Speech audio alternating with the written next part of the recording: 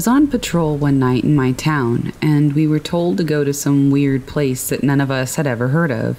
Cernan Lake is how it was pronounced. I haven't been able to find it on any maps after the fact, and we had to be directed by dispatch to a back road which was barely visible from the highway. Grass had grown over most of it, and you could only see tiny gravel rocks here and there.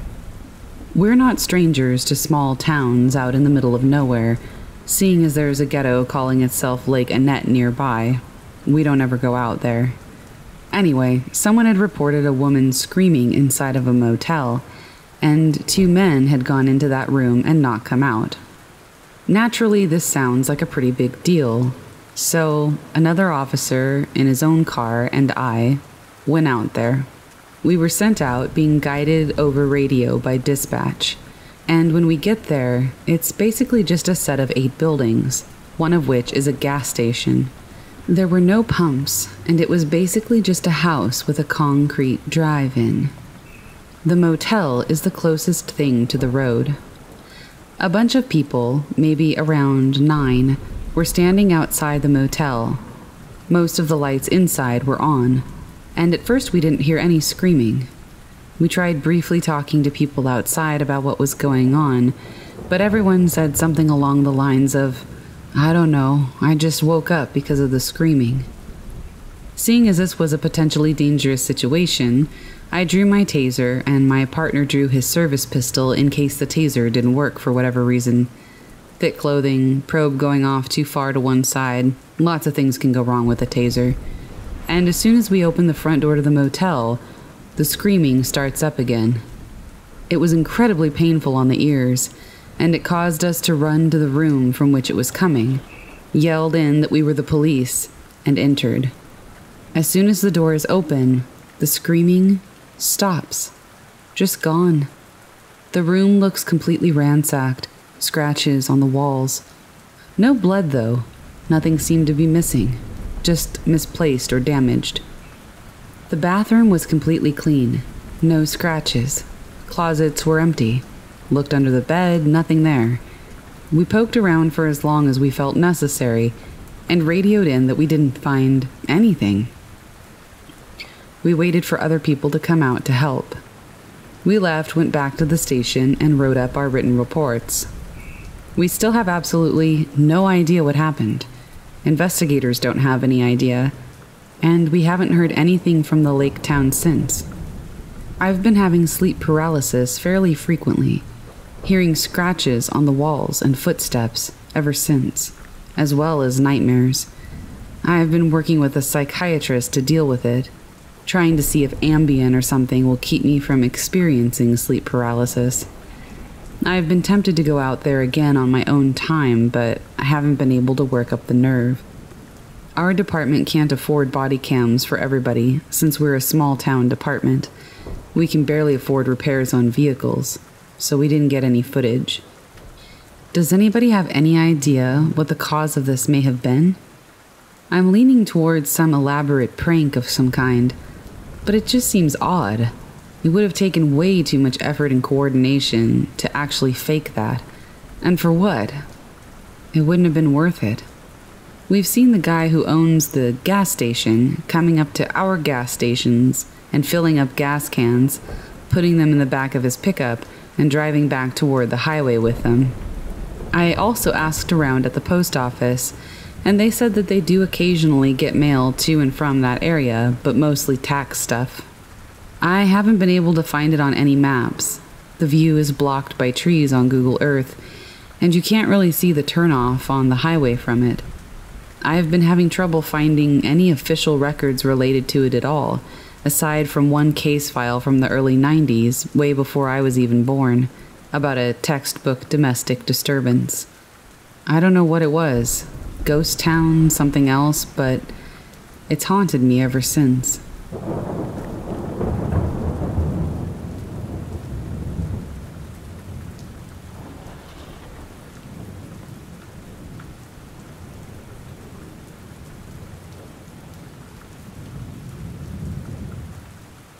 These events occurred two summers ago in the Grand Teton area. My boyfriend at the time, now husband, let's call him Harry, was an avid outdoorsman and also served in the military. I was an ecology major and wanted to spend more time outdoors, so he decided to take me on my first backpacking trip, just the two of us. For those who aren't familiar, the Grand Tetons are well known for their wildlife, specifically grizzly bears. My only experience with bears up to this point was watching a little black bear cross the road from the safety of my car. Seeing grizzly country signs around every corner wasn't doing much to calm my nerves. The first incident. My boyfriend looked like Indiana Jones, machete hanging from his belt, large knives attached to each side of his pack bear spray strapped to his waist. You get the picture. The beginning of our 25 mile journey was all uphill. When in bear country, you're supposed to make noise so as to not startle the wildlife by accidentally sneaking up on it. As you can imagine, going up a steep hill while carrying a 40 pound pack makes it a little difficult to make conversation. We were an hour in and almost at the top of the ascent. I noticed that the woods had gone completely silent, save for the rushing stream that was to our left of the trail. Silent woods are never a good sign. This usually indicates that predators are nearby. At this point, I was in front of my boyfriend, and we were about to crest the hill. For the past 20 minutes, we hadn't said a word to each other, having been too tired to speak. We noticed the silence at the same time and gave each other knowing glances. I came up over the top of the hill and immediately froze. Sitting not 10 feet in front of me in the middle of the trail was a grizzly bear.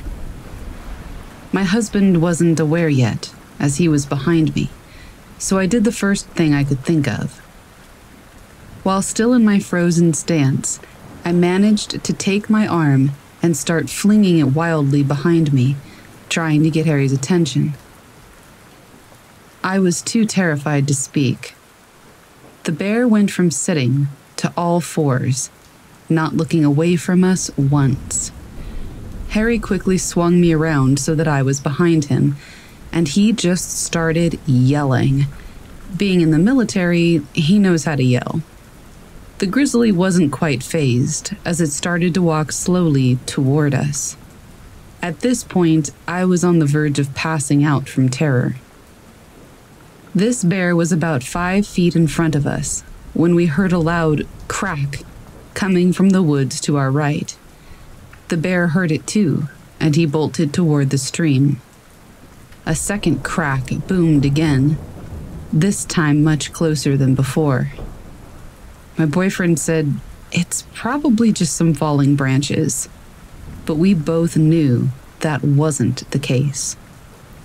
At this point, we were walking quickly up the trail in an attempt to create some distance from the grizzly and those strange noises. I felt the hairs on the back of my neck stand straight up, and at the same moment, my boyfriend stopped moving in front of me. He turned around to look at me, and I turned around to look behind me. To this day, we're not sure what we saw. Back where we had been standing was a large black brown mass. It looked to be three times bigger than the already large grizzly that we had seen just a few moments before. Its back was facing us, and then it stood on its hind legs. It looked similar to a bear, but something about the shape was just off. At this point, it was probably stupid to run away, but that is exactly what we did. We were aware of heavy footsteps behind us, but neither of us looked back. The footsteps eventually faded. At this point, I was a mess.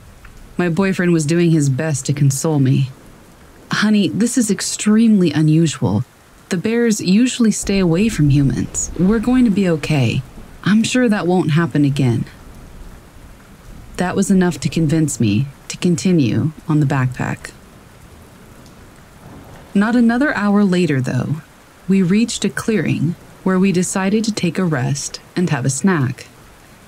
About a minute after we had sat down, I noticed bushes moving in a line toward the clearing, toward us.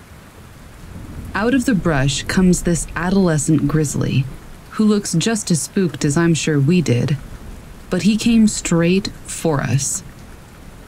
My husband, being the crazy nut that he is, decided to charge back at the bear while screaming, bear spray at the ready. That did the trick, and the bear ran off. All I could think was just my luck. But that wasn't even close to what happened the second night. Night two. Before we began our backpack, we had to let the ranger station know which trails and route we planned to take. With this information, they usually send a ranger on horseback at some point during the backpack to check on you, just to make sure everything is okay. There weren't many approved trails left for us to choose from, and it was just our luck that they were the most difficult. Apparently, over the three days that we were on those trails, we had been the sole hikers. We didn't see a single other person once we were en route. However, I guess we missed the ranger who came to check on us. We had been following hoof prints the entire second day, and we hadn't seen any the day before. I had some foot problems, so we spent valuable daylight trying to adjust my boots, laces, and socks to compensate for the pain. When we started on the trail again, we had maybe an hour or two of daylight left, and in the woods, it gets dark fast. I was exhausted. It was now dark out, and Harry was the only one with a working headlamp, as mine wouldn't even turn on for some reason. We needed to find somewhere to set up camp, as we still needed to eat. It was freezing, and the wind was blowing. It was creating a howling sound as it rushed through the trees, which made it difficult to hear Harry or discern any other sounds coming from the woods. After another hour of hiking through the dark, we found a clearing.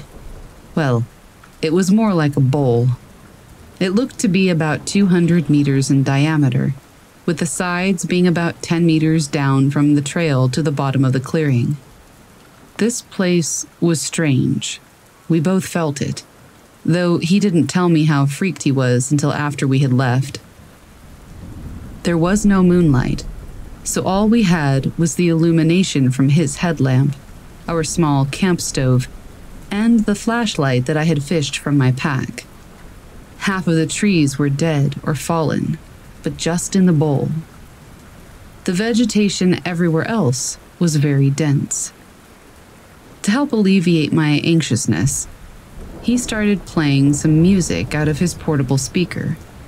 This didn't help much, as it just echoed off the trees, creating a dissonance of sounds. He also thought that it would ward off any predators nearby. This is when we knew our anxiety was not paranoia. The silence was back. There hadn't been a single bird chirp since we arrived at the clearing. It also may have had to do with the obnoxious music, but because of our previous experience, we decided to turn off the music and head into the tent. Aside from everything else, it was freezing. As soon as we were situated in our sleeping bags, we heard deep cracks and thuds echoing from beyond the tree line. Falling trees? There had been a lot of wildfires and very little rain this season. Thud. We both froze. That sound wasn't an echo. It came from inside the clearing, and it was definitely not a falling tree. Thud. It came from right outside our tent. We both stopped breathing. Harry's hand found mine, and we clung to each other, paralyzed. something dragged across the outside of our tent, making an indent as it went along. It was thin, almost like a finger. What is it? I whispered, shaking. I don't know. It shouldn't be a person. We're the only ones on this side of the mountain. I was trying my hardest to stifle sobs, trying to listen to what was outside. I could hear steps, but I couldn't decipher what it was. The steps stopped, and then the whole side of the tent was slowly pushed inward. At this point, whatever was outside knew we were inside, so I shined my flashlight at the side of the tent. What I saw made my blood run cold. Pressed into the tent wall was the shape of a human face. I could make out the nose, an open mouth. Each time they breathed, it made the tent around their mouth billow in and out. Harry said, F that, and pulled a Glock from his sleeping bag. He cocked it, and the sound shattered the silence. The face pulled back, and we heard fast footsteps heading toward the edge of the clearing. We didn't leave the tent till the sun was shining the next morning. The first thing we noticed was the smell of urine. We came out of the tent and looked around. Whoever it was had peed on our coals that we had left on the fire, leaving a disgusting stench of evaporated pee. Footprints surrounded our tent, circling around it multiple times. Muddy handprints decorated the outside of our tent. At least, we think it was mud. The takeaway wildlife is not the most dangerous thing in the backcountry.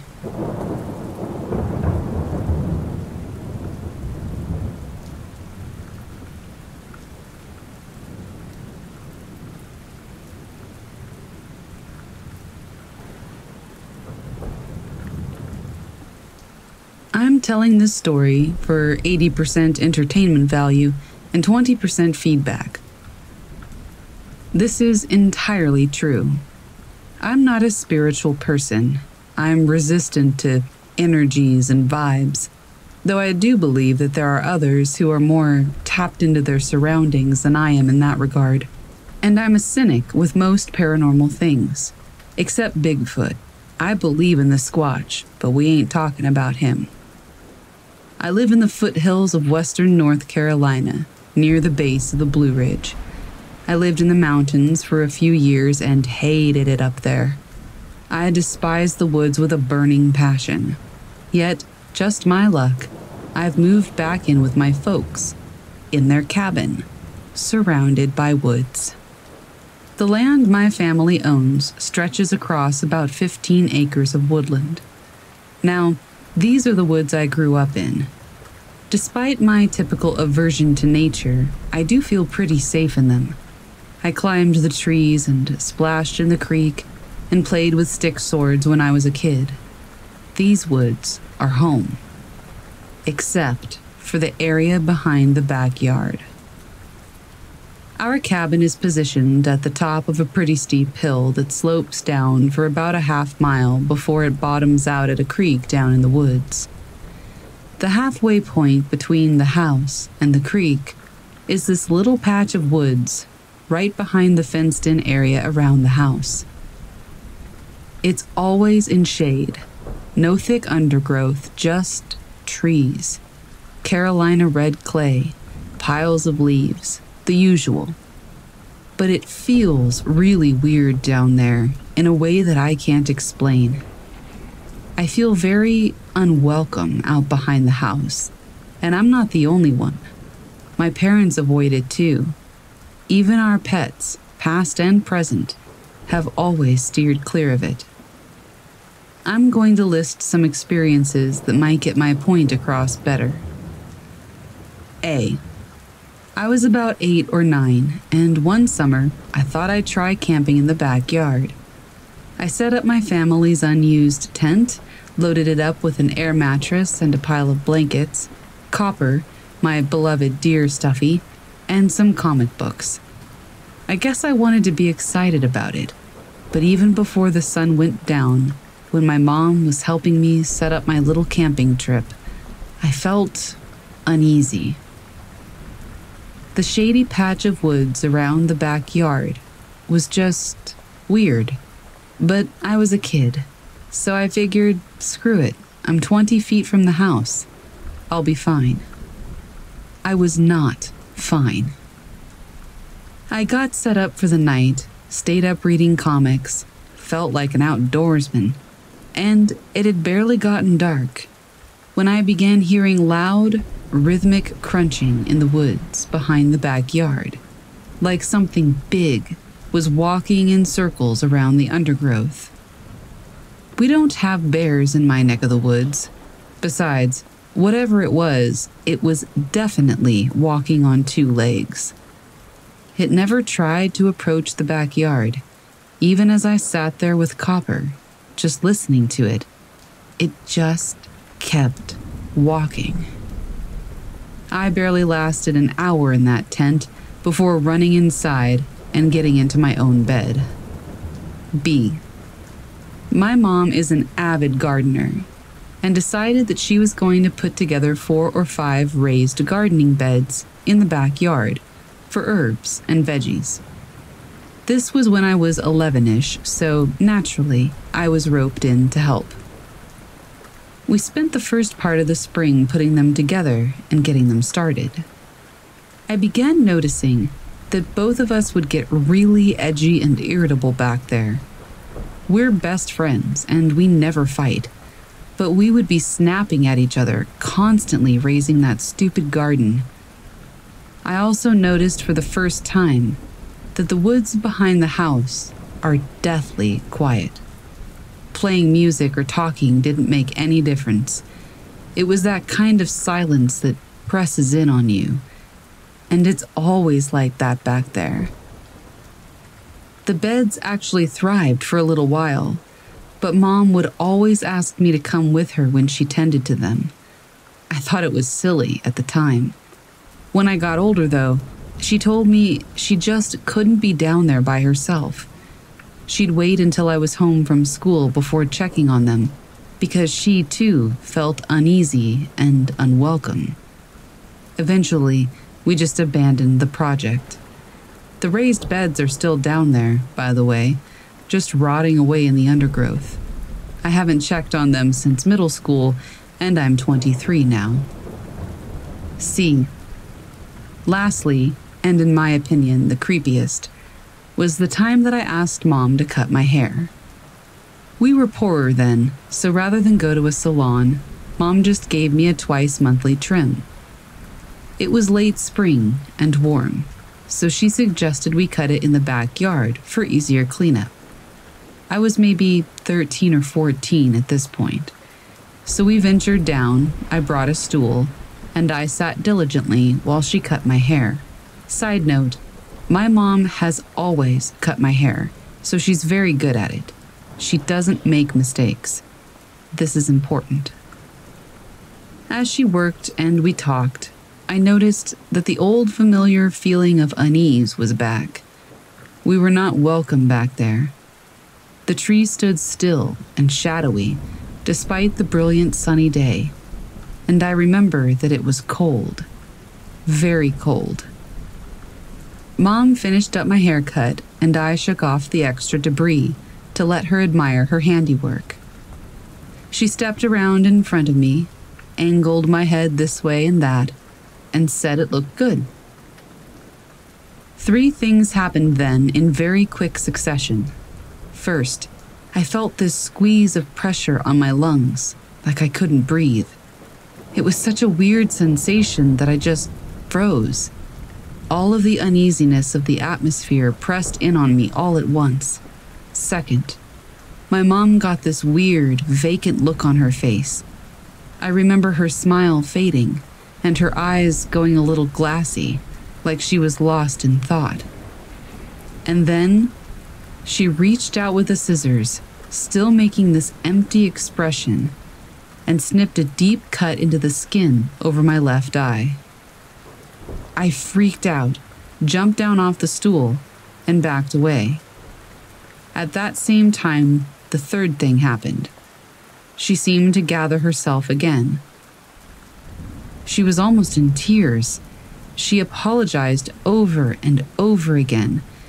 We didn't even bother to take anything with us as we ran back up to the house to treat the cut and stop the bleeding. I still have a little scar there, and she's never forgiven herself for it. There wasn't even a hair hanging over that eye either. I had a pixie cut at the time. So, yeah, a few of the many weird experiences that make me avoid the backyard now. I haven't even been down there in seven or eight years, but now that I'm living here again, I just sometimes look into the backyard and feel that weird shudder of apprehension. So, what's the deal? Why don't we feel welcome in a 50 square foot patch of land that we own? Why is it so dark and quiet all the time? I have no idea, but my parents and I, we just work around it and pretend it isn't there.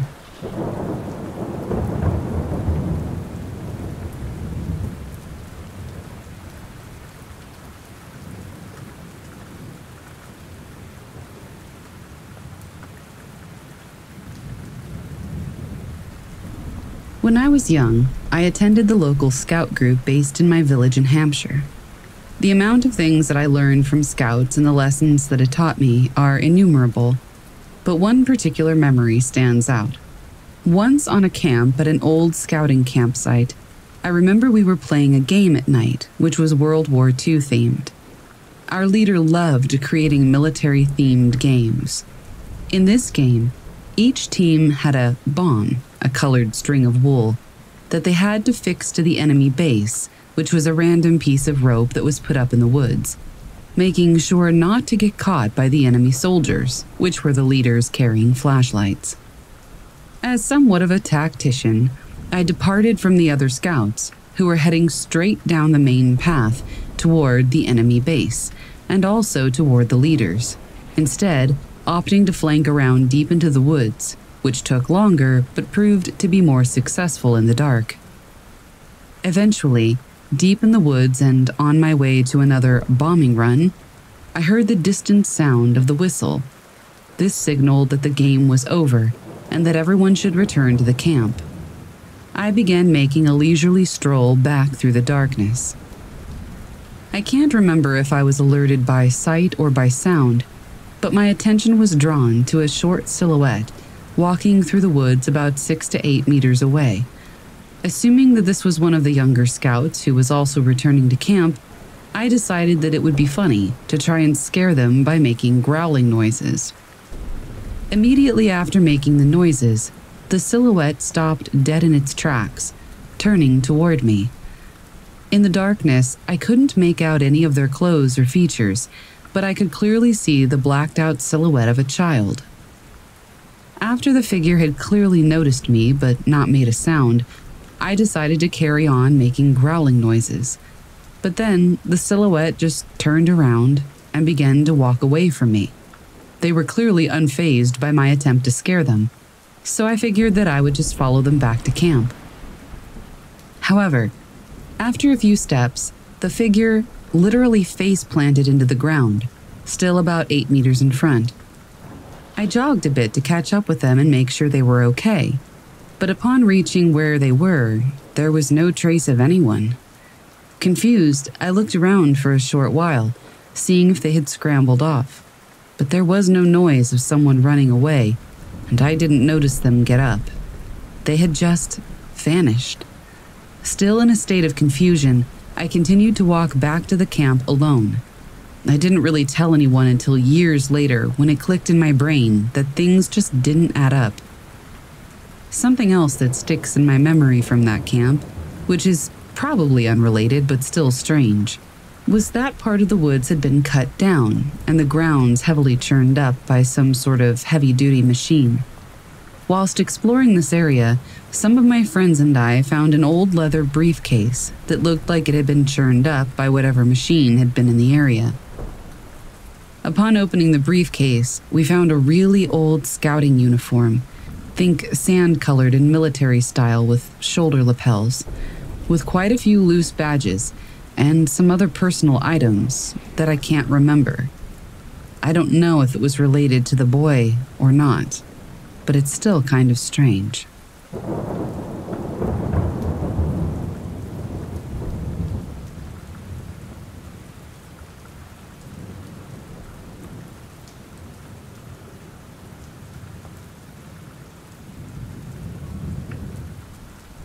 Everything happened this summer when I was working and living in the Chicago area.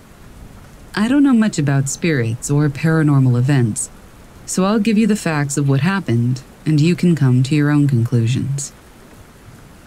In the first few weeks of my new job, I met this really great guy.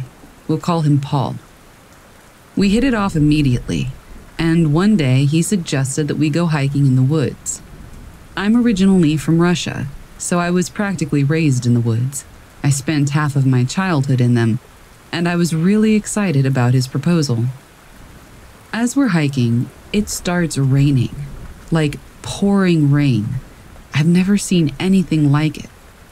We go deeper and deeper into the forest until there are no more paths, and we're practically treading swamp water. All this time, we're just talking about random stuff and getting to know each other, while not really paying attention to the surroundings. There's no one around since we've gone pretty deep into the woods already, and it was pouring buckets. Eventually, we stumble on the skeleton of a teepee, just the bare wooden structure of it, and thought that it was pretty cool, so we kept going in that direction. Suddenly, we both hear someone crying. It sounded like a baby.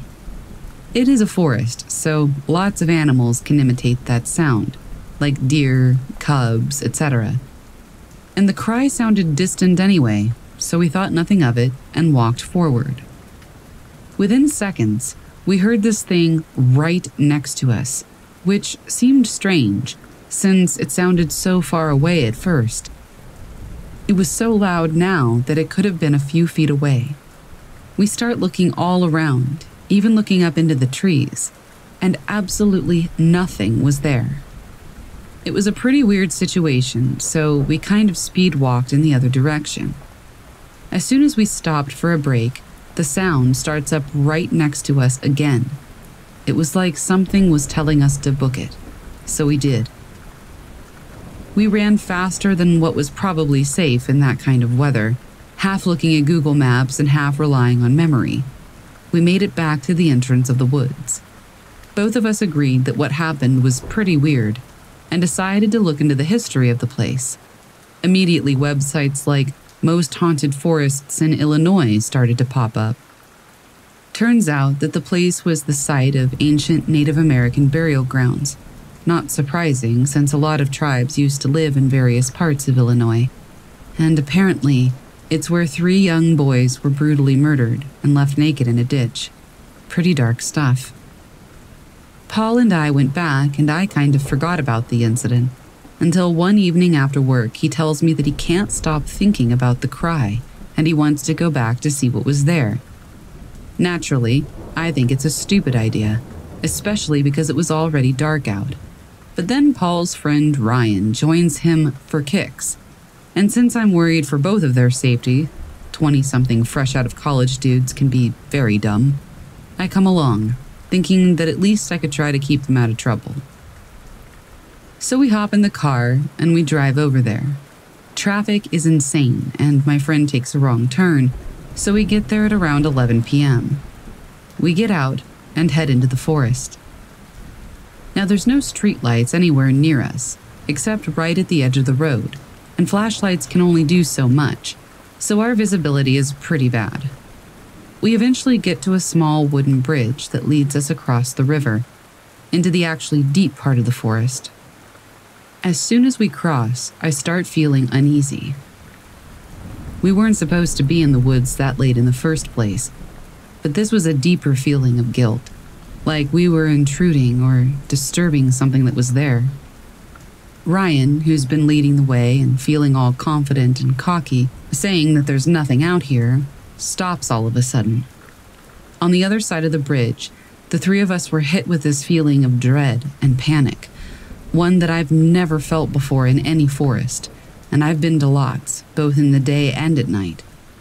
We all exchange nervous looks, and suddenly, we hear crunching coming toward us from the dark. The feeling at this point gets so intense that Ryan, confidently walking ahead seconds ago, now looks uneasy and says, I think we should go back. We all slowly turn around and start speed walking toward the bridge. No one talks until we get to the other side. And Ryan says, I, I was just nervous because, you know, it might have been a homeless person and I didn't want to deal with that. Right. Eventually, we get to the road where our car was parked, along the side. And that's when I see a girl, maybe in her early 20s, just walking along the highway. She was wearing very little clothing and looked a little strange. Her walk wasn't a drunk one, she just seemed to be almost. I don't know the right word for it, but vibrating? Undulating? I'm not sure. But there wasn't a building around for miles, just straight road. My stepdad is Malaysian, and he's told me a bunch of ghost stories about young ghost women on the side of the road killing drivers. But I was willing to risk it because I didn't want to leave this girl all alone, ghost or no ghost. So I convinced Paul to slow down a bit when we got to her. I called out to her from the passenger window, asking if she needed help. The girl slowly turns around, and with the creepiest, slowest smile spreading across her lips, she nods. I was hit with that same feeling that I had gotten back there in the forest and almost regretted slowing down. But whatever, my sense of wanting to help that girl was greater than whatever weird stuff I was feeling. And if I died, well, at least I'd have a clean conscience. She gets in the back of the car, right behind my seat and next to Ryan, and he just starts to chat her up flirting, asking her where she's from and what she's doing. Typical. All this time, I'm turned halfway around keeping an eye on her because I feel like as soon as I turn around and face the road, something bad is going to happen. She's keeping steady eye contact with me the entire time, even when Ryan is talking to her, with that slow, creepy smile, while slightly undulating. I still don't know what to call it but it seemed snake like. Ryan asks her where she's coming from, and she says, Oh, just around. He asks if she's coming from a bar, and she nods her head yes. Except there's not a single bar anywhere even close, not for miles and miles. She said she was walking home and gives Paul an address, which is 15 minutes away by car along nothing but forest. My eyes literally hurt from keeping eye contact with her, and she just keeps smiling and undulating and giving off this feeling of dread. This feeling just keeps increasing, so eventually, we drop her off at her street. There are lots of old looking, smaller houses there. When I turn back to look at her a second later, she's completely gone. I couldn't sleep that night. I kept imagining her creeping up the stairs her smiling face undulating from the shadows.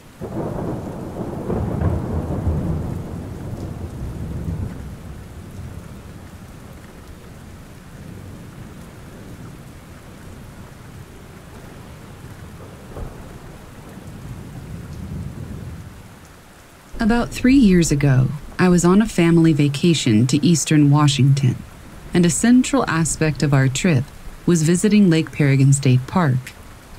It's an extremely rural area with a tiny western town about a mile away. And that's about it for miles. Anyway, we had just arrived for our 10 day stay in the afternoon, and it was now around 11 p.m.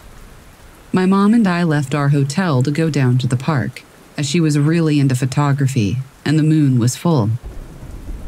If you're not familiar, Eastern Washington as a whole is pretty desolate so the night sky is generally incredible with very little light pollution. There were no clouds to be seen, and we were a ways down a dirt back road over the park, above the campground, with no real roads anywhere in sight. We got out of the car and took some pictures, with nothing more unusual than the eerie silence. About 15 minutes into our visit, we're both facing away from the moon, looking at the rolling hills and we noticed this odd concentration of light on one hillside, about a quarter mile away. Before either one of us could point it out to the other, the mass of light shining on this hill rolled away into nowhere. It took two seconds and was entirely gone.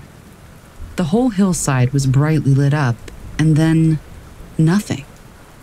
We freaked out and got out of there as fast as humanly possible. We both saw it. There were no other people, no moving clouds, and no roads from which headlights could shine. We still have no explanation for what we witnessed.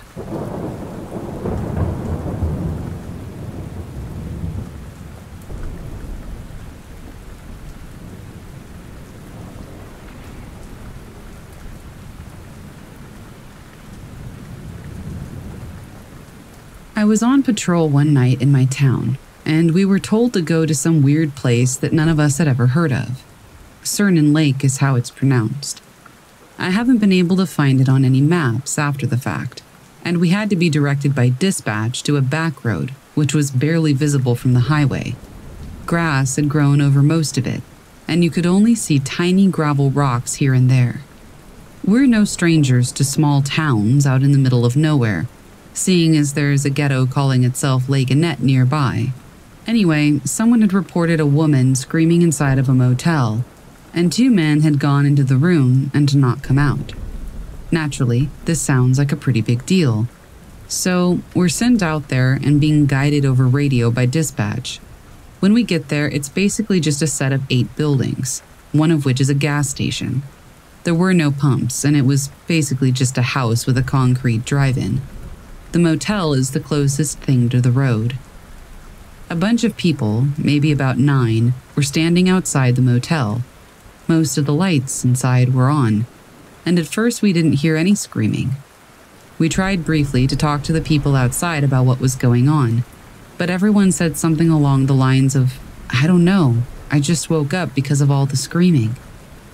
Seeing as this was a potentially dangerous situation, I drew my taser and my partner drew his service pistol in case the taser didn't work for whatever reason. Thick clothing, probe going off too far to one side, something like that. As soon as we open the front door to the motel, the screaming starts up again. It was incredibly painful to the ears and caused us to run to the room from which it was coming. We yelled in that we were the police, and we went in. As soon as the door is open, the screaming stops. Just gone. The room looks completely ransacked, scratches on the walls. No blood, though. Nothing seems to be missing, just misplaced or damaged. The bathroom was completely clean, no scratches. Closets were empty. We looked under the beds, even, and nothing was there. We poked around for as long as we felt was necessary and radioed in that we didn't find anything. We waited for other people to come out and help. We left and went back to the station and wrote up written reports. We still have absolutely no idea what happened. Investigators don't have any idea, and we haven't heard anything from the lake town since. I've been having sleep paralysis fairly frequently, hearing scratching on the walls and footsteps, as well as nightmares. None of this happened until we went there. I've been working with a psychiatrist to deal with it, currently trying Ambien to see if it'll keep me from experiencing sleep paralysis. I've been tempted to go out there again on my own time, but I haven't been able to work up the nerve. Our department can't afford body cams for everybody since we're a small town department. We can barely afford repairs on our vehicles, so we didn't get any footage. I have no idea what this might have been. I'm leaning towards some kind of elaborate prank, but it just seems odd. Like, it would have taken way too much effort to actually fake it to be worth it. We've seen the guy who owns the so called gas station coming to our gas stations and filling up gas cans. He puts them in the back of his pickup and drives back toward the highway with them. I also asked around, as the post office said that they do occasionally get mail to and from there, but it's mostly tax stuff. I haven't been able to find it on any maps. The view is blocked by trees on Google Earth, and you can't really see the turnoff on the highway. I've been having trouble finding really any official records related to it, aside from a case file from the early 90s, before I was even born, about a textbook domestic disturbance.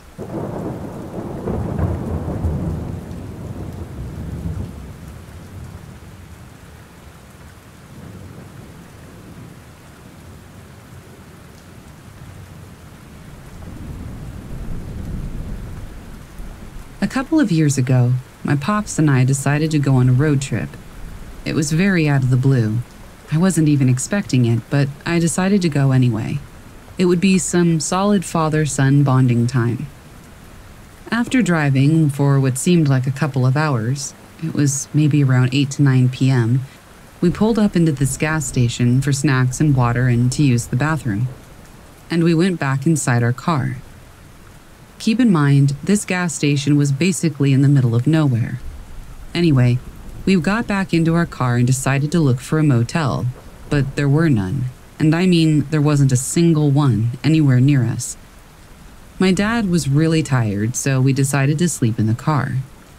We pulled up into this sort of resting area slash parking lot and decided to go to sleep.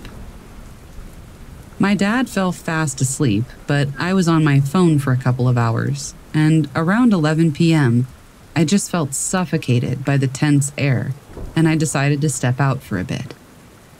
I felt safe because the gas station was still in sight, and there would be a couple of trucks that would occasionally drive by, so I felt at ease. At this time, I was also texting my friend who lives in Seattle, Washington, and we were on the phone for a bit. Then I saw what looked like a large cornfield. I was a city guy, so I'd never seen a cornfield in real life. So I decided to cross the road and just get a closer look. So that's what I did. I walked extremely close and started feeling like I was being watched. But again, I thought, well, you're literally outside in the dark standing next to a tall cornfield. Of course you're going to feel weird. So I brushed it off. I even considered going in, but then I thought, why would I even do that? So, anyway, I decided to just take a step back when I noticed a barn. A large white barn with red, maybe black strips. It was hard to tell in the dark, but it surely was a barn. And I was stupid and young when this happened, maybe 14 or 15. So, out of curiosity, I decided to just check it out. The barn was next to the cornfield, kind of tucked in a little. I literally thought to myself, I wish I could see something that would freak me out, as a joke, because I never really thought that anything would happen, and I love being scared. Anyway, I started making my way toward the barn. Getting closer and closer, I remember very vividly that I was wearing no socks and just slip on slides. I remember the dirt rubbing against my toes while I walked. I remember sending pictures to my friend in Washington jokingly saying that I saw something and I was going to go check it out. As I got closer, I did see something. Behind the barn, but sort of to the side, like how when someone peers from a corner. At first, I thought it was a bell. Literally, I assumed that it was just a bell attached to the corner of the barn. So I just walked closer. I kept moving toward it.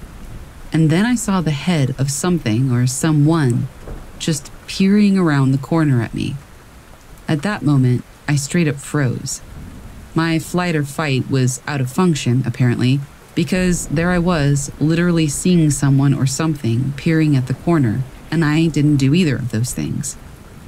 After about 5 to 10 seconds, the noise that Snapchat makes when you get a notification snapped me out of it, and I just ran as fast as I could across the road to my dad's car and got in. I felt a sense of relief wash over my body. And somehow, my dad was not awake. Me gasping for air wasn't enough to stir him from his sleep, I guess. I really considered waking him up and telling him that we have to leave, and telling him what I saw. But he would assume that I was joking or having some kind of episode, since he's never believed in anything paranormal or out of the ordinary at all. I took deep breaths and just texted my friend telling her what I saw, but she didn't believe me. I don't blame her, and I won't blame any of you either if you don't believe me.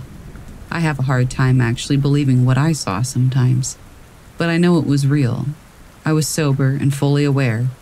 But from the bottom of my heart, the part that disturbs me the most is that whatever was peering at me from around that corner was very tall, at least seven, maybe eight feet tall. And every time I think about that, I get a sense of dread and paranoia. I haven't told any of my family, not even my dad. But if any of you have a clue of what I might have seen, let me know. I wasn't hallucinating. And this was way before I figured out anything to do with psychedelics or drugs in general. I've been trying to piece it together ever since it happened. I was sort of 50 50 on paranormal encounters before, but after that experience, I believe. I believe in walkers and wendigos and ghosts and everything pretty much. It's completely changed me. I want to know what's out there. I want to know what I encountered.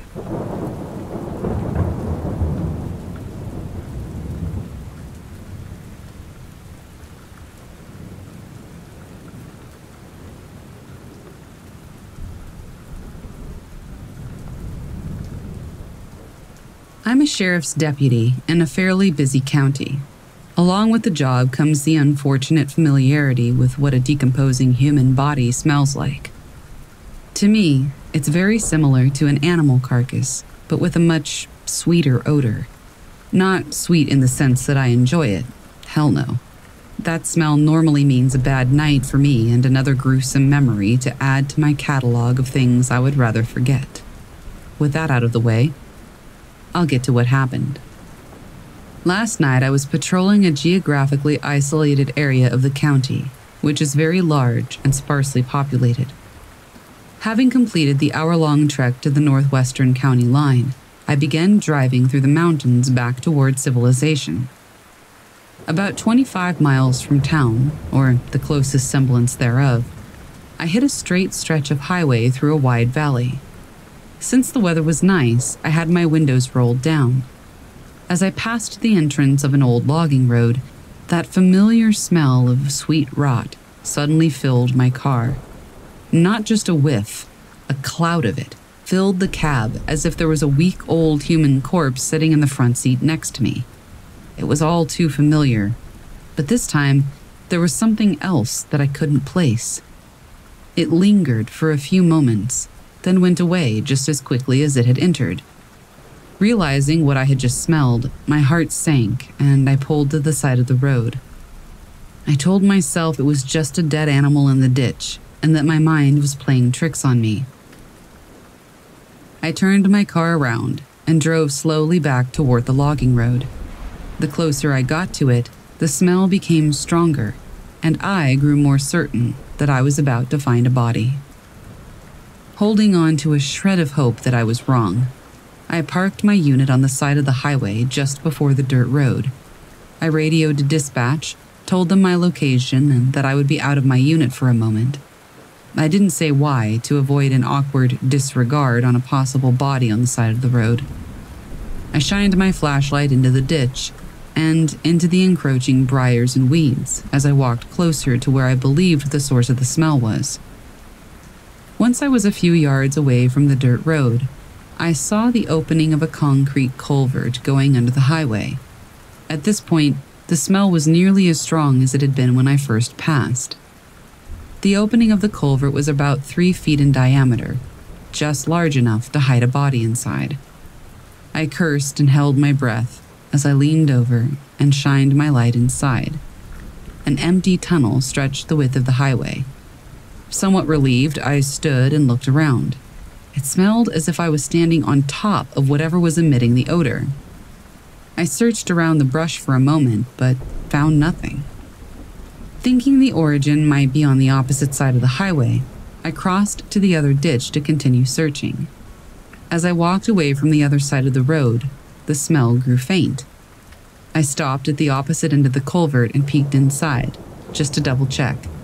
The odor was nearly gone at this point. I stood up and checked my surroundings when I heard a crack in the brush behind me, and the smell engulfed me even stronger than before. Thinking for a moment that the wind must have shifted, I froze when I realized the air was dead still. Whether it was fear or something else, a shiver went down my spine. In the distance, I saw headlights coming down the highway. As the car came near, the odor seemed to move away, farther into the bushes toward where I had heard the crack. The car stopped, and the passenger rolled down the window and asked if I was all right. I lied and told him that I was. I thanked him for checking, and I walked briskly to my car as they drove away. I got the hell out of there. Once I was able to get cell service, I called my friend who was patrolling the opposite side of the county. I explained what had happened, trying not to let on that I was spooked.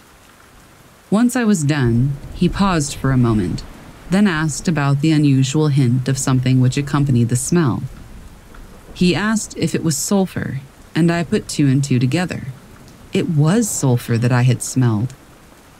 I asked if he thought I had found a demon in the middle of nowhere, to which he responded with a concerned, Yes.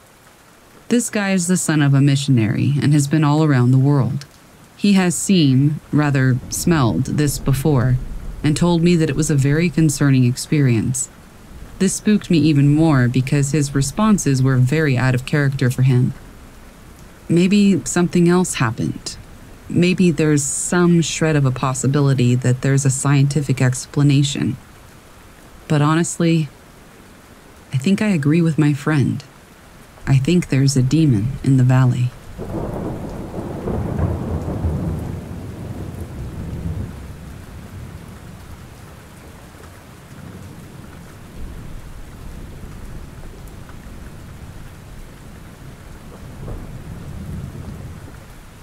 I've lived in rural Massachusetts for 17 years of my life, and I've encountered a lot of wildlife in my time here. One day I was moving my mare up toward another pasture, which was a little ways down from my house, a good 15 minute walk. I tacked her up and we were making our way down the main road.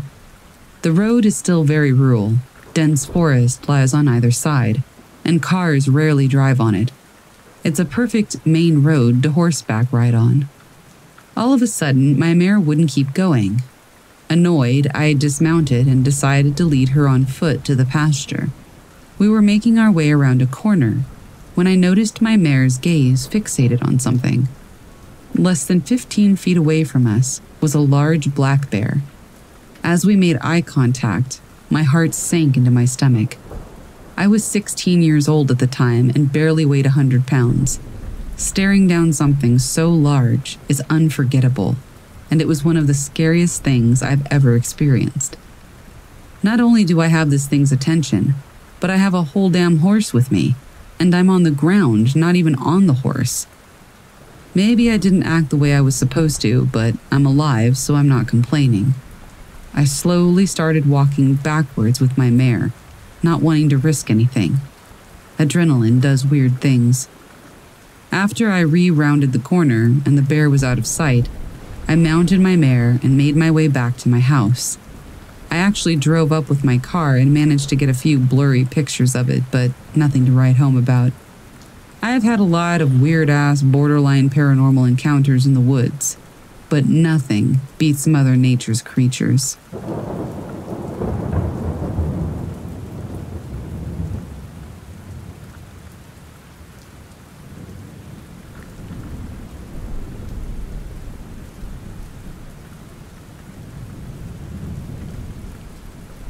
Lived in Germany for many years while my father was stationed there in the U.S. Army. We lived off base in private housing, and I loved it. That country is amazing. The vast forests, the mountains, the countryside, the farmlands, the little towns, everything. I quickly became really good friends with some local boys whose parents owned the town's dairy farm. We were always in the forests running around and exploring, fishing, playing army, stuff like that. I was around eight or nine years old at that time, and I'm over 40 now. One night, I stayed late at the farm hanging out with the guys. I left at about 9 or 10 ish. It was dark, but the moonlight gave pretty good vision. I lived just across the soccer field, and then across a small cornfield from the farm. As I'm walking through the soccer field, I see a bit of movement, just really quickly, out of the corner of my eye along the tree line at the edge of the field. I quickly stepped up my pace. As I turn to take my usual path through the cornfield to my house, I see at least a half a dozen silhouettes emerge from each side of the rows of corn on the sides of the path. I froze. They just stood there, and then all of a sudden, there's one standing behind me. Before I can snap around and get out of there, he asks in German where I'm going. I turned around, and what I see surprises but also relieves me. I answered in English and told him I was headed home. He was then curious about my English. Turns out it was a team of special forces operators. I mean, these guys were decked out so much in tactical gear, I couldn't comprehend how they were able to move so stealthily night vision goggles, packs, bags, weapons. There was even a dog. They looked like total badasses. Apparently, they were using these small towns to do some off base training. I just happened upon them this particular night. I will never understand why they chose to break cover and show themselves. They could have easily just stayed put, and I would have walked right by them none the wiser. But they all walked me home as it was on their way back. It started off super creepy, but it was actually pretty cool, and it's an experience that I will never forget.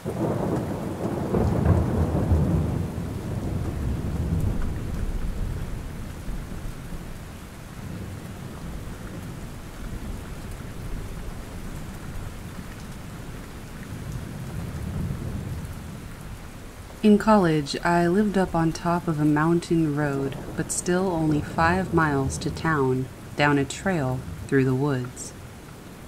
There was a hundred plus year old oak in the yard, slab stone porch built by hand. I lived in the studio apartment that was outside of the main house. The main house was haunted, but my shack was cozy. The woods up there were weird, too. I never really was in the main house at all, but the three who lived there said some nights you couldn't sleep for all the noise floorboards creaking, thumps and knocks, that kind of thing. My experiences happened outside. Like I said, I hunted small game up there, as there must have been a rabbit colony in the vicinity, plus a few squirrel drays. Often out there while I was stalking, I'd get the distinct feeling of being stalked myself.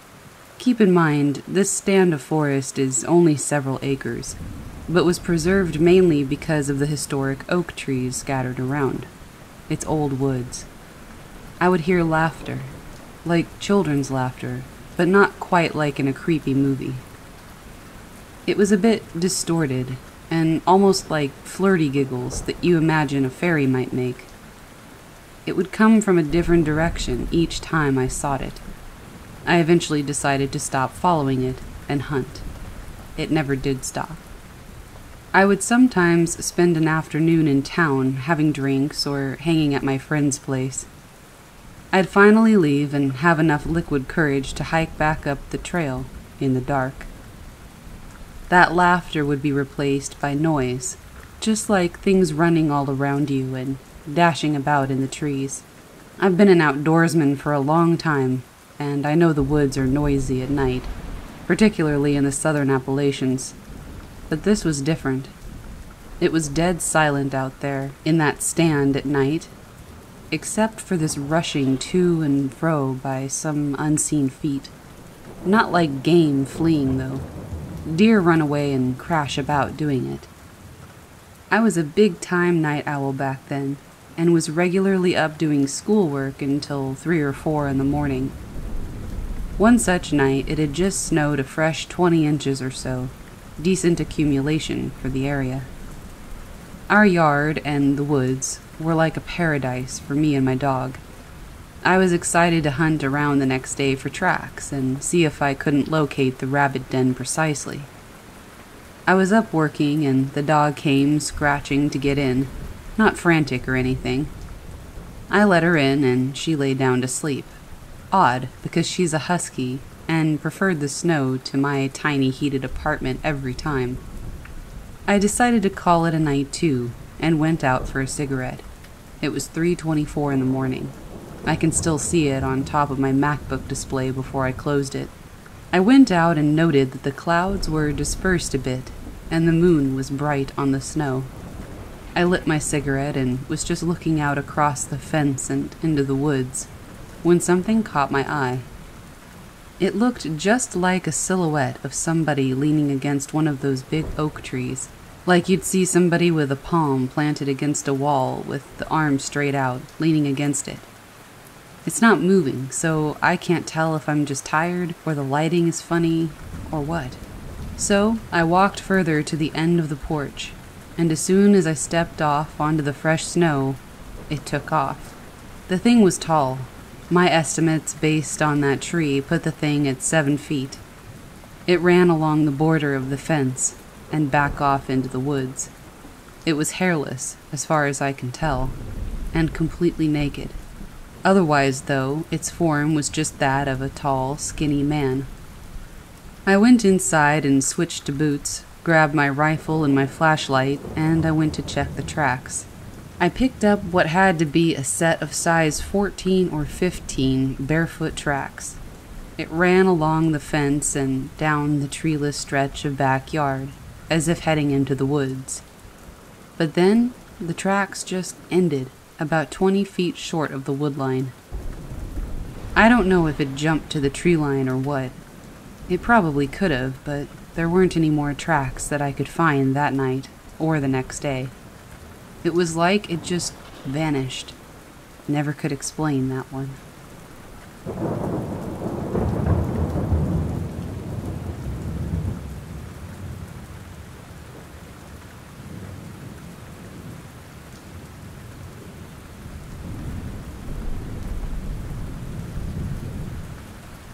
So, this happened last year in Virginia, and is also the reason I never backpack alone anymore.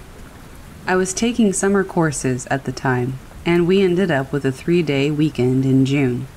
So, I thought it was a great time to go explore some of the Virginian wilderness. I did a Google search, found a state park with a trail that looked nice, and let my roommate and family know the trail I was going to be on. When I got close to the park area, I saw a little outdoor shop where people hiking the Appalachian Trail stop. I went in to grab a map of the area, just in case I got lost. As I was talking to the owner, he mentioned a trail that's not well known that has a pretty cool waterfall and a swimming hole. This piqued my interest, so I had him show me on the map. It took me outside the state park but he said it was a great place to go. I paid for the map and thanked the owner. I texted my roommate and my parents about the new trail, and I parked my car and set off on my adventure. I should note that the waterfall was going to be a side trip from my journey. I was planning three days and two nights. I started on part of the Appalachian Trail, and it was pretty packed with people, and some of them are really fun to talk to. As expected, I got further and further from the main trails, and I saw fewer and fewer people. Around early afternoon, three miles from my destination, I noticed it was unnaturally silent. No birds, no bugs, not even wind, and I had the distinct feeling of being watched. I shook it off as me overanalyzing the situation. I got to the waterfall, and it wasn't too spectacular, but it was cool to look at. Plus, it had a good sized area to swim in, so naturally I stripped down to my skivvies and took a dip. It was pretty refreshing. As I was getting my clothes back on, I started whistling to myself. That's when I heard something whistle the same tune back. I thought it was a bird copying me, So I went back and forth with it, and it would repeat whatever I whistled. I thought it was pretty neat. As I was setting up camp, I couldn't shake this feeling that I was being watched again. Like I would get goosebumps and my hair would stand up on end. As night fell, I built a small fire and lit my Jetboil to make some dinner. As I did this, I became hyper aware that again, there was no sound, just deafening silence. Some part of my brain was telling me that I wasn't safe and that I should leave. I ignored it and crawled into my tent with my flashlight and book. I went to sleep without incident. When I woke up the next morning, my site was trashed. My camp stool was nowhere to be found. My bear bag with my food was cut down, and the contents were thrown across the site. My first thought was that a crafty animal had chewed through the rope and got the bag. But I looked at the rope, and it was cut with something very sharp. Plus, none of the food was even touched. I also noticed bare footprints, human footprints, all around my campsite. Keep in mind, I'm at least six to eight miles from any road. As I was looking at the mess, I heard a branch snap off in the distance. I turned to look in that direction. I saw nothing. But I heard that whistling again. My whistle from yesterday but it was different. It sounded more sinister. It made my hairs stand on end, and this is when I listened to my instincts to get the hell out of there. It sounded like it was a little off in the distance, so I packed up my camp as fast as I could. As I did, the whistling got closer and closer as I finally finished stuffing the tent into my bag. I didn't even bother with putting anything away properly. I just wanted to get out. The whistling was incessant and sounded like it was coming from all directions. I got fed up with it, and finally I stood and yelled into the woods, Shut up! What the hell do you want? It stopped whistling, and it was quiet for a moment. And then it repeated everything I had just said in my voice. It sounded just like me, but distorted, like it was coming from an old television. After I heard this, I immediately threw my pack on and ran in the direction I'd come from. I heard it moving just behind me, fast, switching between the whistle and my voice. It felt like it was toying with me, not coming too close, but never being too far. Eventually, it sounded like it got farther and farther away from me, and then it suddenly stopped. When it stopped, I stopped and turned around. I wish I never had, because I heard the most bone chilling screech I've ever heard coming from right next to me. That's when I started running again. I didn't look, I just ran. Less than a half mile, I ran into a couple that was also backpacking. They saw the look of terror on my face and asked if it was me that had screamed, and asked if I was okay. I told them about what happened, and they decided not to go down from where I had just come from. We moved to a more populated trail, and as quickly as we could, all got the hell out of there. As soon as I got back in my car, I drove to one of the park's ranger stations and reported what had happened. Since the site was off park grounds, they told me it wasn't in their jurisdiction, but that they would send a ranger to investigate.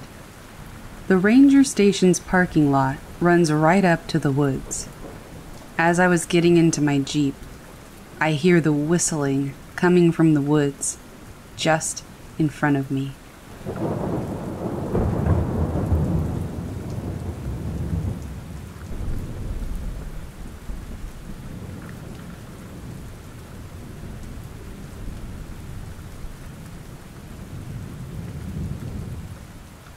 The neighborhood where I grew up was more or less suburbs, except the back end of it borders a massive field where nothing has been planted for decades. Part of that border is buffered by woods, and it's in those woods where my friends and I would always play. One sunny day, we were particularly deep in the little section of forest. We were attempting to pick through what looked like very overgrown dozer tracks. The woods are thick across North Carolina, but the central and eastern portion is thick with kudzu in particular, and it was giving us hell. We had probably made a mile of progress into this track when we came across a depression full of water. I hesitate to even say that it was a pond because it was perfectly round, like a crater. The water had obviously receded, and in the middle of it was the exposed roof of an old car. At about that time, one friend found a license plate under the pine duff. It was tagged with buckshot. Next, a door. A full car door half buried under pine duff, riddled with bullet holes and shot. Certainly not an uncommon way to have fun in the South go out, have a few beers with your buddies, and see some old junk. But what we found next wasn't a run of the mill Saturday night. Bones. Our still innocent minds first assumed it was a white tailed deer. We started dragging out bones and laying them out side by side. I'm not sure if our objective was to make a museum quality deer skeleton or what, but that's what we did. Then, the pelvis came up. I recognized it immediately because my uncle was a chiropractor and had a full model skeleton in his office named Mr. Bones that I would always look at. The more I started to look at our growing collection, the more I started to see Mr. Bones taking shape. I got this weird gut feeling, and being the oldest, I told everybody to stop digging and that we needed to go. There was some protest, but I convinced everyone that this was the best thing to do. We hiked back the way we'd been coming in and went back to the pool down the road, finished out the day, and went home. But I couldn't stop thinking about those bones. That night, I told my mom about what we had found. Then I had to tell Dad the story, at first, they weren't convinced, but I wasn't a dumb kid. I knew what I had seen out there. They talked behind closed doors, going back and forth. The next day, I told the story to two sheriff's deputies and took them to the area where we had entered the woods. About an hour later, there were police vehicles packing the tiny dead end leading off to the woods. Chainsaws cleared brush, and men in white shirts with detective badges smoked cigarettes and talked amongst each other as men carried bags from the forest and put them into vehicles. Then they were gone. I waited months to hear something, anything. Nothing. I asked my parents what had happened. Did they figure it out? And over time, their answers would get more and more uninteresting.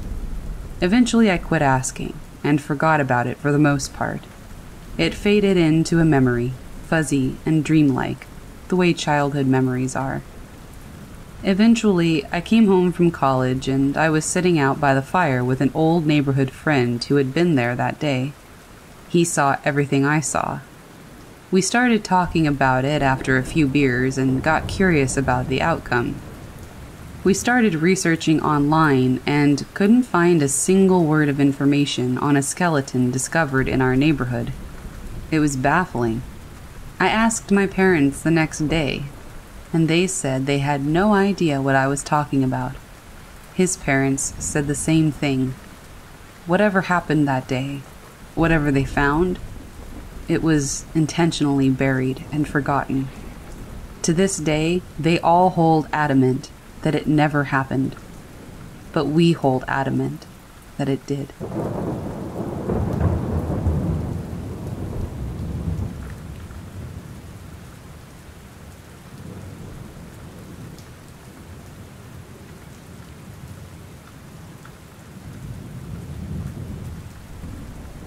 A little bit of background about myself.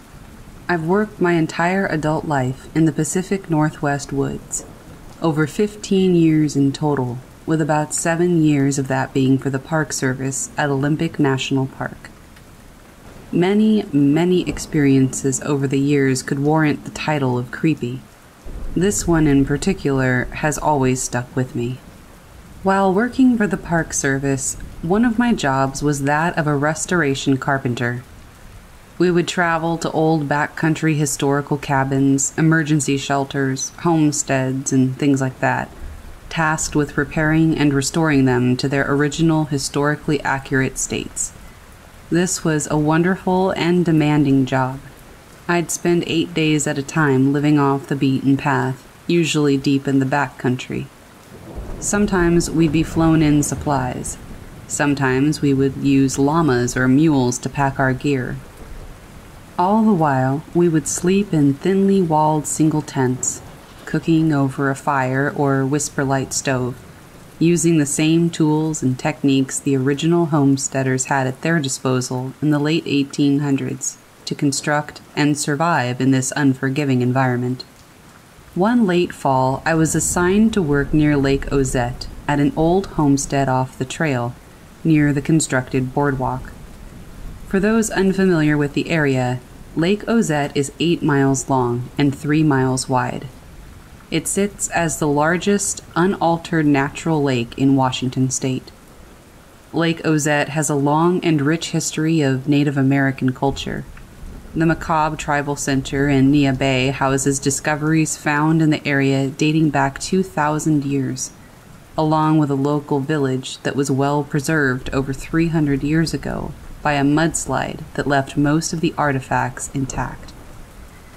The Ozette Loop Trail, which the homestead was directly adjacent to, is approximately 9.4 miles through and through. The man made boardwalk takes you under giant cedar groves meanders through huge patches of chest high salal before delivering you to Ahlstrom's Prairie, about two and a half miles from the trailhead. Ahlstrom's Prairie, a giant soggy meadow, was once farmed by two Swedish immigrants. They constructed a small cabin and some outbuildings on the 150 acre bog. With cattle, sheep, vegetable gardens, and the help of a little Swedish ingenuity, they managed to etch out lives for themselves here for over 50 years. Over time, the forest, as it always does, decided to take back what was once its own. The now decades long abandoned farm was hardly recognizable. Our job was to beat back the encroaching forest, put new windows in the main cabin, pipe in a new stove, apply fresh paint, and fix up portions of the semi dilapidated barn. The ultimate goal was to allow guided tours to take place at some time in the future. For about three weeks, we stayed at the Ozette bunkhouse while working at Ahlstrom's. This was good duty for us. We weren't sleeping under the rain, our beds were warm, our hike was short, and the terrain wasn't difficult. We even had a TV. The bunkhouse was located near the highway and ranger station. We would hike the five mile loop every day bringing with us boards, tools, paint, and everything else we would need on our backs. These were full 10 plus hour days. Usually, we started our morning hike at around 7 a.m., and we began our evening return hike back to the bunkhouse at around 5. At one point during the fall, there were four of us working this project, but at the time of this event, there were only two of us remaining. Most of the hard work had already been finished. We needed to hike a few last boards into the prairie to complete a portion of the woodshed before we could call the job done. I volunteered to be the pack mule for the day, my only job being to carry as many boards as I could muster in each trip to the prairie before returning to the ranger station for the next load. It was late in the season for hikers at this point, the weather had turned, and we'd be lucky to see two to three people in an entire day doing the loop. After around my fourth or fifth trip, I was pretty wiped. It was getting late in the evening now, around 4 p.m., and my coworker had called it a day. I thought I could get one more trip in before it got too dark. My rationale being that the more trips I did today, the less I would have to do tomorrow. We passed on the trail. I told him my intentions, and I continued on. I delivered the last boards for the day, took a look around the prairie as the sun started to tuck behind the trees, and started my hour long hike back to the ranger station. The lighting on the boardwalk was quite low at this point, the cedars blocking most of the ambient light left by the setting sun and making visibility quite diminished. I'm not a nervous hiker, and I fail to spook easily. Having solo hiked for weeks on end in the backcountry, I've been stalked by cougars, confronted by Kodiak bears in Alaska, and even ran into a few demented hillbillies over the years. As I left the prairie that evening, though, the hair on the back of my neck stood on end. Goosebumps erupted from my forearms. An uneasy feeling swept over me, and suddenly I found myself wanting to walk faster, to jog, and then to sprint. I didn't. Instead, I convinced myself that I had been reading far too many novels before bedtime. I walked another five minutes or so before I started to hear something faint, something that sounded like music. Impossible, I told myself. I'm the only one out here, and still at least two miles from civilization that civilization in reality being likely the only other soul out there, my coworker. Sure enough, however, I heard music, more specifically, a piano.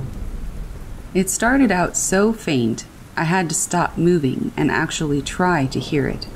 The steps on the wooden boardwalk were too loud and covered it up. Every time I paused to hear it, it became unmistakable it got louder. I stood there, sun now fully hidden behind the horizon, in total silence, other than this piano.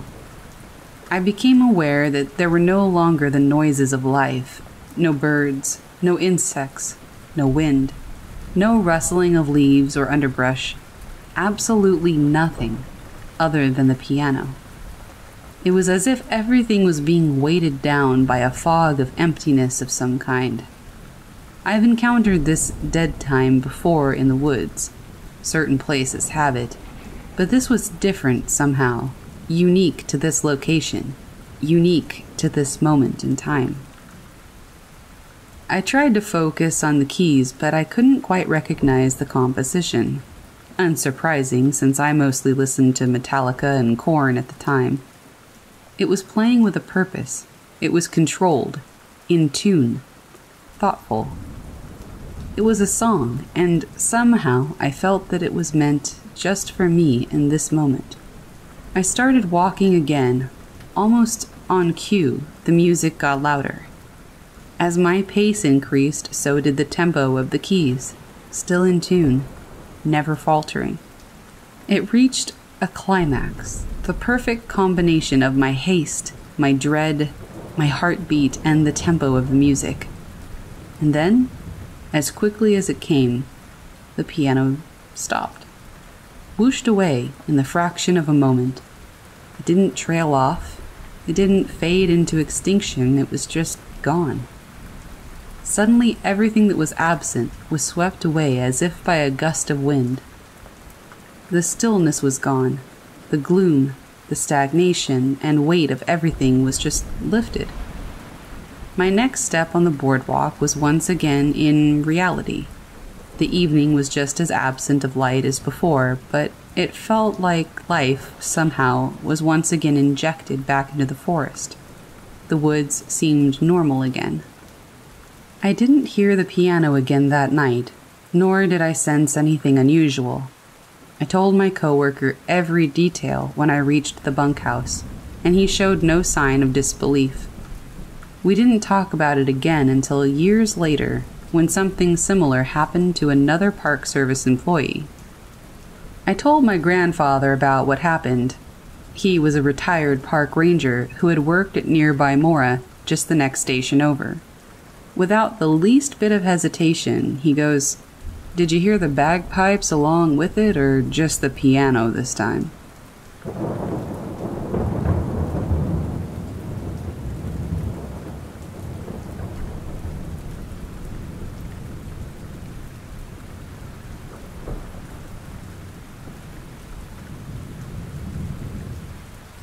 This story is from when I lived off the grid in the forest of western North Carolina. Some friends and I all lived in these small shacks, essentially a shed with a loft. They were very close together, so we all lived together in a community. Living in such primal and close conditions breeds a kind of deep, trusting friendship that you just can't get from living anywhere else. Naturally, we did almost everything together. By our little semicircle of houses, there was a railroad track. If you followed it south, it would lead to a waterfall. This waterfall, in particular, is where everybody would go to get high. It was a normal night, humid, sometime in early July. A group of about six friends and I, Laura, Andy, Nick, and some of Andy's friends that I didn't know that well but recognized, decided to walk out to this waterfall in the dark. I was the only sober one in the group, so I felt a higher sense of responsibility for everyone and was therefore on edge and hyper aware of our surroundings. Others would walk faster or slower, or stop altogether in the group. So it was natural and expected that we wouldn't be able to see everyone at the same time. Andy was in rare form, though. When Laura had to stop to pee, he came out of the bushes and scared her, and then ran off ahead behind the rest of the group. This pissed off both me and Laura, since it was such a clear invasion of privacy and unnecessarily spooky in the already creepy night. Laura and I eventually got to where we could see Andy again. But he was walking by himself, and then he slipped back into the bushes without even looking at us. Dismissing it as him just being affected, we kept moving forward. Still not back with the whole group yet, we realized that Andy had followed in behind us, just far enough away that we could only see his silhouette. Finally, we catch up with the rest of the group and see that all of us are accounted for, even Andy. We asked him how he got ahead of us and beat us to the group when he had last been seen at least 15 yards behind us just minutes ago. Everyone went dead silent as Laura and I realized that whoever had scared her when she peed, and whoever had followed us after that, wasn't Andy or anyone else from the group. We never made it to the waterfall.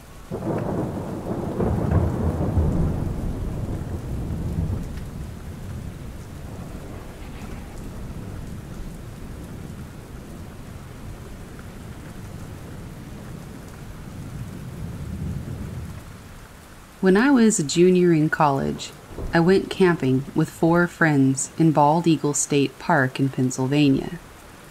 We had reserved a campsite that was pretty remote, pretty deep in the park, way up on one of the mountains, and not near any of the other campsites. It was located at the end of a narrow dirt road, maybe about 75 feet long, which itself broke off from the main road, which was also dirt. There was nothing at the end of the little road except for our campsite. We parked at the entrance and spent the day hiking up to the site, setting up camp, and then hiking around.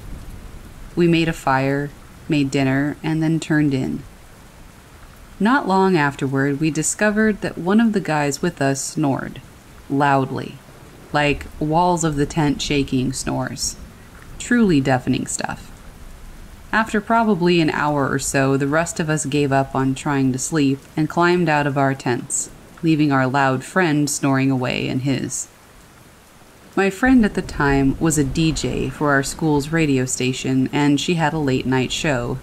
I think she was on between midnight and 2 a.m. Since we couldn't sleep, we trekked up to the main road, where the reception was a little better, and where we would actually be able to hear the radio over the snoring. When we got to the road, we stood in a loose circle near the entrance to our site. As we stood there, a black pickup truck, with its lights off, appeared out of the woods and passed us, very slowly. It was unmarked, not a ranger. We listened to the radio for maybe half an hour or 45 minutes after that, and we even briefly called in to say hi. Finally, though, we decided to head back to bed. One of the girls went off into the woods to take care of some things while I climbed back into the tent I shared with her and got into my bag. After a couple of minutes, I heard her moving through the leaves toward the tent, coming from the right. At the same time, I also heard the unmistakable rumble of tires on the ground. I stood up and looked out of the little screen window on the tent. We hadn't bothered to put up the rainfly, as it was a perfectly clear night with a very bright moon, so I could see everything.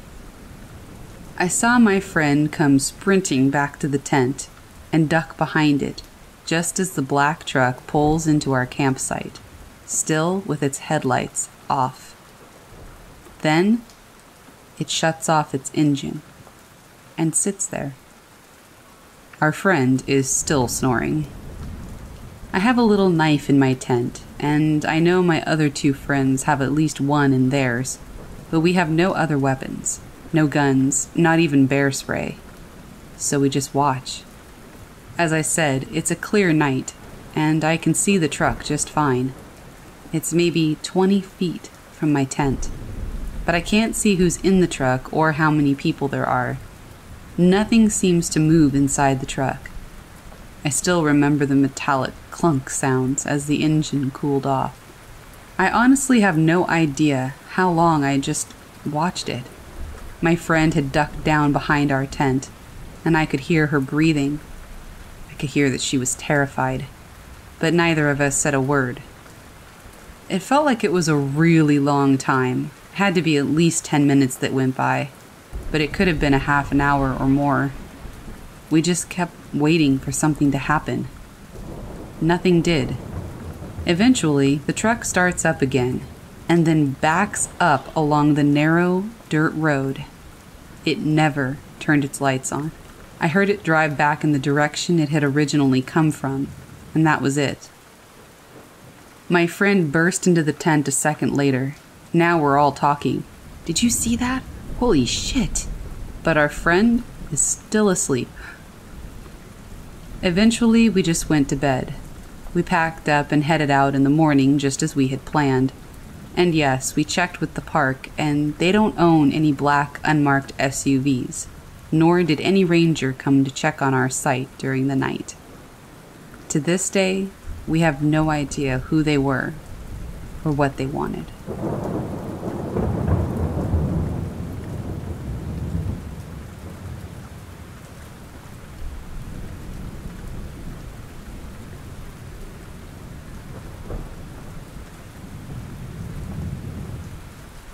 When I was working as a backpacking guide in western North Carolina, my schedule dictated a full eight day shift with six days off. During those six days, myself and other coworkers would play in the woods. In the summer, you can't beat a mountain swimming hole.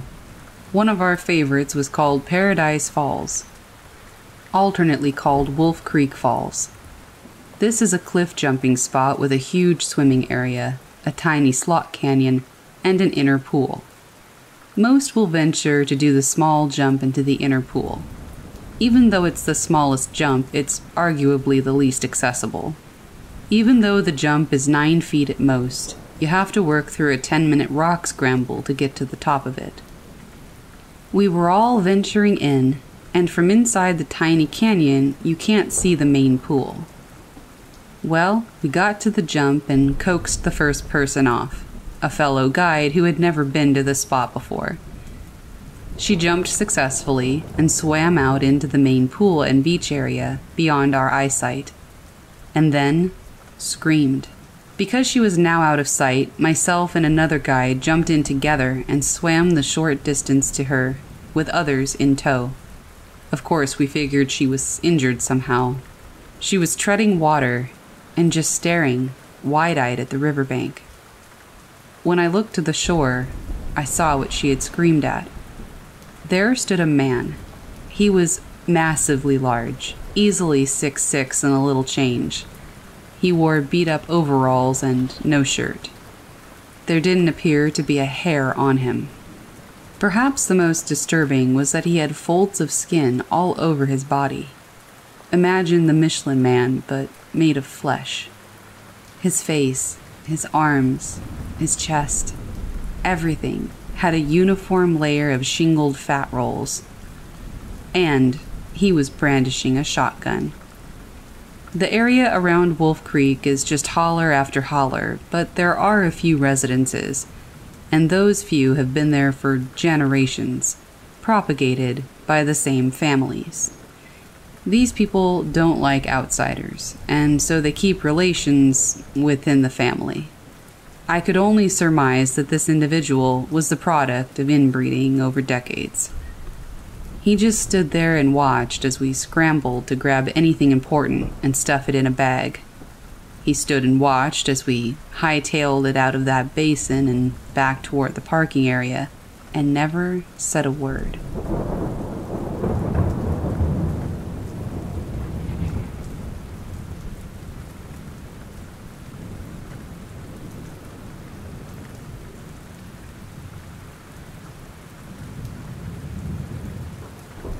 I was backpacking through Pisgah National Forest in North Carolina with my dog. Just the two of us, and we were exploring the woods around Little Lost Cove. We were going open orienteering style, so we were not on an established trail. We'd been hiking throughout the day, following a creek, and toward the evening, I noticed my dog was acting abnormally. She was very much caught in a scent of something and wouldn't ease up. This continued for about two hours before we made camp. That night in camp, she remained on edge and stared off into the woodline. I went about my camp business as usual, and then, at around midnight, I got this prickly feeling, like I was being watched intently. I felt the feeling ride for a little bit, and I kept tinkering with the fire. And then I heard the brush rustle. I got up from the fire and shone my flashlight up the hillside. A figure on all fours just managed to escape the beam, all but the tail. It was a tail that I knew was not supposed to exist in the southern Appalachians. I cast my light again across the hillside, and this time I caught its eyes. Two glowing yellow orbs, just watching and waiting. At that point, I went into a fury, grabbed my tomahawk, and charged up the hill after the beast, screaming and cursing all the while. The watcher ran off, but neither I or the dog slept that night. The following morning, we left camp at first light and began hiking up the mountain to the ridgeline, which would lead us out. Atop the ridgeline in the fresh mud were a series of tracks. Tracks left by an animal that officially no longer exists in the eastern U.S.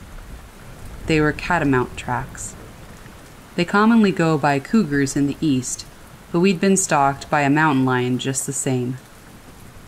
Those tracks ran across the ridge, revealing that it had been watching and stalking us throughout the entire previous day as we hiked through the creek bed below. They weren't bobcat tracks, I know those. They were way too big, and so were the eyes I saw. I truly believe that if my dog hadn't given me some red flags, I would have been mauled that night. It remains one of my personal scariest experiences ever, and it just goes to show that sometimes, when you feel that something's creepy and off, it can be a lot scarier than a ghost.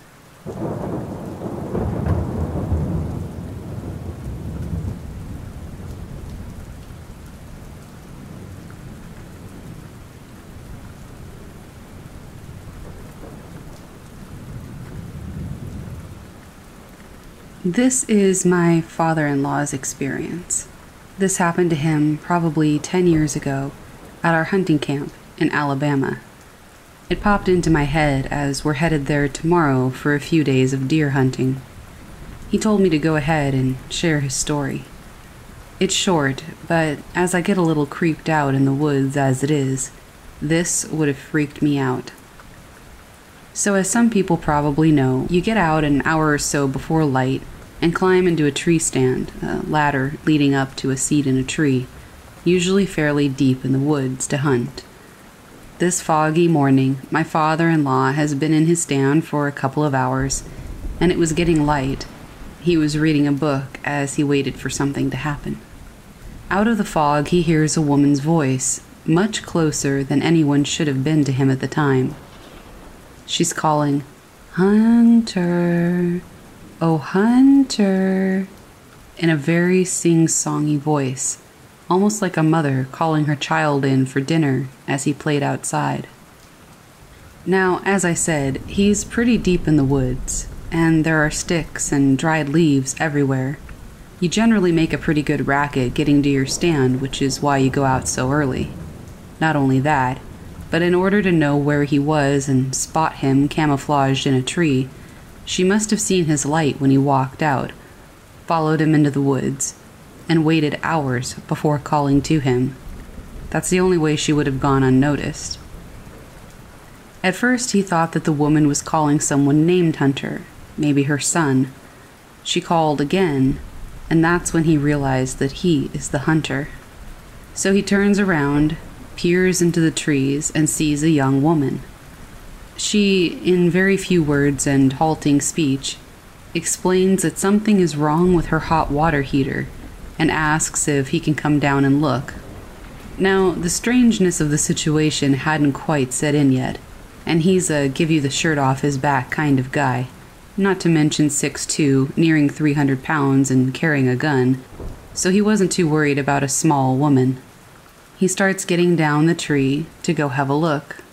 He follows her back to her mobile home, which borders our hunting land, probably a 10 minute walk. She walks inside and leaves the door open.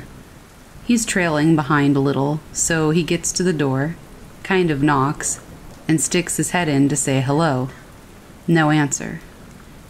Where he entered is a laundry room, and he can see that there in the room is a hot water heater, and water is just pouring out of a valve at the bottom, just absolutely pouring out onto the floor. He walks over, turns off the valve, sticks his head in the house to say hello again, and nothing. No answer. The house seems completely empty. Empty of people, anyway, but it's a disaster inside. At this point, he's starting to see how strange it all is, and decides that this is just the sort of situation that gets you robbed and murdered. He nopes out of there and hurried back to our cabin, now, we've hunted this land for years, and we've never seen anybody at this place, although until this season it has shown obvious signs of being lived in. So, every time I pass her place, which backs right up to the road we take to our hunting stands, I always wonder about her. I'm not entirely sure if she's actually a real woman, or if maybe it was some ghost or something trying to get him to go there for a particular reason. But it was a creepy experience nonetheless.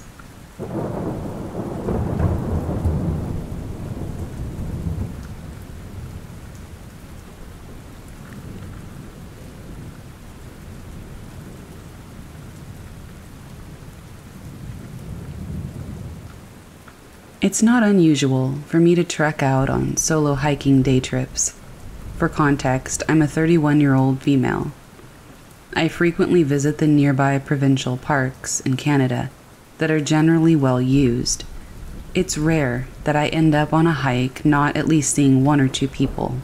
I grew up going on camping and hiking trips, and I feel very comfortable out in nature.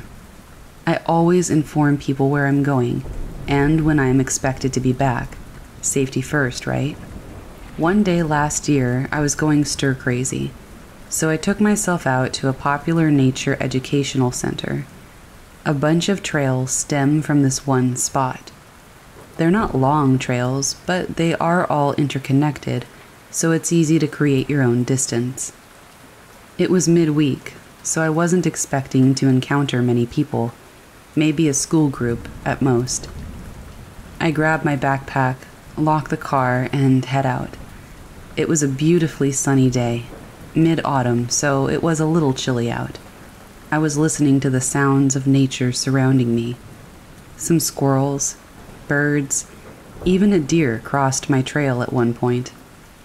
I was sticking with the main trail, which had educational signs identifying the different types of plants as you went along. I have been trying to teach myself how to identify different trees on site, so this path was the best. I made my way up the first little hill, and then I made my way down the path, where it takes a sharp right turn. Up ahead, I caught sight of a man wearing a dark blue jacket. Strange, I hadn't seen any signs of the person or heard them, but whatever.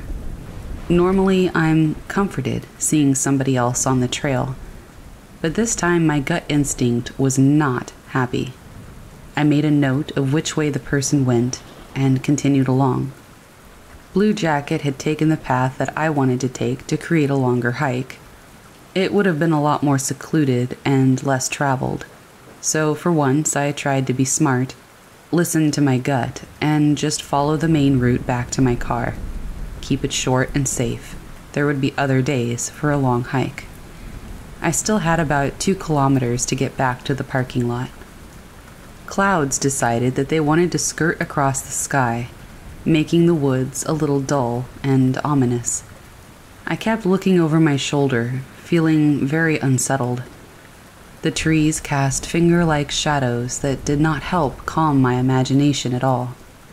One of my favorite spots on this main trail had a few huge boulders or rock formations right smack dab in the middle that you had to go around. Really neat for photos and climbing on a normal day. But today, they filled me with even more dread. I couldn't pinpoint why, at first, until I noticed some scuffs around the base of the rocks, going the wrong way around. The trail is very obvious which way to go left, and these marks were to the right. It was like somebody walked around the rocks, dragging their foot behind them. An animal? Maybe. I couldn't figure it out. I wanted to turn around and go back the way that I'd come, but that would have added another four kilometers to get back to the car. I stuck close to the far side of the real path, keeping a close eye on the rock formation. As I made it to the other side of the rocks, I caught sight of some blue fabric, the same blue jacket that I saw earlier. The person moved, as if ducking down between some rocks to avoid being seen. For Blue Jacket Man to reach the rocks before me, he either cut his own path through the woods or sprinted through about five to six kilometers of trails. I didn't like the thought of either option, as I didn't know this person, and at this point, I didn't want to know them. Maybe he was taking a leak. Yeah, I'll go with that. I picked up my pace and dug my phone out. I texted my usual hiking friend, telling her all the details in case I went missing. Yes, I attempted to do this while following the path. I only walked into one tree. I glanced behind me again while the rocks were still in sight, and I saw the man just standing there, looking at me. I ran the rest of the way back to my car, hopped in, and immediately locked the doors. Curiously, there wasn't a single other vehicle in the parking area or on the road nearby. This place was nowhere near any towns, so I have no clue where Blue Jacket came from. I took a couple of minutes to sort myself out in the car, and as I pulled out to leave, I looked at the trailhead. There was that damn blue jacket on the signpost I had just passed to get to my car, with nobody visible nearby. I was so spooked by this encounter that I refused to ever hike there alone again. Maybe it was all just an innocent misunderstanding, but it sure scared the hell out of me.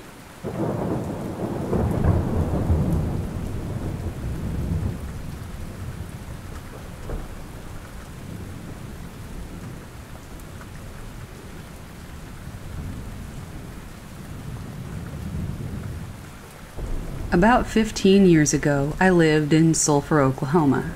My playground, the Chickasaw National Recreation Area. I loved that park so much. I rode more miles on my bike there than anywhere else. I've walked nearly every trail and ridden nearly every road. Every day I would ride my mountain bike up and down the trails and would be home by nightfall most days. One night, however, I had ridden out a bit further than usual. On my way back, however, I decided to ride the trail from an area known as Buffalo Springs. As the name suggests, they have live buffalo roaming, and there's a large spring and fountain for all to enjoy. As I was riding back, I knew the end of the trail was coming up, and I would have to cross a stone bridge across the creek and then up the road to my home. It was dark at this time, and all I had to see by was the full moon. I was maybe a few hundred yards from it when I got a sharp pain in my left thigh. I stopped and looked around to see what had just hit me. Then I heard a noise sounding like something hitting the ground hard in front of me. There was a rock, about the size of a baseball, rolling across the trail. Me being confused, I looked up the side of the hill. Just as I turned to look, I almost fall off my bike when another rock comes flying down, hitting my front wheel. I finally get my eyes to adjust to look and see someone very tall and dark and covered in hair at the top of the hill, throwing things at me and screaming. I yelled that I had a cell phone and was going to call the police. I didn't actually have one, as I didn't have a cell phone yet. This seemed to have pissed him off. He started charging down the hill at me. For obvious reasons, I lit up my bike and took off. Just as I crossed the bridge, I heard a huge splashing noise in the creek. I saw that it was a huge rock that had been thrown. I was in the clear to home, but was frightened all the way there. I went to the ranger station later the next morning and told a ranger I knew there about what happened. He said, So, you're telling me you were attacked by Bigfoot? He started snidely laughing. I said, Listen, I don't know what it was, but something was trying to hurt me out there. The ranger just laughed. Okay, Justin, if we have any more Bigfoot, I'll let you know what we get. I said fine and left. The very next week, I was riding in the daylight when the park ranger pulled up next to me and told me to get in. I asked him why, and he said he needed to show me something. We headed to the police department in town. Before we got out of the car, he turns to me and says, Justin, I owe you a huge apology. I'll be honest, I didn't believe you when you told me the story of how you were attacked, but it's come to my attention that a couple was out in the same area last night, and they were attacked in the same way, saying they had seen a large hairy creature throwing rocks and sticks and screaming at them. They called the police and they came out with some of the other rangers, myself included. I immediately thought about what you told me. When we arrived and started up the hill, sure enough, we were having rocks and things thrown at us. Guns drawn and yelling, two officers tackled a man to the ground. He was six foot five, naked, covered in mud, had long hair and a large beard. Turns out he had escaped from the Veterans Center across Veterans Lake. Apparently, in his mind, he thought he was back in Vietnam, and he was trying to, quote, take out the enemy. The park ranger said that I was very lucky, because while he wasn't Bigfoot, he was trying to kill me. We went inside so I could give the police my statements as to what had happened. They had to send him somewhere to a more secure facility, and to this day, I still get shivers when I hike that trail, and I always keep my eyes on the ridge top. I definitely feel bad for the guy. That was also one of the scariest things I've ever experienced in the backwoods.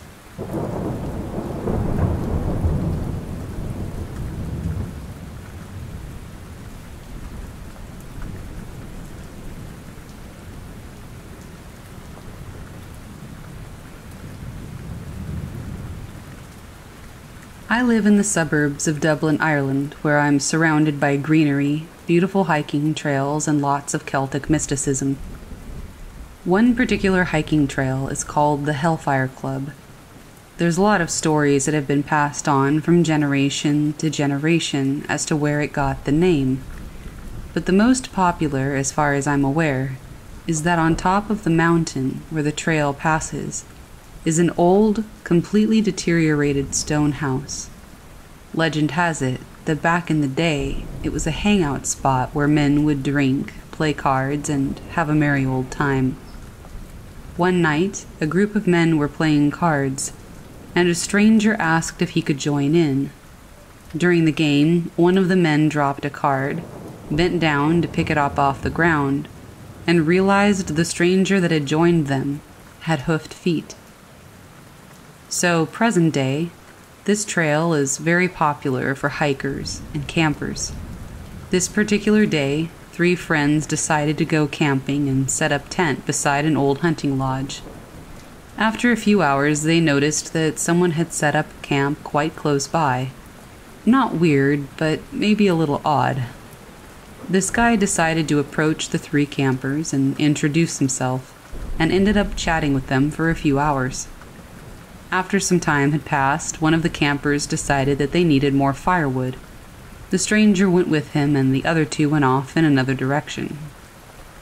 As the camper was about to get firewood, he was grabbed from behind by the stranger, who put his left hand across his mouth and attempted to cut his throat with the knife. He was sliced across the throat three times before he managed to push the attacker away.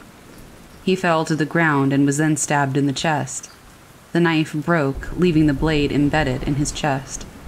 The other two realized something was happening and tried to intervene, one being knocked to the ground and the other escaping to go get help. The cops were called and went searching for the guy, who they eventually found. It turned out that he had recently spent a lot of time in a mental institution, suffered from a deep seated mental illness, paranoid schizophrenia, and he had had an acute psychotic episode that day. As far as I know, he got locked up for a few years, but this happened about 10 minutes away from my house. Horror movies come to life. I don't know if these two events are connected, but people say the Hellfire Club in that area which also happens to be where these people were camping, is cursed.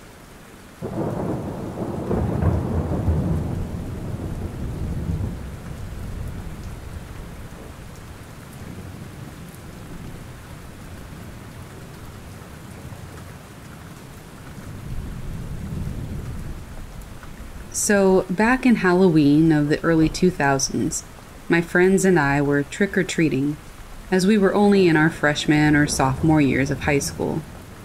We had taken a walk to a wealthier neighborhood in the hopes that they would have better candy than ours did, and we were supposed to cut through a slightly wooded area into a friend's backyard. My friend Will was leading us through, and he didn't really know the shortcut back. So we ended up in a very small clearing just barely still visible from the street. We could still see the street, though, so we didn't end up getting lost. The point, though, is the house that we found. It was slightly old and definitely abandoned, with all of the overgrowth covering it, making it hard to see from the street. We wanted to check it out, as it was Halloween, and we figured we should get a little spooked. We did get spooked, too, when we peeked through the back screen door and saw a little bit of movement in the pitch black house. But we were already slightly creeped out, so we decided to walk back and take the right shortcut. As we went back, we saw a little bit of movement behind us, and all of us booked it home, being as excitable as we already were. This all happened five months before the actual point of the story occurred.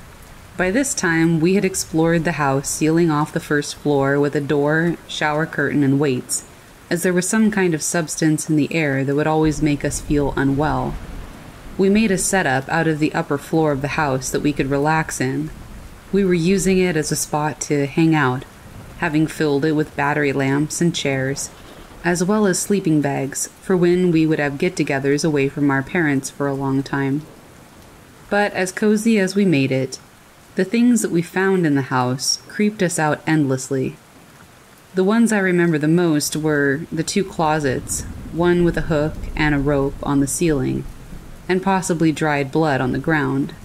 The other closet was filled with plastic on the walls and what we think was also blood. New cleaning supplies were still under the kitchen sink, even though the faucet was removed as well as the oven. There was a functional cotton gin sitting in the empty garage. and a grime covered knife sitting in the sink. We ignored most of these things and simply sealed off more rooms that creeped us out. But when we found that knife in the sink, I was worried somebody could use it to attack one of us if they somehow ended up squatting in the hideout we made. So I got the genius idea of going to the absolutely filthy brown and black fluid leaking out of the walls bathroom that no one would ever think to go in and throw the knife in the toilet, which was filled with the same grime and sludge. But when I went in, I failed to notice the door, for some reason, ever so gently closing behind me. And as I was looking around the bathroom for a place to hide the knife, the room got thick and cold, except for a slight warmth on my left shoulder, and I was paralyzed. That moment started to feel like hours. Then, ever so quietly and weakly and tiredly, I heard a noise in my left ear, like something that's a cross between a whimper and a dry throated croak. It seemed filled with more sadness and panic and pleading than I've ever felt in my entire life. I quickly ran out, tossing the knife behind me, and slammed the door shut as hard as I could, feeling a force pull back against me. Then I ran out to my friends who were just outside by the door. We sealed that room up too, and we only went back to clean out our things. We called the police anonymously, and the house was searched, and a few months later it was demolished. I'd like to say that although the police searched and apparently found nothing, I concretely believe that a woman, or maybe some poor girl, died in that house. I hope she isn't angry with me.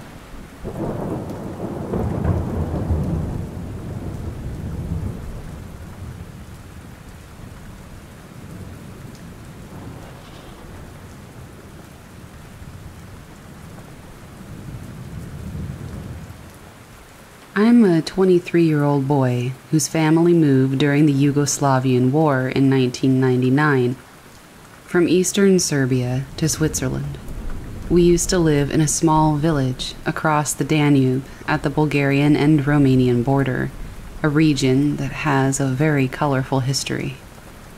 Many bloody historic events occurred on the soil where we lived.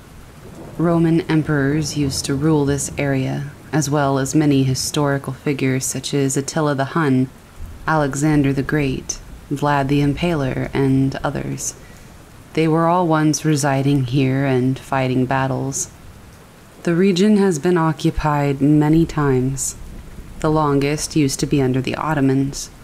This occupation lasted for almost three centuries. After the Ottoman occupation, the country didn't have much time to recover and the First and Second World Wars had struck the country already. Many people died during the First World War, about a third of the population. As a result, guerrilla groups were formed, killing even more people. In conclusion, many people were unjustifiably tortured and lost their lives, which is probably why there are many occurrences of the paranormal here. Magic is also very common here. The so called Vlach magic, or Vlaska magia, involation, is said to be one of the strongest in the world, and many people tend to practice it and religiously believe in it. As a result, there are many stories about paranormal events. One of my favorites was a story my grandfather told me. He grew up in the forest, in a small and old house that was about 300 years old. He was adopted by my great grandfather, who used to be a leader in one of the upcoming resistance movements against the socialist regime after the Second World War. He fought in both world wars, and even with all this, he took great care of my grandfather and loved him as if it was his own child. Fifty years passed since he left his home, and all of those people living here died, but my grandpa still visits the house and stays overnight here. This place creeps me out. Even during the day, there's an aura to this place that just makes it uncomfortable to be here. I can't imagine staying here overnight, but he frequently does, and one day he told me a very weird story. While he stays there, he gets visited often. At first, I thought visits like the one you get from neighbors or something. but he told me that one night he woke up to a hand crawling on his head. It was a huge, white, pale man kneeling next to him, using his hand to just crawl across his head, speaking with a calm voice in Vlaski, the dying language that we used to speak here, a mix of Moldavian and Romanian. He told me that his skin was white and that it was glowing in the night. He didn't have any hair, and the hand felt very soft. My grandfather always respected the dead and was never really afraid. He told me that he didn't really speak to him and just enjoyed his company, since he knew in some way that he wasn't evil. Another time, he told me that he used to fix small parts around his house when it started to get dark, he slowly began getting ready to leave with his tractor because it takes about an hour to reach the next civilized place. While putting stuff back into the barn, he heard loud noises in the attic. It didn't bother him until a plank was thrown down the stairs. He recalled one time they even threw down a rock into the wheelbarrow that he was pushing into the barn. He told me he just turned around, locked the barn, and didn't so much as frown. They expect you to react. Do not give them this pleasure, is what he told me while laughing. It makes them go crazy. Growing up, I heard a lot of these stories, and it really runs in our family, experiencing from time to time such encounters. The scariest thing that happened to me occurred during the summer of 2009.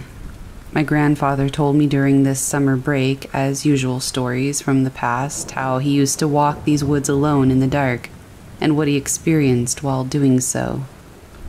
Since I was in my teen years, I started to question the reliability of his stories.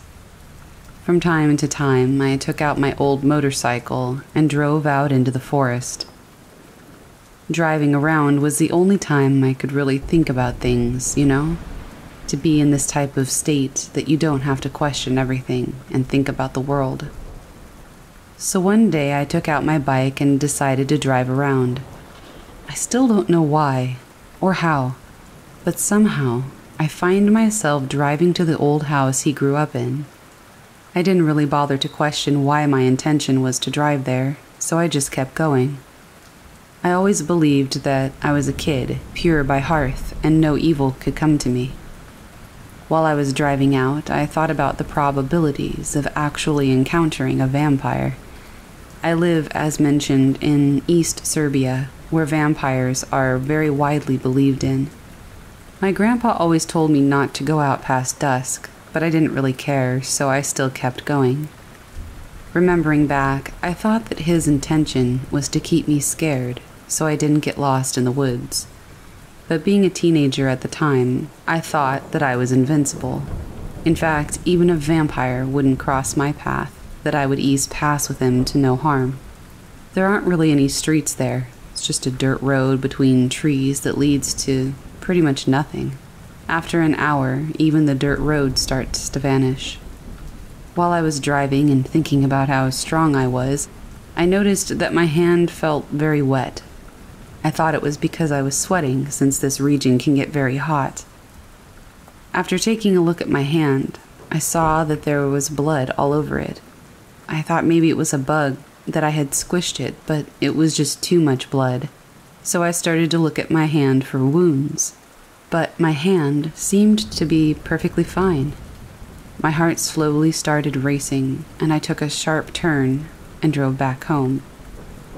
I remember this to be the moment that I was the most scared in my entire life. I had the urge to look behind me every second that I was driving through the forest. It seemed like somebody was sitting behind me, just waiting for me to fall down or make a mistake. After arriving home and telling my grandpa, he just started laughing and told me never to question their abilities again. I have a ton of stories regarding these kinds of events. Also, we have a few witches in our family that used to practice black magic. It was taught to them by their ancestors.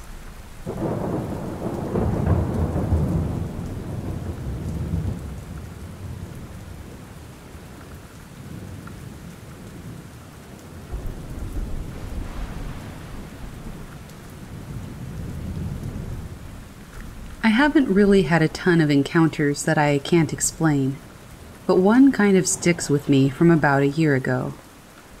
Last December, I was visiting my family who lives in Poland for the holidays, just some traditional stuff. A couple of days before Christmas, I decided to take a walk in the forest that I used to play in when I was little. There wasn't much going on for the rest of that particular day. It was in the late afternoon, and it was pretty foggy, with overcast skies. The temperature was around 5 degrees Celsius. When I entered the forest, it was normal. I could hear birds chirping and other small animals moving around. About 15 minutes later, it suddenly got really cold. The forest went quiet, and I could see my own breath. I was confused, so I checked the weather app on my phone to see if the temperatures matched up. But my phone said it was still 5 degrees, which didn't make any sense, because I could see my breath and my teeth were chattering. Then, when I turned my phone off, I saw my reflection in the screen, but standing behind me was a white figure. I didn't get a great look before I jumped and quickly turned around to find nothing behind me. It scared the shit out of me, so I started running back the way I came. As I ran, I looked back to see the figure calmly walking toward me. Only then did I get a good look at her. It looked like a girl, probably in her late teens or early twenties. She had mid length curly dark hair and wore a dress that looked like it was from the early 1900s era. It didn't look like she had any eyes, just dark holes where the eyes should have been. This scared me even more, so I picked up my pace and ran full speed out of the woods and back to my uncle's house. As I exited the forest, I felt the temperature gradually return to normal. When I entered the house, I was out of breath. None of my family members were home except for my aunt, who was in the other room watching television. I never told them, or anyone, about what happened. I've tried finding a logical explanation for it all, but I just can't. I was always skeptical about ghosts, but I am a superstitious person, especially when it comes to demons or folklore. If anyone knows more about the paranormal than I do, and you know what the hell that thing was, please let me know.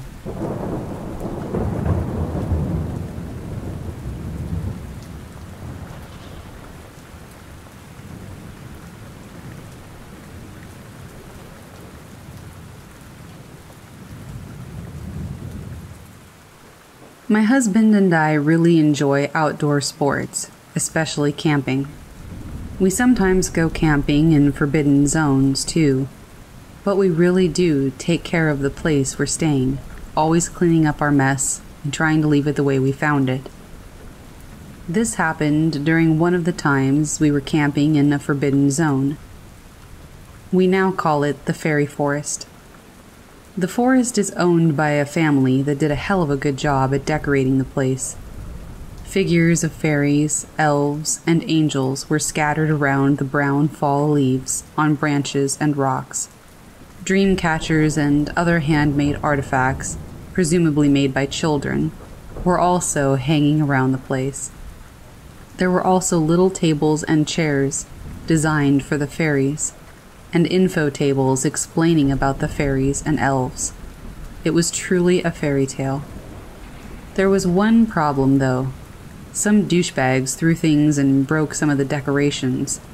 So we put them back up and mended what we could, and then we walked along. We set up our tent, cooked some food, enjoyed our drinks, and just chilled before going to bed. I woke up to three or four lights hovering over me at night. I wasn't scared, I was just surprised. I didn't want to open my eyes in case the lights disappeared. I wanted to prolong the experience as much as I could, but I soon drifted back to sleep. The morning sun penetrating our tent woke us up. As we were pouring our morning coffee, I casually told my husband that I saw lights hovering over us at night. He paused for a second and then said, I saw them too. We got into a heated discussion as to what they could have been. No, our overhead lamp could not have malfunctioned. because the lights were moving, almost swimming in the air, if you will. No, they could not have been people shining flashlights at us, because we didn't hear any footsteps, and the source of the lights were coming directly from our tent right above us. They were like balls of light or orbs, not like rays. No, they couldn't have been airplane lights or any other street lights, because again, the lights that we saw were moving. We believe that they were fairies, possibly thanking us for cleaning up the mess. We still go there from time to time just to drink coffee, but we haven't camped there since. I always sense this amazing feeling each time I go there. That forest melts away my problems and gives me a content feeling, almost like it's telling me that everything's going to be okay. And it's absolutely beautiful.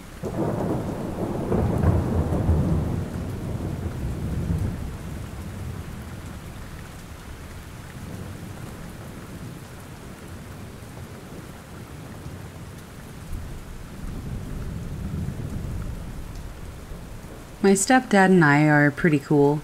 He's been in the family for about two years now, and he's told me a few stories that I'll always remember. This is one of them. He's a hunter, and he's always hunted with his family and friends from church. One weekend, he and some guys from church were hunting rabbits using dogs. While they were in the woods, they passed an abandoned barn, probably because there was a farm not far away. They kept going through some thick brush until it opened up to a less thick forest. In the trees, there were what seemed to be squirrel nests, but these were different. They were big enough for a person to lie down in. When they got here, the hunting dogs started barking and ran to the trees that held the nests, as if there was some kind of animal up there. My stepdad and the other men grabbed the dogs and kept walking because they figured it was just raccoons, and they were only after rabbits. They kept combing the woods, and the dogs jumped one rabbit, which one of the men shot. After he shot it, however, one of the shells failed to eject, so he went back to the truck to fix the gun. As the rest were hunting, they heard a shot coming from the direction of the truck. They walked back thinking that he had shot another rabbit. When they started on their way back to the truck, they met the man walking through the woods to meet them. He told them that he had fixed his gun and sat down to eat some crackers that he had bought at a gas station before the hunt. As he was eating, the shotgun went off, even though it was just a couple of feet away, laying on the bed of the truck. He also added that he clearly remembered the gun being on safety. After that incident, they quit the hunt. Before they left, one man brought up that he felt weird the whole time they were hunting, as if somebody was watching them. The others said that they felt the same way, especially after they encountered the nests in the trees. My stepdad told me about where it was they were hunting, and I've been by there before. What I can see from the road is thick, thick forest that's almost in the middle of nowhere, with that one farm and a cotton field. It makes me scared to go hunting by myself.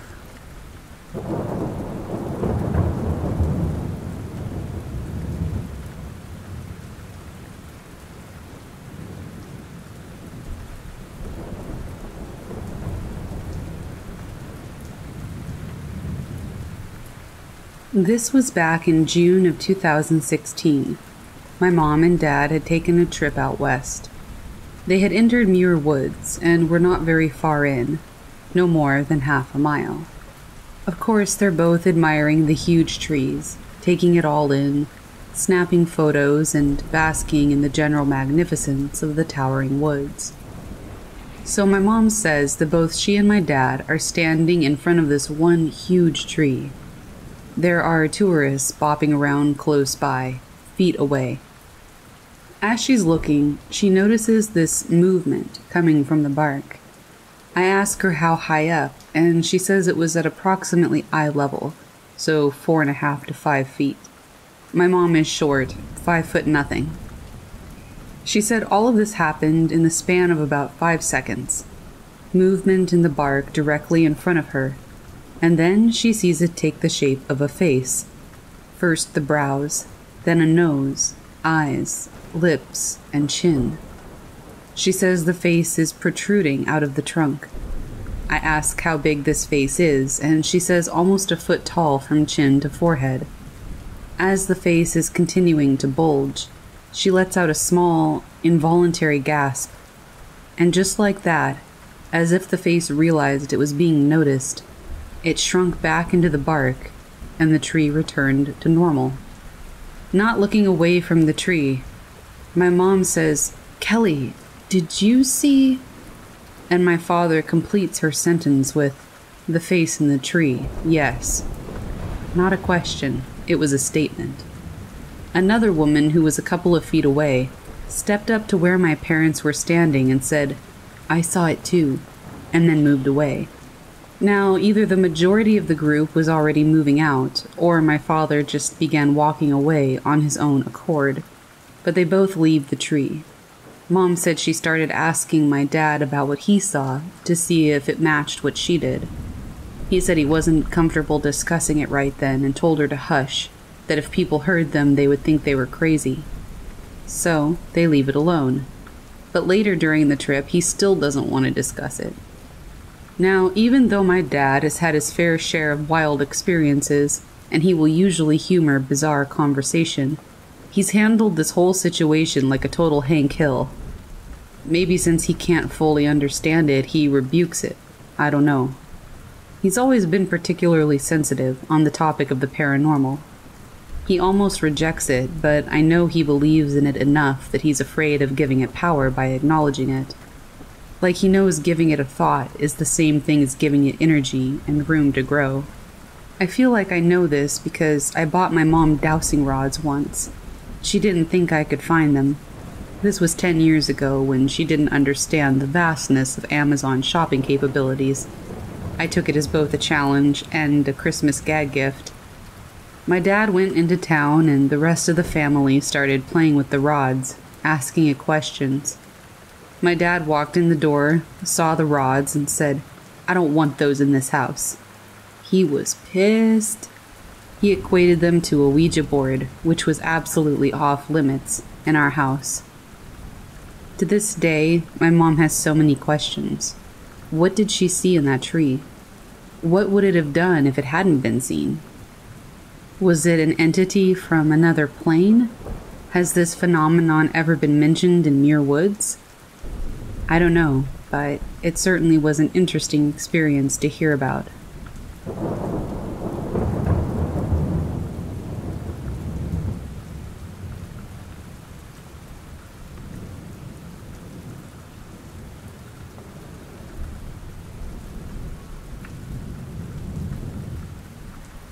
I went to Moonville when I was in college in Nelsonville. We decided at around 10 p.m. let's go search for this supposedly haunted tunnel. We arrived at about 10:45 p.m.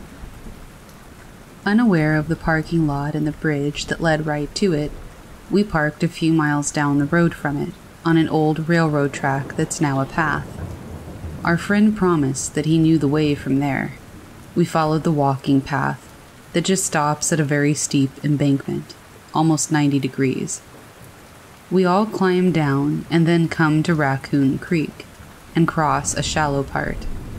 We wander around for a bit, roughly until midnight, trying to find this tunnel and anything particularly paranormal or out of the ordinary. All of a sudden, we're in this canyon type thing, and everything in the middle of it is dead trees, birds, insects, nothing was living, and there were animal corpses that covered the canyon floor. One end of the cliff was about 35 feet down, so I'm not sure what was there. When we found our way out of the canyon, it was like we had just exited a completely different world. Everything was living again, and you could hear birds. Thinking to ourselves that we thought we had only spent about 30 minutes in there, we checked our phones our phones were doubling as our flashlights, and all of them were almost dead. It was three o'clock in the morning. Knowing that this was the witching hour, we all started to freak out a bit, and knowing that there were cults and sacrificial rituals that were performed in those woods often, we wanted to get out of there. We didn't know where we were, and we were trying to use our maps on our phones, but we didn't have any service, so that wasn't a lot of help. And then our phones started to die, one by one, until we got to the last bit of battery on the last phone. That was when we found the one lane gravel road and instantly were able to run out and find our vehicles and get the hell out of there. Since then, I've only been back once, and it was in the daytime after finding out about the bridge to it. Definitely one of the creepier experience I've ever had, and I haven't ventured back to that spot from the first night, and I don't plan to again. Another interesting note is that it's said that a goat man lives on top of the tunnel, although I've never had any encounter to prove this, but I thought maybe it was worth a mention.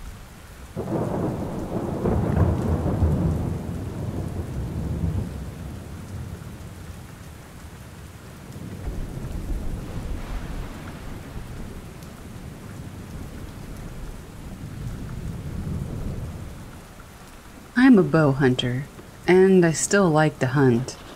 But something that happened to me last October makes me never want to hunt again.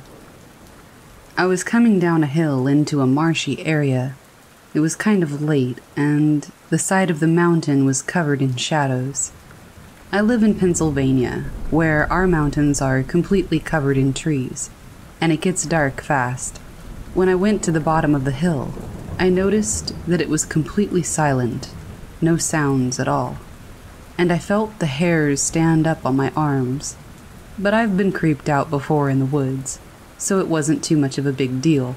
I kept on. I've been hunting in this general area before, but I'd never gone down this particular hill. I continued creeping through the woods. Mind you, I'm walking very slowly, so you can barely hear my footsteps. Deer are hard to sneak up on. Then I hear a voice call out from behind me from a small thicket of trees. Help! And then my name. Come over here. I'm in trouble. Help. I swear it sounded just like my brother's voice, and I almost ran to it. But then I realized my brother lives in Nevada. There's no way it could be him. The second thing that creeped me out in that moment was that this thing said my name. It only took me a second to realize that something wasn't right. And when I did, I ran faster than I ever have in my life. Only my dad knew where I was hunting that day, and the area is so huge that nobody would have found me out there, and he's too old to have played any tricks on me like that. But something out there knew my name, and it sounded just like my brother. I don't know what the hell that was, but I don't think I'll ever be going back into the woods again. Maybe I'll move to the desert with my brother, where at least I can see everything around me.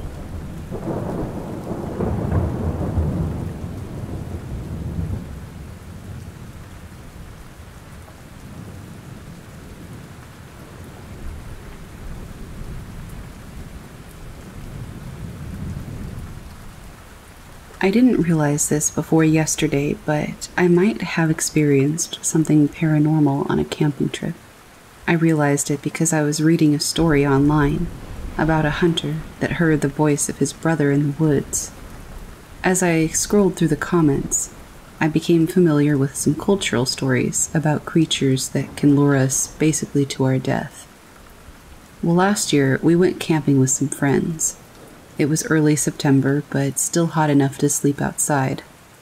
We made ourselves a lovely camping spot with a big bonfire and some candles around it.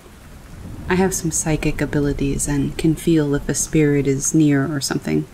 Usually, I can sense if it's a female or masculine or if it's a child presence. Sometimes I thought I could feel something, but I didn't want to think too much about it. I didn't want to get scared and fall into paranoia. The evening went fine, and we stayed up until about 1 to 2 in the morning before going to bed. I woke an hour or two later in full mode panic attack. I have a history with anxiety, but I've never felt that kind of nausea before. It was like everything that I experienced before when I had my moments of high anxiety, but multiplied. I was sleeping with my boyfriend in the tent, and he asked if I was okay. I told him that I was feeling very bad and probably having a little panic attack, which had never happened to me before in that setting. I assumed it was just because we were laying on the ground and it wasn't very comfortable, and maybe I had gotten uneasy during my sleep.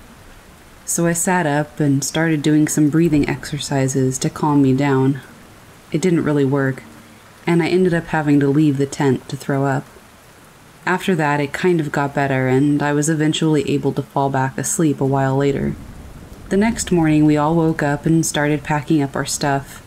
I told the others about my story, and my boyfriend and one of his friends started talking about how they heard footsteps around our camp during the night. I didn't think much of it since I didn't hear it, but according to my boyfriend, it happened just before I woke up, and that's why he asked me if I was okay, because he was already awake, listening to the footsteps when I woke up panicking. Fast forward to today, I never really thought about this incident much I thought it was just an episode of panic that was brought on by the fact that I pushed my body a little too hard that day when we went on a long hike. But now that I've read all these stories about all of these creatures, and I remembered that I sensed something early on, and given that my boyfriend and his friends heard footsteps, I wonder if I woke up that night feeling the intense danger that was around us.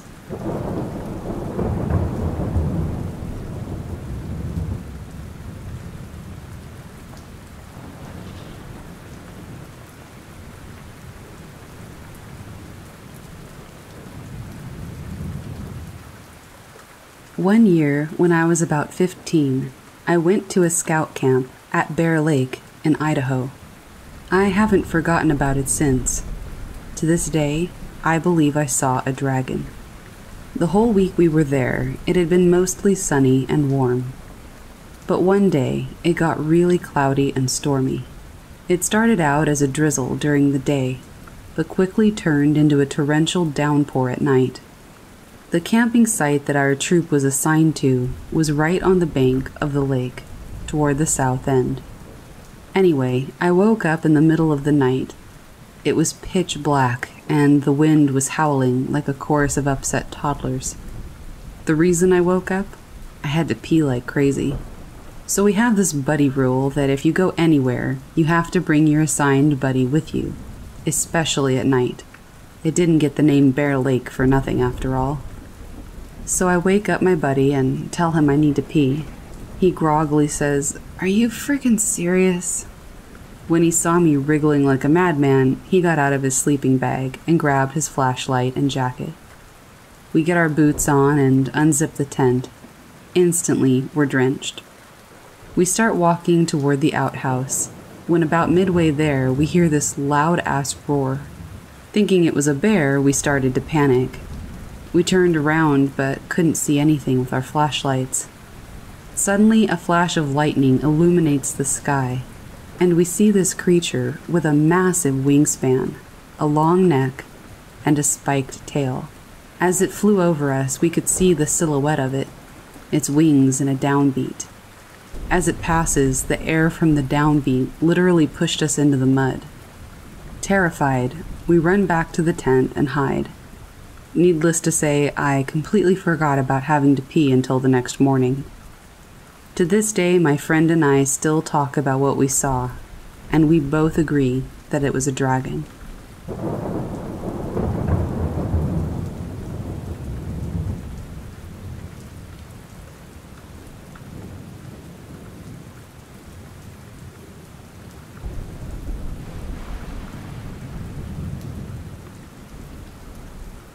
This happened a long time ago. I was 12 and in my grandparents' village. We had a cow and an ox. Usually, the son of the bull, usually just one, took all the cattle to graze, and at night, he would take them back. Cows know where to go when they're going home. My grandpa had a male ox, and since my father was an adult and he wasn't there, I took the responsibility. Basically, my job was to go around the village with the ox trailing after me, calling the people to open their doors. Our ox would grunt to call the herd, and all the females came out. From then on, I had to take them to a clearing up in the mountains, and then later take them to the river. It was easy. The animals already knew where they were going. They were calm, and our bull was a gentle giant. All I did was ride him, and I had a thin rope on his horns. If any of the females wandered off, all I had to do was call, or, on rare occasions, poke her with a dull stick in the right direction. My grandpa said that if I saw a wolf, a boar, or a fox, I should stay on the ox. Not many animals would dare go near an ox herd. There's a dark part of the forest where it's very quiet, and even the bravest hunters won't go there. It's very slippery and dangerous.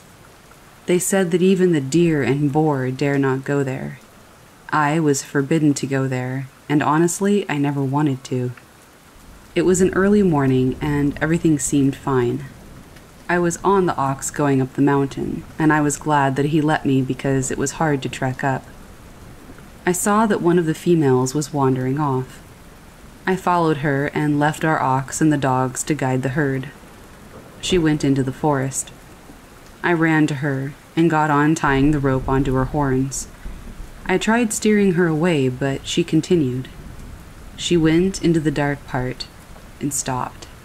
I didn't want to get off in case she ran back and left me there. I heard a crunch and turned around. A very old man was walking toward us. He looked frail with dirty clothes and a long beard. I was scared, so I laid on the ox, clinging to her, not wanting to fall off if she ran. Oxen aren't like bulls. They don't jump and kick when they're scared. They either attack with their horns and trample, or run. I was ready to hold on no matter what she chose to do. Our oxen don't take kindly to strangers. Before I took them out, I had to go to every house and have the ox owner introduce me to the animal. That way, they saw that their owner trusts me, and their herd leader, our ox, trusts me too. I knew that she would either attack or bolt, but she just stood there. The stranger came to us and petted her on the head, whispering something I didn't understand. He looked up at me, and his eyes were completely white. Then he turned around and left, just disappearing into the trees. Suddenly, the female grunted as if she had just woken up or come out of a trance. Our male does that noise every morning. And then she bolted the way we'd come from. We found the herd. I quickly got on our ox and yelled water. He knew that command and went down toward the river. There were houses there, and it was closer than home. I barged in to one of the houses and tried to explain. The couple there stayed with me and sent their daughter to call my grandpa. I couldn't sleep for days, remembering those whited out eyes. My grandparents didn't let me out of the house or garden, and I wasn't allowed near trees. Later, I learned that they were protecting me from a lesnik, a forest spirit which can take the form of a man, an owl, or a wolf. It hates when people go into his part of the woods and can kidnap you. I later learned that the ox which took me there had fallen ill and died. It sometimes stays in the trees as an owl, looking for the offender. For years, when I went to my grandparents, they wouldn't let me be alone. Not just outside, but inside too. All I know is that I'm never going into those woods again.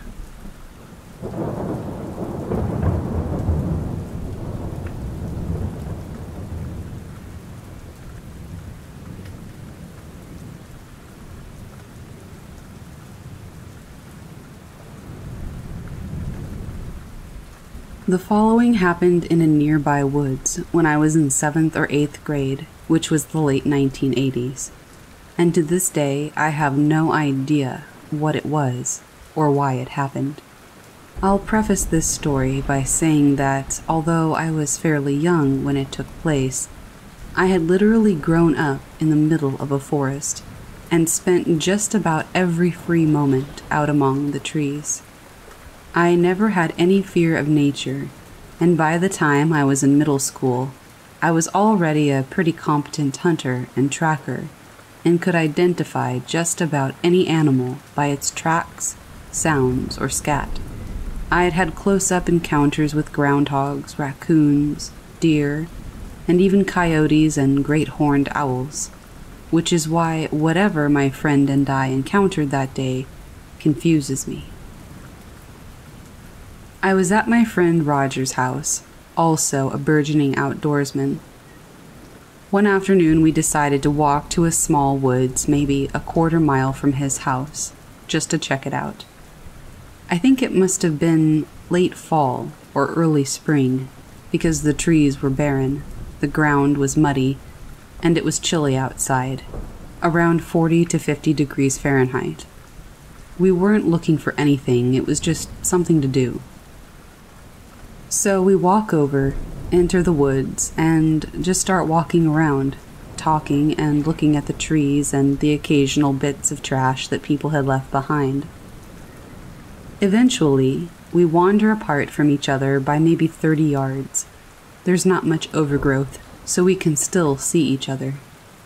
It was about this time that I started getting that being watched feeling.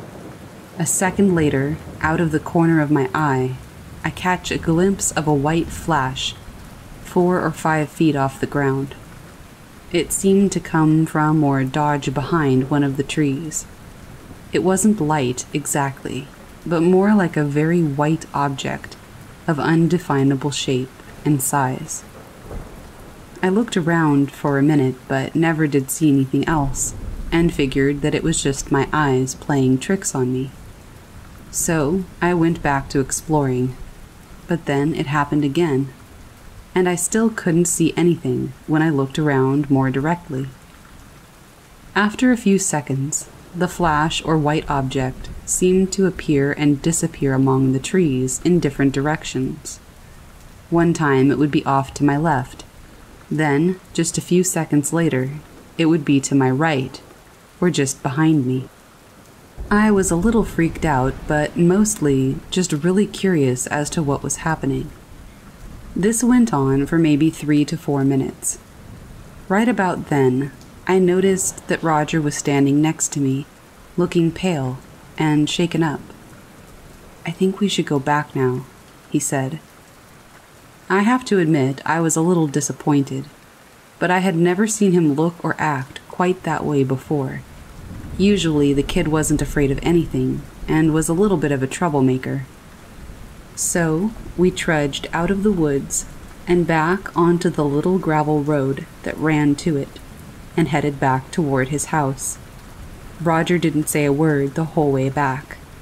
When we finally got back to his house, we went to get a snack, and as we were standing in the kitchen, I briefly asked him, So, out there, did you see some kind of white thing? Because I kept. Almost immediately, he cut me off. Yeah, and I don't want to ever talk about it.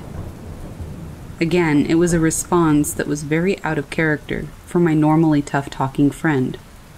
A couple of years later, he, I, and another friend would be on a late night walk, get mistaken for burglars, and have a gun pulled on us. Even after being threatened with a firearm, he was never this quiet or freaked out. I dropped it, and I hadn't asked him about it since. I still see Roger occasionally, but we've never talked about that day again. And in decades of rambling around every sort of woods that I can find, I've never encountered anything like that again. Nothing has ever felt or looked like that. No bird, bear, mountain lion, or anything else. Not even people. I have no idea what we saw that day, but I hope somebody does, because it haunts me still today.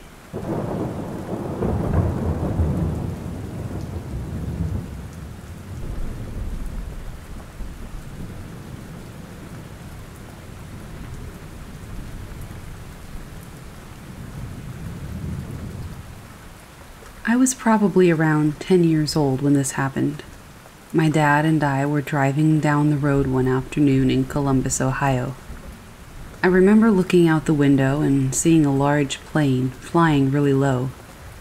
If memory serves me right, it appeared really old and was maybe a military plane. We do have an Air Force base that's not far, so that would make sense. I remember being fascinated by the plane and excitedly pointing it out to my dad. He continued to drive while occasionally peeking over to look at it.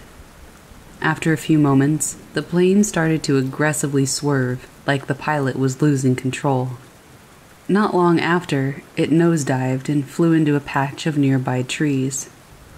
I remember my dad panicking and pulling his truck over to the side of the road. We just sat there and looked out the window, but there was nothing. There was no sound of any kind, no smoke or fire, nothing. The trees didn't rustle, and everything was calm. We waited, thinking the plane was going to swerve back up and fly away, but it never emerged. I remember asking him what happened, and he was just silent. After a bit, he started driving again, and we drove over to the area. We drove around for probably an hour, trying to find some explanation, but there was nothing. Eventually, we headed back to my grandmother's place. We had dinner and explained to her what had happened, but she probably just thought we were crazy. I remember us being eager to turn on the evening news to see if there was any mention of it, but nothing. Also, nothing in the paper the next day. There was no real internet yet, so this was all we had. To this day, my dad and I still discuss this the one thing we can't remember is if the plane was making any sound at all while it was flying in the air. Our radio might have been on or the windows up. We can't remember. But we know for certain that there was no sound from the supposed crash. It was only about a half mile away from us, so we would have heard something. It's like the plane literally vanished. This is the only experience I've ever had like this. I know it's a long shot, but has anyone ever experienced something like this? Do you have any idea what we saw? There's great comfort in knowing that my dad saw the same thing. Otherwise, I would have thought I imagined it. But we didn't imagine it. We saw it. And we still want answers.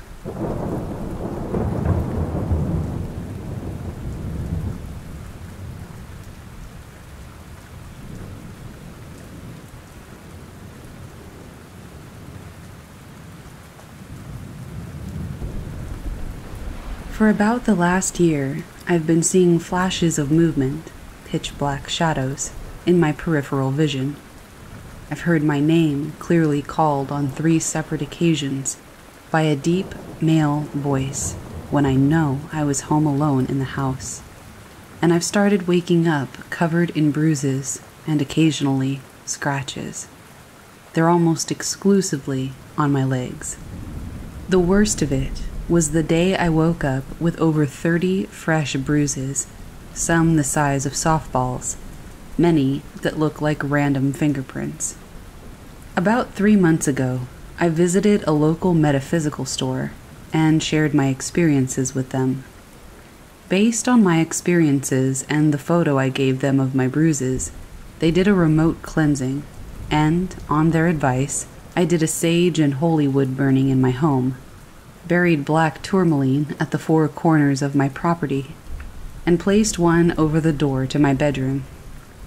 Everything had been fine since then, but the bruises are coming back, and on Sunday I saw a large black figure slip along the ceiling after my husband as he walked out of the room in a particularly bad mood. This thing was pitch black, like I said, and moving faster than my husband was walking.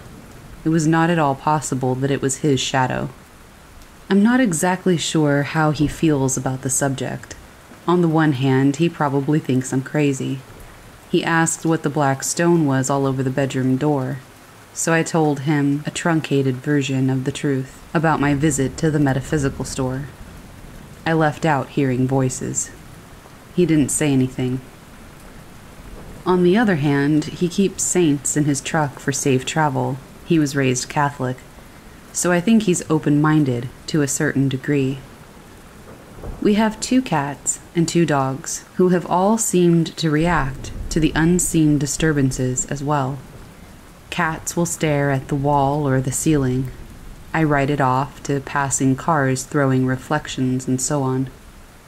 My older dog has started barking at a corner in the middle of the day. I chalked it up to him going senile. He is an 11 year old St. Bernard mix. But the other night, I had just laid down to go to sleep and was trying to find a nature documentary on Netflix to put me out when I heard something in the guest room next door to my room fall. It sounded like a little picture frame or a decoration from the dresser. One of my dogs, who likes to sleep on that bed, ran into the master bedroom, jumped in bed with us, and was shaking like a leaf. I assumed it was kitty mischief or that the dog had knocked something over, thus the shaking, and I would deal with it the next day. The only thing is, I checked first thing in the morning and there was nothing out of place, and my husband said he hadn't put anything back either. I have a feeling this thing is targeting my husband. He is very stressed out at work. He works 50 plus hours per week at a job that, quote, destroys his soul, as he puts it and another 20 plus hours per week trying to help keep our new business flourishing. He's very weak right now, emotionally and physically.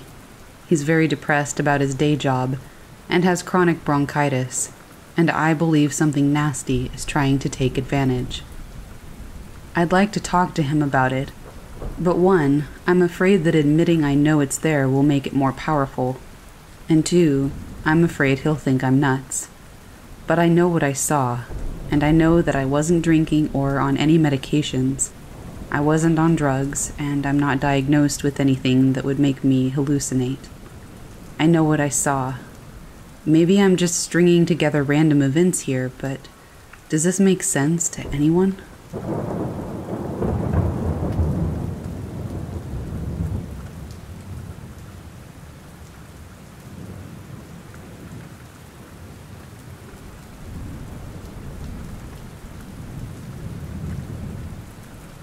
This happened in March of 2011, near my house in a small town, about an hour north of Indianapolis, Indiana. I was in eighth grade at the time, and it was during my spring break. That year, instead of sunshine and warm weather for spring break, there was a snowstorm, probably around eight inches or so of snow. My two friends, my two younger brothers, and I decided to make the best of it and just go play in the snow for the day. There was woods near my house. Not a huge woods, but big enough to hike around in for a few hours. So we decided to do just that.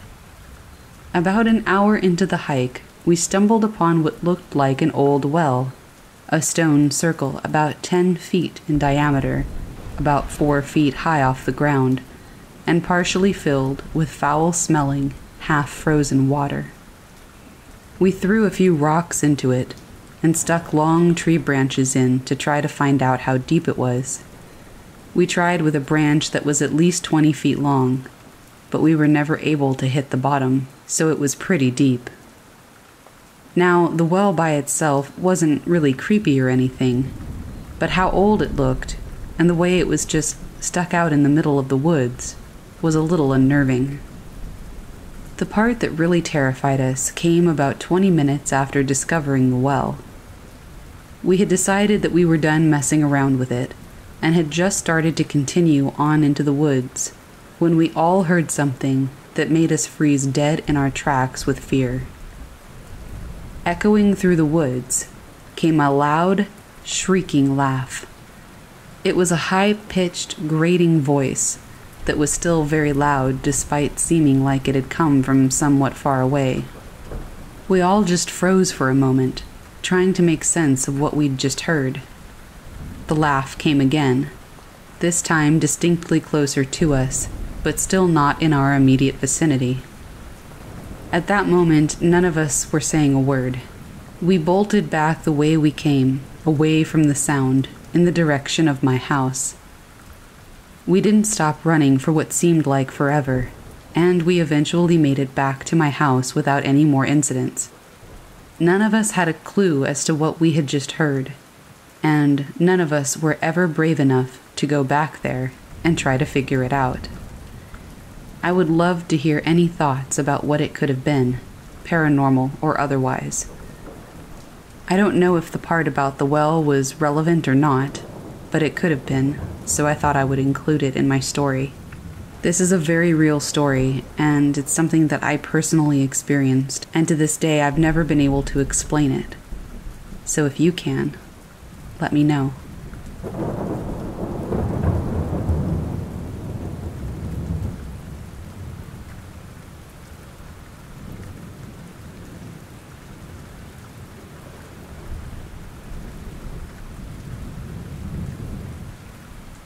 The other night, around 9:30 at night, I was playing Smash Ultimate in my living room, minding my own business while I was watching horror videos. It was nothing special, a fairly normal occurrence. Then suddenly, as the narrator finished a story about a skinwalker, I felt it. The most extreme feeling of being watched I have ever felt. I could pinpoint exactly where it was coming from the window to my right. My window has blinds, but they suck, and they're easy enough to see through if you get close to the window. Personally, I believe in the paranormal, and I do believe my house is haunted. But the ghosts in my house have only ever been pranksters who are rather kind hearted. As a note, I also live in Arizona, not too far from a Native American reservation. Anyway, this feeling was intensely strong and struck an immediate response in my brain, which is typically pragmatic and relatively fearless. I paused the game, turned off the switch, and went straight into my room, closing the doors behind me, turning off the videos, and instead turning on Critical Role. Yet the feeling stayed, as if whatever was watching me could see through my doors. I had enough, so I grabbed my machete it was a gift from my grandpa that I use while camping, and unsheathed it, then walked straight to the window, peering through it. There was nothing. Nothing but my neighbor's house, but the feeling hadn't subsided. I decided to take a more supernatural approach. I found the sage in the kitchen, grabbed a lighter, and began to burn it, spreading the smoke around my house until it felt like the feeling had passed. Then I grabbed some clothes and took the bowl into the bathroom with me and showered. The feeling was completely gone, as if the sage had repelled whatever was watching me. It was certainly freaky. I'm not sure if it was a skinwalker or not, or if my body just picked up on someone watching me who left when they saw my weapon. But whatever it was, it was strange.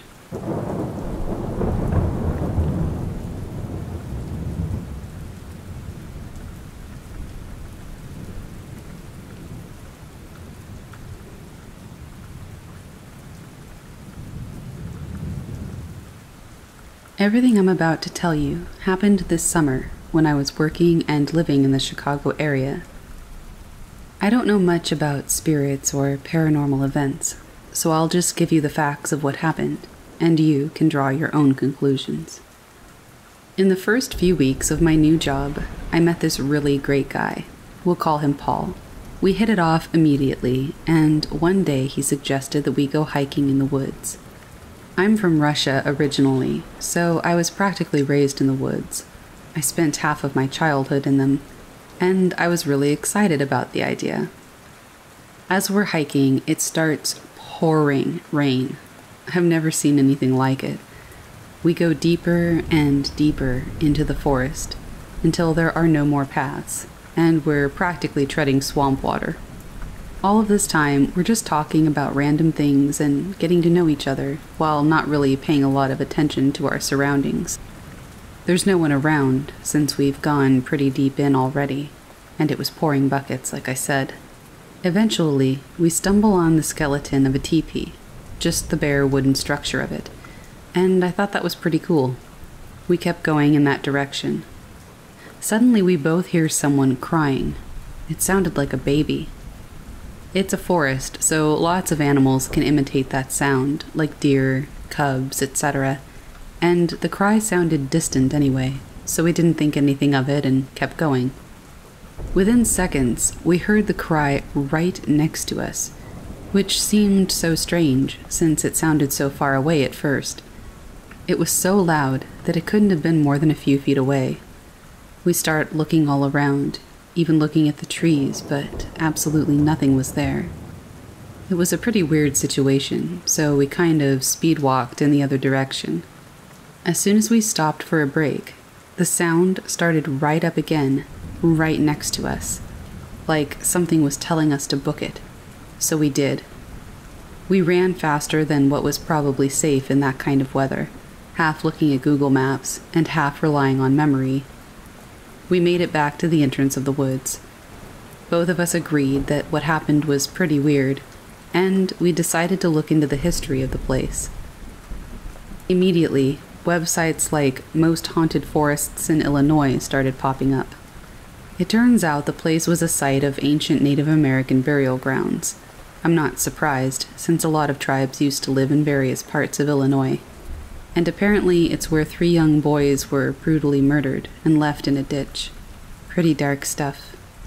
Paul and I went back, and I kind of forgot about the incident.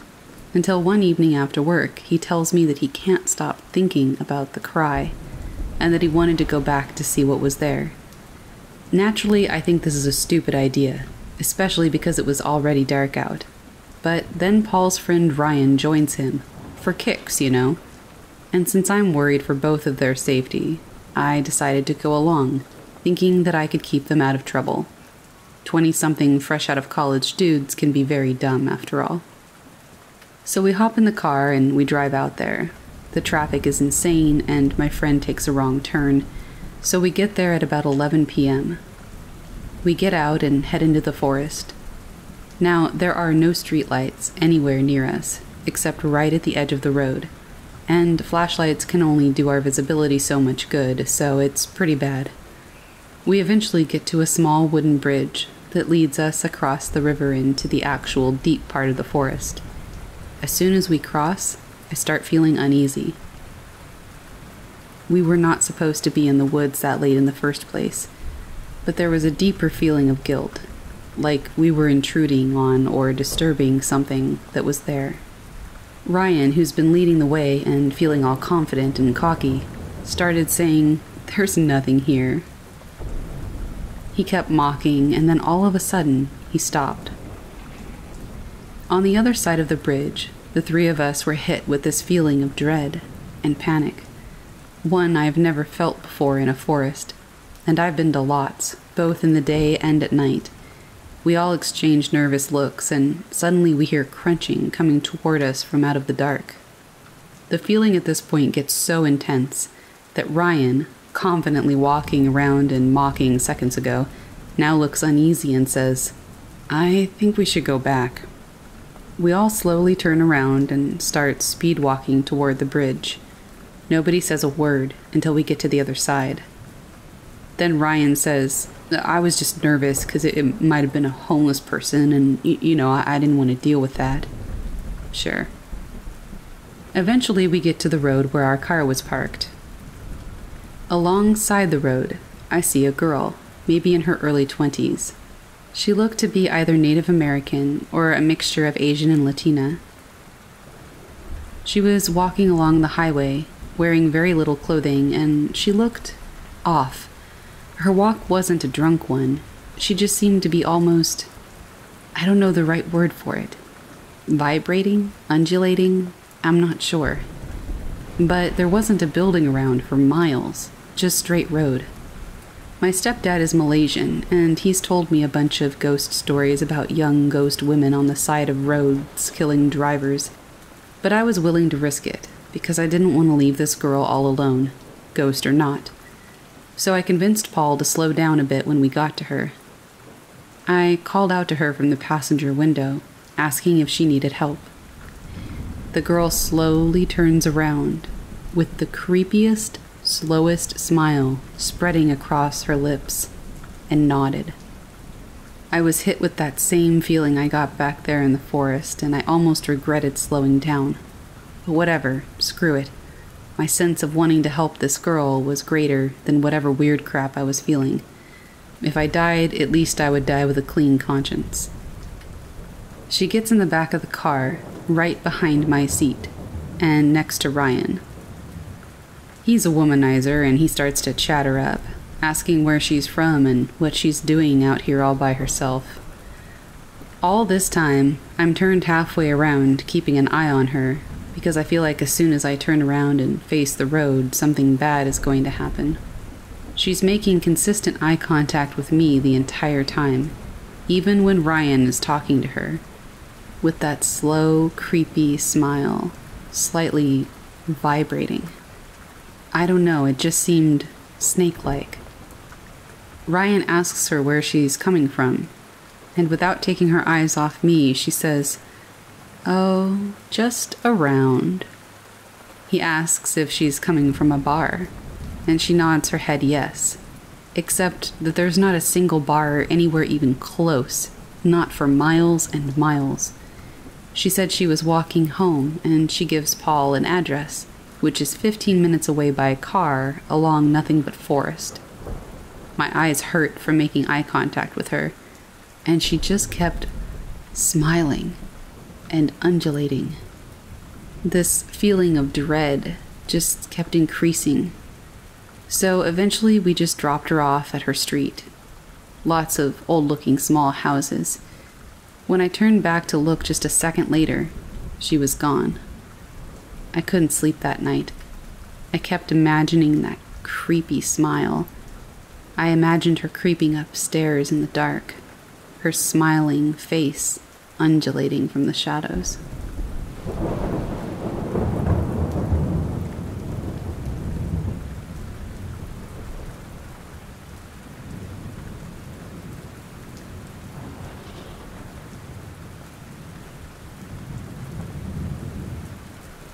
Here's a little bit of background to start. I'm from Texas, and my boyfriend is from Maine. We both live in Texas now, in a decently sized city outside of Dallas. But during the summer, we attempt to escape the heat and visit his family in Maine for a few weeks. I had my fair share of experiences growing up in a haunted house, so I was raised as a believer. Weird things seem to happen frequently, but I don't like to automatically attribute it to a ghost or whatever. I'd like to think that I'm a fairly logical person, and I like to try to debunk weird things. That being said, my boyfriend is pretty skeptical and doesn't spook easily, so that makes this story even more interesting.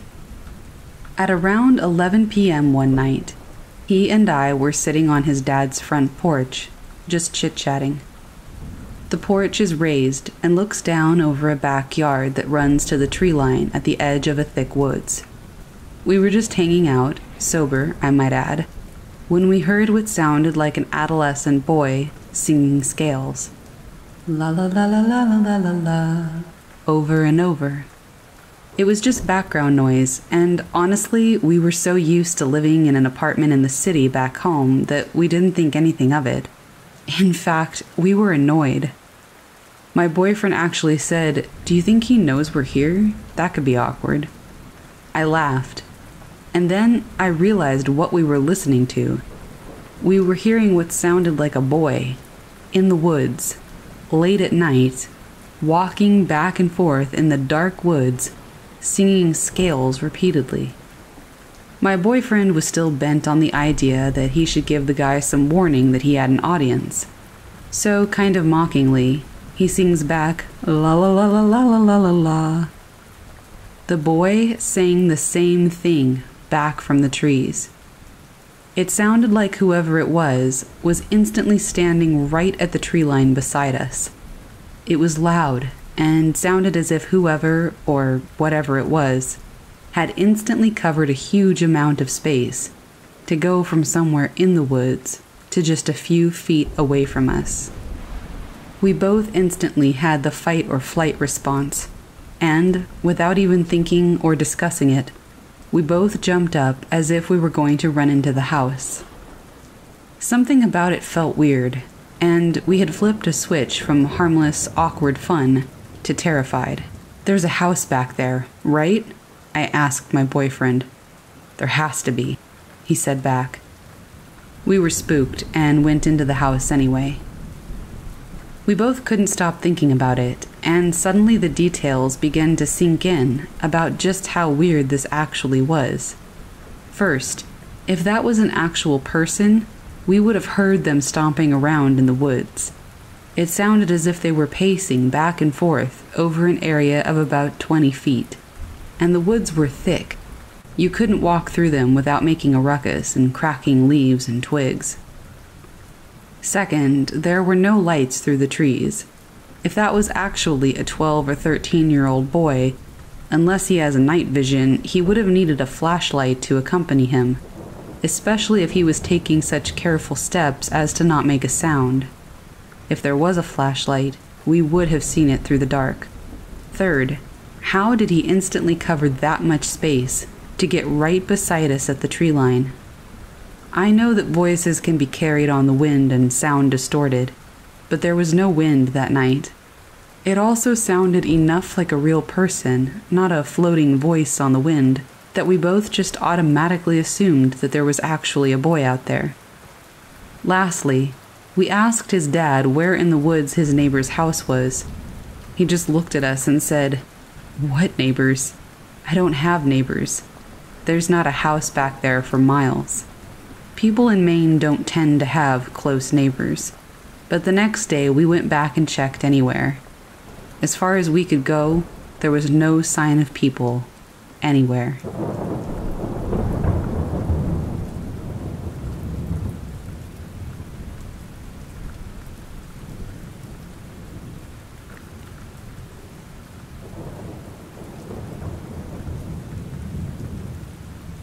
It was 2009 in my summer holidays when I was eight years old.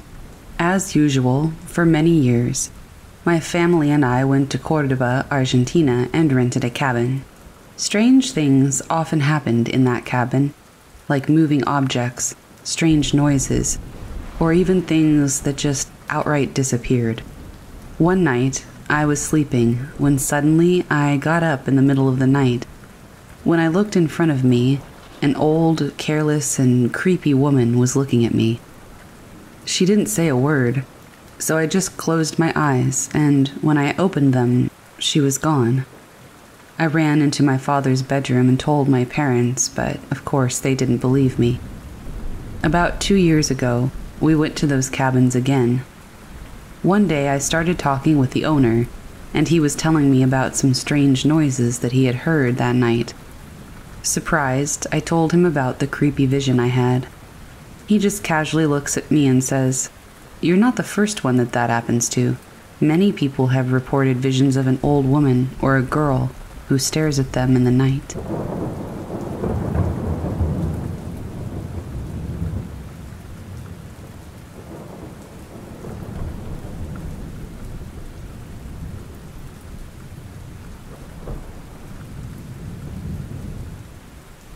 My dad told me this story recently, and I felt the need to share it. When my dad was little, he used to spend a lot of time at his grandmother's. She lived up in the mountains, and she was one of those people who just took care of everyone. He said he lost count of all the times that drunks or people on drugs would come in at all hours of the night, and she would always feed them, let them rest, and then send them on their way. She was a kind person, but also one who what you see is what you get, and she wasn't afraid to tell you what was on her mind. He said he grew up not being scared of much because of her, and he thought the world of her. But there was one event that happened to him in the woods that scares him to this day. It's one of the reasons he barely hunts or scouts alone anymore, unless he can't help it. He was about 17 or 18, and he had stayed with his grandmother so he could go deer scouting the next morning. The next day, he gets up early and heads out. My dad has a good sense of direction, but for some reason that day he got turned around and lost in the dense forests of the mountains. He walked and walked, and night fell with him, still clueless on where he was. Tired, frustrated, and a little uneasy, he stopped to take a break and sat down. He said that it was pitch dark, his little flashlight not giving much light. He was thirsty and starving, and he just wanted to get back to his grandmother's. As he sat there, thinking where to go, he heard heavy footsteps and twigs snapping behind him. This scared him at first, thinking that he may have come across a bear. He stood up, knowing if it was, he needed to get the hell out, but not be hasty about it as to spook it if it was a bear. He just starts calmly walking away, hoping he was going in the right direction this time. But the footsteps followed him. They were extremely heavy, thudding behind him in a distance, but as he walked, he noticed that they were speeding up and gaining on him. My dad starts walking faster, and, as I'm sure you can guess, the footsteps become faster. In a short time, he hears them now, maybe a couple of yards behind him. Scared shitless, he turns around and shines his flashlight to see nothing except for huge hoof prints. In their wake, the grass was dead, and everything around it that had been living was too. He started freaking out and straight out sprinted, not caring which way he was going. He just wanted to get as far away from that thing as possible. The footsteps behind him were now following suit, sprinting after him. He only glanced back one more time, seeing nothing but giant hoof prints and dead grass and leaves wherever they had landed. By now, he's not sure how long or far he's been running when he sees lights in the distance. He runs toward them, hoping that someone can help him if he comes upon a house or store. He breaks out of the woods, and joy floods over him when he sees that it's his grandmother's home. She's sitting on her porch, the lights on outside. His grandmother was a religious woman, so she was reading the Bible at this time. As embarrassing as it was for him to admit, he said that he started screaming for her, tears falling down his cheeks. She stood up and looked behind him to see the hoof prints and hear the sounds for herself. She held her hands out to him, and he grasped onto them tightly as she pulled him into her. And then she said loudly, you can't have him. He said the silence that lingered after that was intense. He had buried his head into her shoulder, so when he looks up, all he can see is where the hoof prints and dead grass and leaves lay. She just held on to him as he cried, whispering to him that it was okay and that it was gone. He has no idea what was after him that night, and he doesn't want to know but he's pretty sure that my grandmother saved his life that night.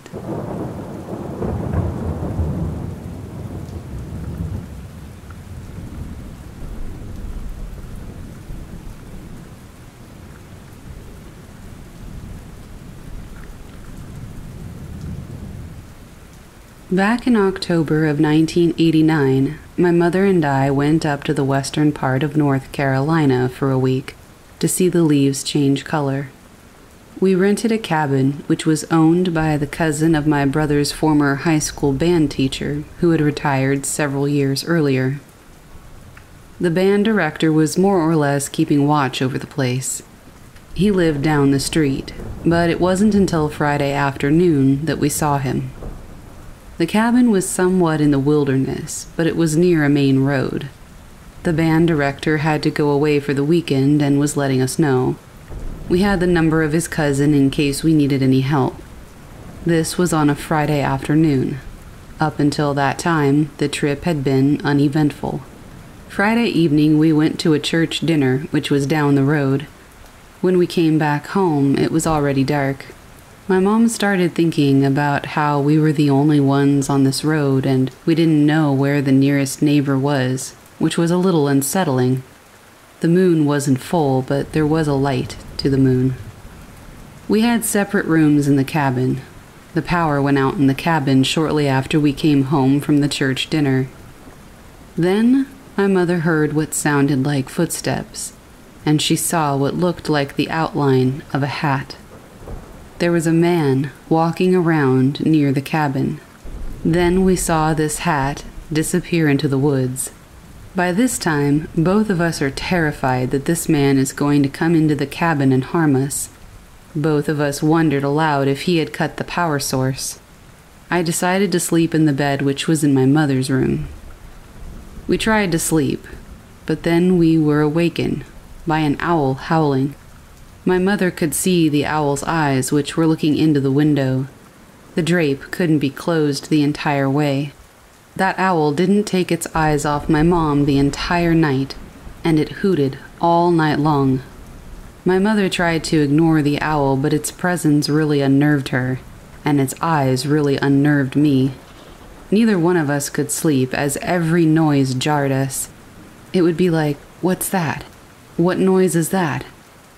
Every once in a while, we would see the outline of the hat walking around the general area, and then it would go off into the woods. Both of us were freaked out at this point, but we weren't about to leave in the middle of the night. There was no phone in the cabin, and this was long before cell phones were in common use. The power finally did come back on several hours later, or so it seemed. We were in the wee hours of the morning. Originally, we were going to leave on Sunday, but as soon as the sun came up on Saturday, we left. We laugh about it now, but neither of us know what kept us up all night. It was a memorable night.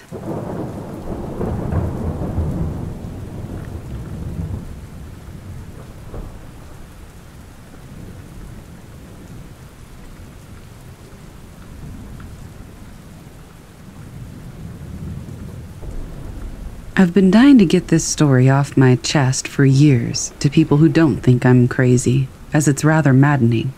Before I begin, I don't believe in things like Bigfoot, werewolves, ghosts, supernatural, or paranormal stuff in general, but that doesn't mean that I'm able to explain what happened this night. This was a long time ago. I was a teenager.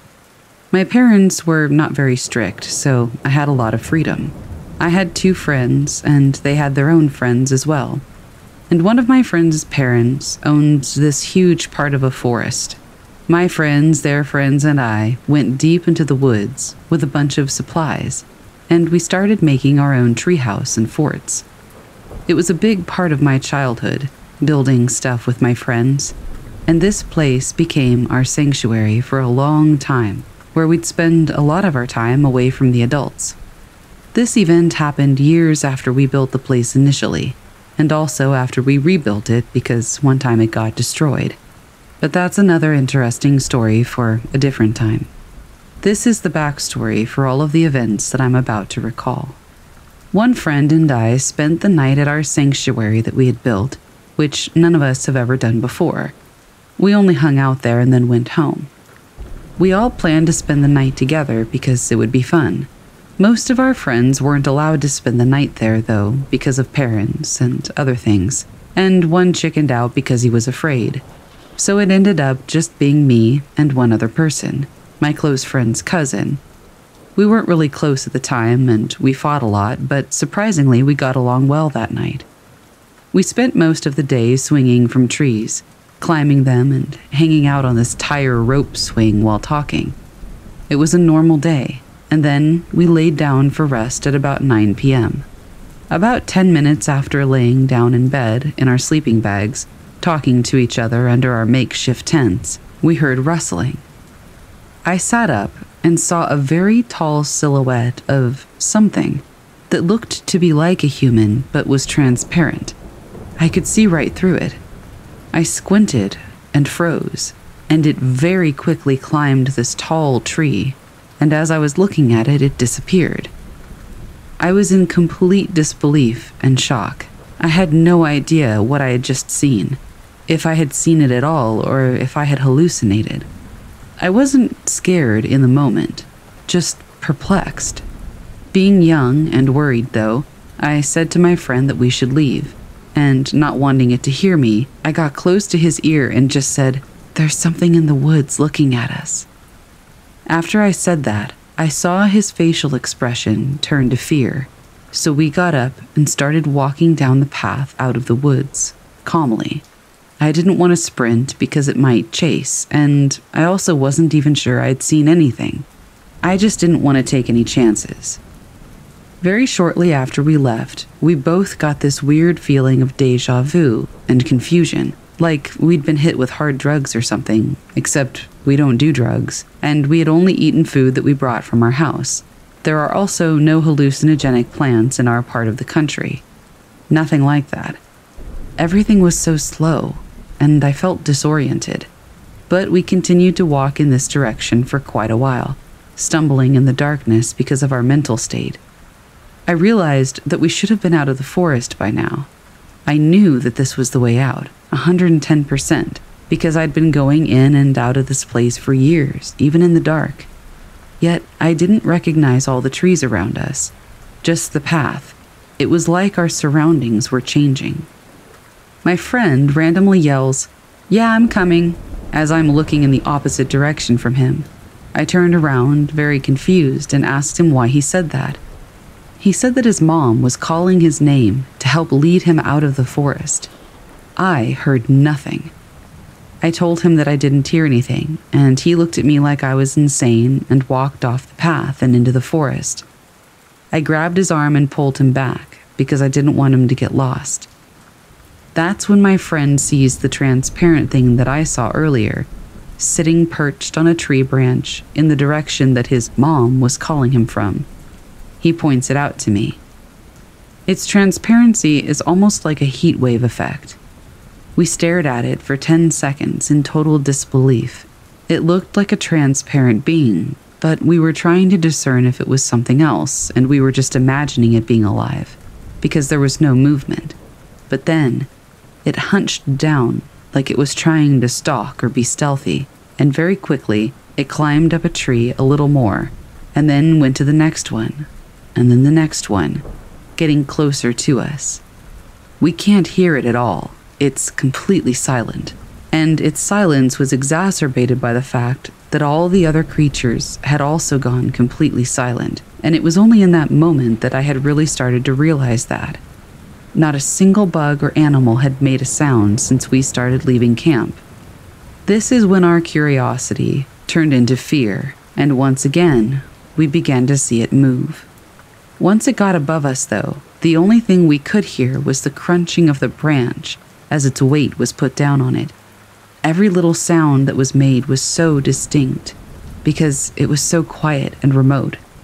We couldn't see anything because the tops of the trees are so dark. We actually started running, terrified, not worrying about being calm anymore. We heard noises in the trees above us, and finally it faded away ahead of us, as if it had gone ahead, but the sound was a lot quieter than if a normal animal had been running through the treetops. It sounded as if this thing was very light, but it wasn't very small, so that made no sense. We still kept running forward, despite it sounding like it had gone ahead, and we ended up back at the place that we started. Many, many minutes of walking, and we were back at this place after running for like 20 seconds. It was impossible. But instead of staying on the ground, we climbed to the top of the treehouse with our items as quickly as possible and closed the door, wedging a small piece of plywood on it to keep it shut.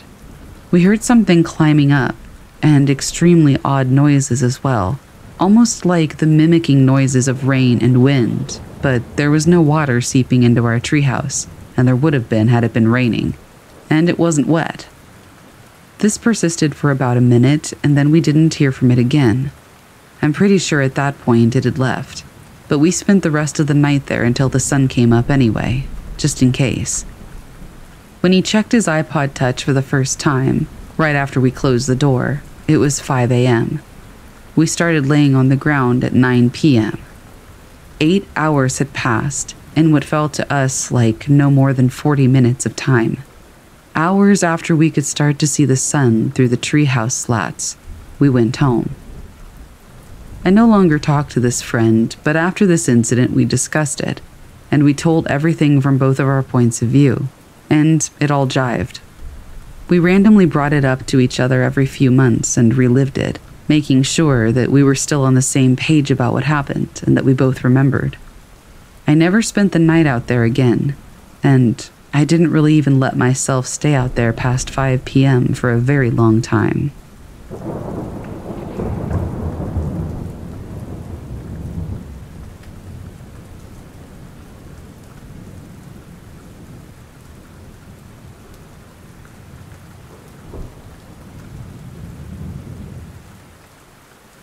About three years ago, I went camping with my girlfriend, now ex, as she had always expressed interest but had never been.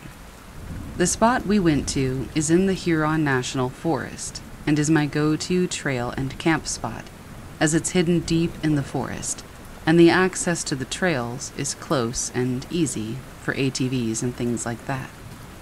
My family has been going to this spot for about six years and my friends introduced me about 10 years ago. We went on a weekend trip, and I'm glad we didn't go for any longer. When we got there, everything was going well. Except, we did notice a group of people hanging out next to our campsite. Still, they were just stargazing and ended up leaving, so it was weird, but not spooky at all. Then around midnight is when the weird stuff started to happen. At first, it sounded like someone was laughing at us, but the laugh never ended and got very high pitched and sounded as if it just kept going. After a while, we both got kind of scared and went into the tent to try to sleep. That's when the laugh noise moved up higher and then started to circle the campsite. After a while of that happening, it just suddenly stopped, and then it started again around 3 a.m. When it started again, the fire was going out, so I went to stoke the fire with my shotgun in hand and turned on my flashlight to see if maybe I could see any coyotes or something around the campsite. But I didn't see anything or hear any movements below. This went on until 6 a.m., when it finally stopped. And that was finally when we could get some rest. After waking up, we checked the campsite and saw nothing unusual, so we packed up. Once we were packed up and good to go, I started my vehicle, which was completely dead. That really freaked me out, as I'm always paranoid about leaving things plugged in that kill the battery and I made sure everything was closed properly and unplugged. Yet somehow, the battery still died. I got a jump from AAA. That phone call was hard to explain, and the lady who took the call didn't believe me, but in the end, we both laughed, and we did get some help. After that happened, I told my friend who had shown me the campsite, and also has a cabin in the same forest, about 25 miles away from the campsite about what had happened, and he got really freaked out. He told me about two incidents that he's had one at the campsite and one at his cabin. At the campsite, he stated that one night, after we'd all returned from trail riding and went to bed, he stayed up to hang out by the fire and have a few drinks. While hanging out, he was just looking off into the distance and he saw a pair of eyes up in the trees, looking directly at him. He described them as bioluminescent. He flashed his high powered flashlight at them, but there was nothing there. And as soon as the flashlight turned off, they were looking right back at him. So he packed up and went to bed. He didn't tell us because he didn't want to scare us. At the cabin, he was hanging out with his brother and they were both just chilling by the fire outside, when they saw a pair of eyes looking at them from a trail that led into the woods. They stated that at the height the eyes were looking at them, whatever it was had to be over seven feet tall. They started shooting at it with their rifles, and the eyes disappeared. But once they were done, they reappeared and were closer. At that point, they both freaked out and got back in the cabin and they didn't leave until daylight. We have no idea what this could have been, but we all felt very scared when these events happened. After we all talked about it, one of the brothers thought that it might have been a wendigo.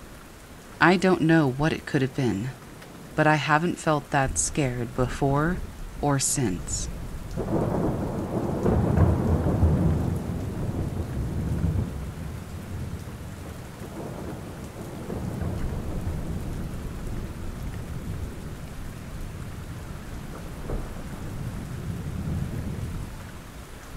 This happened a few years ago. I remember it was winter because it was really cold and snowy outside. I was left alone in my family's cabin while the others went Christmas shopping for food and last minute packages for some friends. I don't remember all the specifics of why they went out, but that's not really important. My point is, I was all alone in our cabin, playing some games on my phone while listening to some music on the radio in my room, on the first floor of the cabin. I remember that suddenly I got really cold, so I went to go get a blanket that was on our sofa. Just when I was about to get up and grab the blanket, I saw some kind of shadow from my peripheral vision. I didn't really care that much about it at the time, because I thought maybe it was just my imagination playing a trick on me, because I really don't like being home alone in general, and especially not in a cabin on a mountain in the middle of winter. I got the blanket and went back to my room to play some more games. About an hour passed, and I had forgotten all about the strange shadow. Until I saw it again. But this time it stayed in my peripheral vision for about three to five seconds before it went away again. I was a little creeped out about it now, since I was the only one in the cabin. I decided to lock the door to my room just in case. Right after I locked the door to my room, I heard some kind of crying upstairs on the second floor of the cabin. At first, I thought it was my little sister, who was about three years old at the time. She used to cry a lot, so I asked out loud, What's wrong? Did you hurt yourself? I heard her answer, Yes, I fell while playing with my dolls. Can you come upstairs and help me? I unlocked my door and headed toward the stairs when it finally hit me. I was alone in the cabin, so whatever was upstairs could not be my little sister. I sprinted out of the cabin wearing only a t shirt, shorts, and my dad's slippers. It was freezing cold outside. I stopped running about 150 meters away from the cabin and looked at it from a distance. In one of the windows on the second floor, I could see a shadow just standing still and I got the feeling that it was staring at me, even though I couldn't make out any eyes. I stood there outside of my family's cabin in the freezing cold for about 30 minutes and cried until my family finally arrived. My mom and dad asked me what was wrong, but I didn't want them to think I was crazy, so I just made up a story. I honestly don't remember what I told them, but they seemed concerned about me. One thing I do remember, though, is that I talked my mom and dad into driving me to my grandparents' cabin because I refused to go back into that one. Ever since that day, I have refused to join my family when they go to our family cabin. It's really hard to explain, but the feeling I got that day at the cabin can only be described as unwanted. Like someone or something wanted to harm me, was trying to lure me I have nightmares about the shadow figure thing even today. It haunts my dreams, and I'm in no rush to see it again.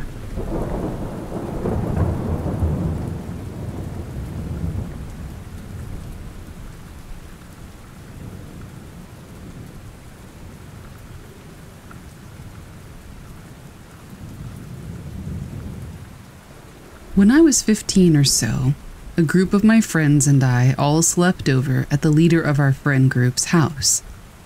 This guy lived in the most absolutely rural area of our rural town, basically in the middle of the woods, a house just surrounded by thick walls of trees. In the evening, we decided to go out and start a bonfire deep in the woods. So we packed up, got all of our materials, and went straight out there. On the way to the spot that we'd be making our campfire at, he told us about how messed up and creepy his woods are. and the numerous things he's seen. White, skinny figures peeking around the shed, staring at him and running off when he looked at it, screaming and whispers from the woods, figures watching him, all that good stuff. It set the mood pretty well. By around seven o'clock that night, we had the campfire set up, and it was pitch black outside, as it was the middle of winter in New Hampshire. I can still remember how creepy the whole vibe was that night. You couldn't see a single thing besides the ring of light coming from the fire. Everything else was just a black wall of nothingness, and the sound of the forest was so quiet that the silence was almost deafening. At least it was if we weren't talking. We ended up needing more firewood and a few other things that we were using for the campfire, so the leader took me to go with him to get it. Without a flashlight or any light source, he and I walked the mile and a half long trail back to his house in complete and utter darkness. It was all good. We were talking, joking with each other, having a good time, and just hanging out when the first noises started. He immediately made me stop talking. To my left and my right were a bunch of different sounds screaming, laughing, talking, and whispering, shouting, people saying unintelligible words. It sounded like there was something around 20 people just surrounding us. The natural night vision had finally set in a decent amount, and I looked over at my friend, who had his head down and didn't say a single word. Known for being a complete goofball and a wild, funny dude, I had never seen him look so shaken and serious in my life. He had this look to him that still kind of haunts me to this day, as I knew him pretty well, and he always portrayed himself as the fearless leader type. Seeing him so shaken up and afraid was very unsettling. I started to say something along the lines of, What the heck is that? before he cut me off and told me to be quiet, face forward, and not to pay attention to any of the sounds. I did what he said, and the next three minutes or so were incredibly uncomfortable and terrifying. I remember feeling sick to my stomach. By the time we reached his house, the sounds had stopped. We both grabbed what we needed in total silence. That's when I could really listen to the sheer quietness of that night. No birds, no sticks falling, not a single sound. Absurdly silent. We walked back to the campsite, and nothing else occurred that night. It's still my most unsettling and bizarre experience that I have no explanation for, and I'll never forget it.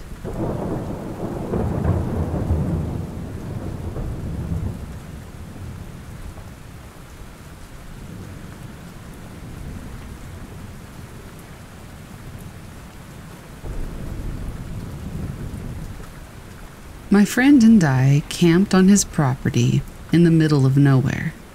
It was in the area of Cane Creek, Kentucky, near Laurel Lake. There was no service, no noise, no anything but you and the woods. We set up our tent under an overhang, and I was tasked with gathering the firewood. It was about 5 p.m. or so, and while collecting, I got this odd feeling. And then I started to hear whispers. They weren't saying anything I could make out, it was just murmurings. At that point, I got this creepy, odd feeling, and I moved closer to our camp to collect the firewood. I didn't want to stray very far after that. Night progresses and nothing out of the ordinary happens until we climb into our sleeping bags. I heard footsteps in the leaves and more murmuring. I was getting really freaked out, but I know the best thing to do is to ignore it and sleep, and so I did. The following morning, my friend and I found ourselves awake at 5 a.m. He asked me if I had heard whispering last night. I told him I heard it twice, and we were both just as baffled as the other. We were not the first people to camp in this area. His uncle and his friends attempted to camp there as well, but they couldn't make it through the night either. My dad is a hunter, and he refuses to go down there to hunt anymore, as well as another friend I have. His dad says that the air down there is rich in death. I don't know the reason for what happens down there, but I won't be going back.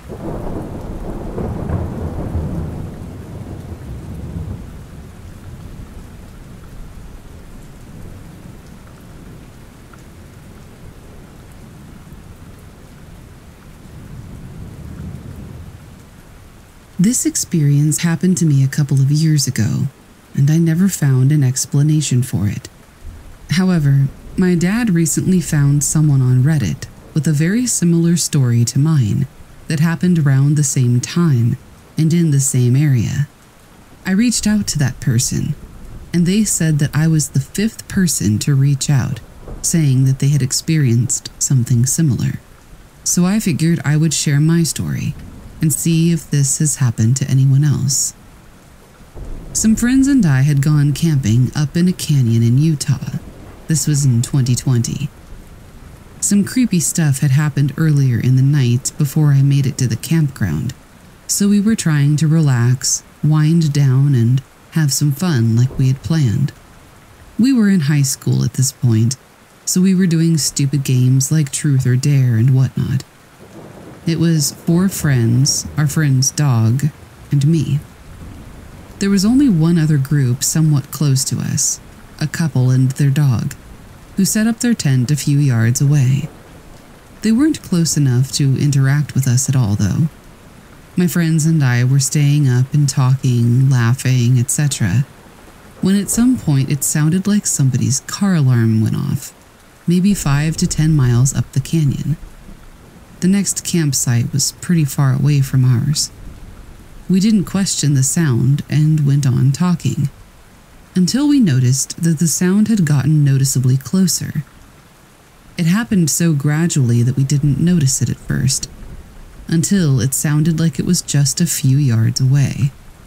The noisier we were, the closer it would get to us.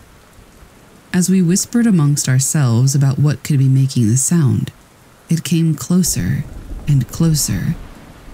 Finally, the noise was literally just outside our tent, mere inches away from us. None of us dared speak or move an inch in fear of compromising our safety. When we became quiet, so did the noise. After we were dead silent for a few minutes, the noise started up again and began to once again go farther away until it sounded like it was about 10 miles away again. This all happened in the span of 10 to 20 seconds. As the night went on, we heard the noise travel from campsite to campsite in almost no time at all. It didn't go away completely until about 3 o'clock in the morning. We tried to stay pretty quiet for the rest of the night. All in all, Whatever had made this sound traveled the span of roughly 5 to 10 miles in the span of 5 to 10 minutes. After that one time when we quieted down, it started up again and then it went back to where it started. That was about 20 seconds of it. Either way, this thing was going like a mile per minute. It wasn't a vehicle because there was no engine sound along with it, no headlights, it wasn't human because there wasn't a single footstep or twig crunch, not even when it was right outside our tent. It made zero noise aside from the beeping. It didn't sound like any animal that any of us knew about, and it traveled way too fast and was much too loud to be any animal. At least any we have around here. We originally thought that the sound was either a vehicle or a machine of some kind because of the consistent pattern of the beeping. However, when we stopped to listen to it for a while, there was a brief moment when the pattern got slightly off tempo, but it sounded accidental, and then it quickly returned to the beat. This led us to believe that something was imitating the sound of a machine or a vehicle. We considered everything from weird nocturnal birds to pranksters with an air horn but nothing added up. We ended up waking up the next morning at 5 a.m. to pack up and leave. The other campers who were sleeping a few yards away from us were already completely gone by the time we got up. This leads us to believe that whatever was messing with us that night had messed with them too. I wish we could have seen our friend's dog's reaction to what happened, but he had already fallen asleep by 8 or 9 p.m., long before the beeping started. It started at about 11 o'clock or midnight, and that dog can sleep through anything. I recently got together with those same friends and brought up what happened that night. One of my friends said that when the rest of us fell asleep, the same thing happened again. But instead of a car alarm, this time the sound was a crying baby, traveling at the same speed and distance as before. And according to her, it circled our tent a few times before fading off again. The people who were camping closest to us did not have a baby. Oh, and one other detail. We were less than 50 miles away from Skinwalker Ranch.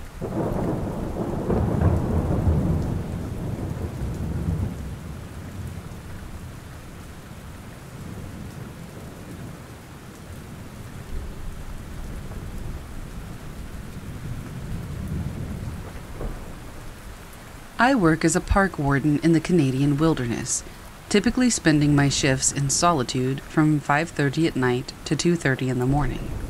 My jurisdiction covers around 300 campsites, several beaches, and the corresponding amenities such as shower facilities. My park closes for the harsh Canadian winter, typically from mid-October to early April, during which feet of snow accumulate and the cold is unforgiving. Several years ago, a tragic incident occurred. A man chose to take his own life with a sawed off shotgun by the river on one of the more secluded beaches. His body wasn't discovered until the spring thaw. This particular beach, situated at the northernmost part of the park, requires a patrol at least once an evening. One overcast day, around 7 p.m., I was at the shower facilities near this beach ensuring the first aid kits were stocked and checking the fire extinguishers. The dreary weather had deterred any visitors, leaving the beach and parking lot deserted, except for my patrol vehicle. Suddenly, I was overcome by a sense of dread. I ran to my vehicle, slamming the door shut and taking a few calming breaths to shake off the panic. Feeling somewhat better, if not confused, I stayed in the safety of my locked vehicle completing paperwork and logs. Given my job, not a lot scares me, so I was more shaken by the fact that I responded that way, still not knowing what caused it. Out of nowhere, a large, dark figure moved swiftly past my driver's side window. Startled, I let out a scream, instinctively recoiling as I thought somebody was attempting to break the glass or open the door. However, when I checked, there was no one around.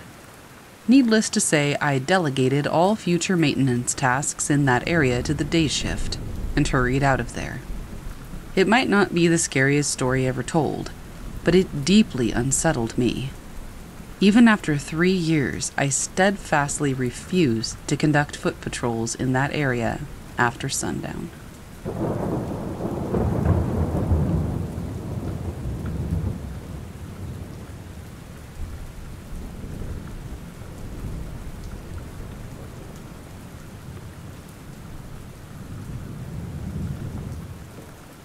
Echoes of Laughter. I've always found solace in the woods near my home in a small New England town.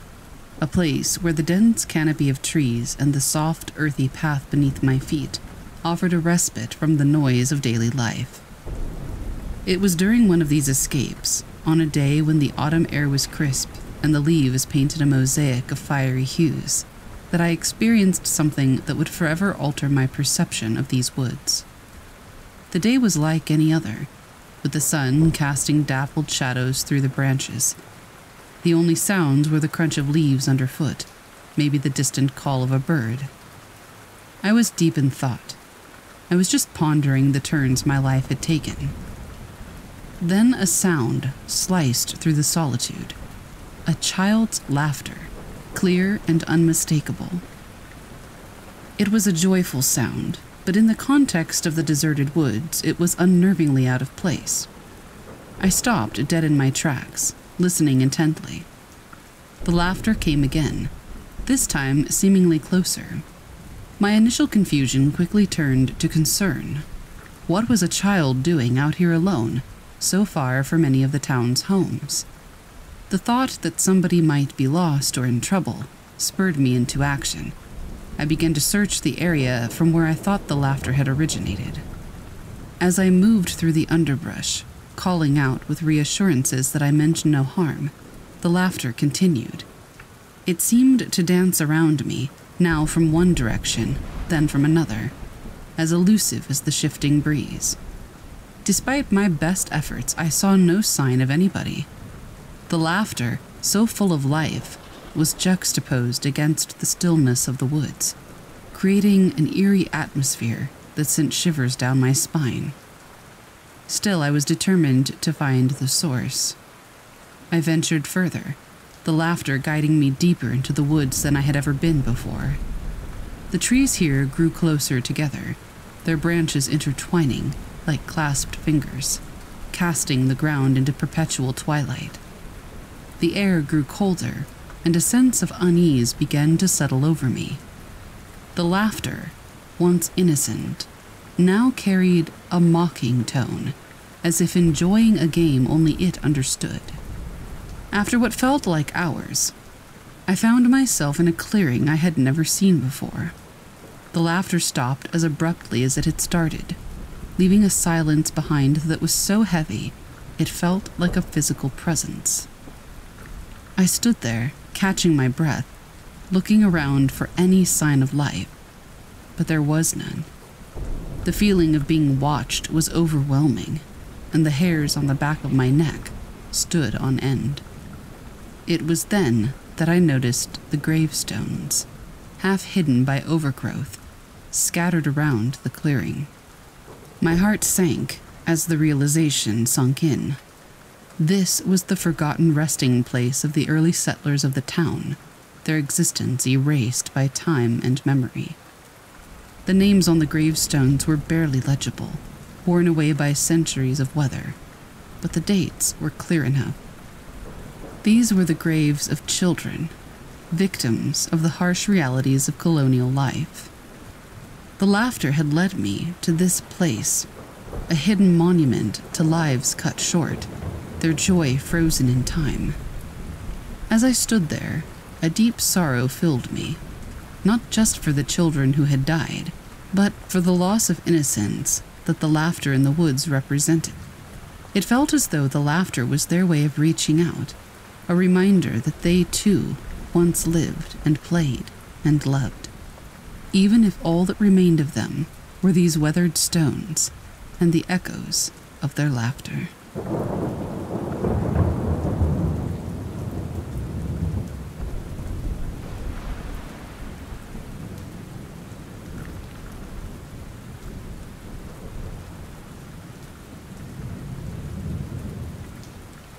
is one of the many things that I have never told to anyone before, because I'm pretty sure that nobody would have believed me, thinking that my imagination was just wild, and sometimes I still doubt that anybody will believe me. But I remember this happening for real, so I wanted to share. This thing happened to me in the past when I was around nine, and I always used to hang out with my oldest cousin, who was seven back then. We were pretty inseparable at the time, before everything changed when he turned 18. I was spending the night at my granny's house, as I used to be her personal dog sitter, and he decided to come hang out with me. He suggested that it was a good idea to go into the nearest forest, which was almost right next to her house. We were living in a medium sized city, but the forest is almost always near buildings at some parts or areas. Around 10 or 11 p.m., we decided just to walk to the edge of the forest, since it would have been completely foolish to go deep into the forest that late. I told him that that would be a good idea, since we were both kind of bored and feeling adventurous. We headed out and just started to walk toward the edge of the forest, both up for having a small adventure. But that didn't even last a half hour before the weird things started to happen. I remember when I was standing against a big tree and looking just in front of me, my cousin was near my side, like six or seven inches away from me. I was looking in front of me, and I felt like I was searching for something. I'm still unclear of what exactly it was, but I was just looking. All of a sudden, I saw red eyes staring at me from out of nowhere, but they were really far from us. I turned toward my cousin and asked if he was seeing what I was, but he ignored my question. So I turned back to look at the eyes, and they were much closer than before. I blinked a few times, but of course I couldn't see anything around them, and they weren't getting closer. I just saw trees. I turned back to him and asked the same question, but he kept ignoring me. So I turned one last time to look at them, to see that they were even closer and closer. I just kept watching them, feeling a little bit afraid at this moment. And I swear that they started to come toward me, even when I didn't look away. So I just grabbed his hand and ran as quickly as I could until we saw the street lamps. After that, I've never seen or experienced the same thing ever again. The weirdest thing in hindsight is that I never heard it getting closer. I never heard anything at all. Even if it had been like a wolf or a dog or something like that, I would have heard rustling or branches or something. But there was just nothing. It's been 16 years since this happened, and it has always stayed with me.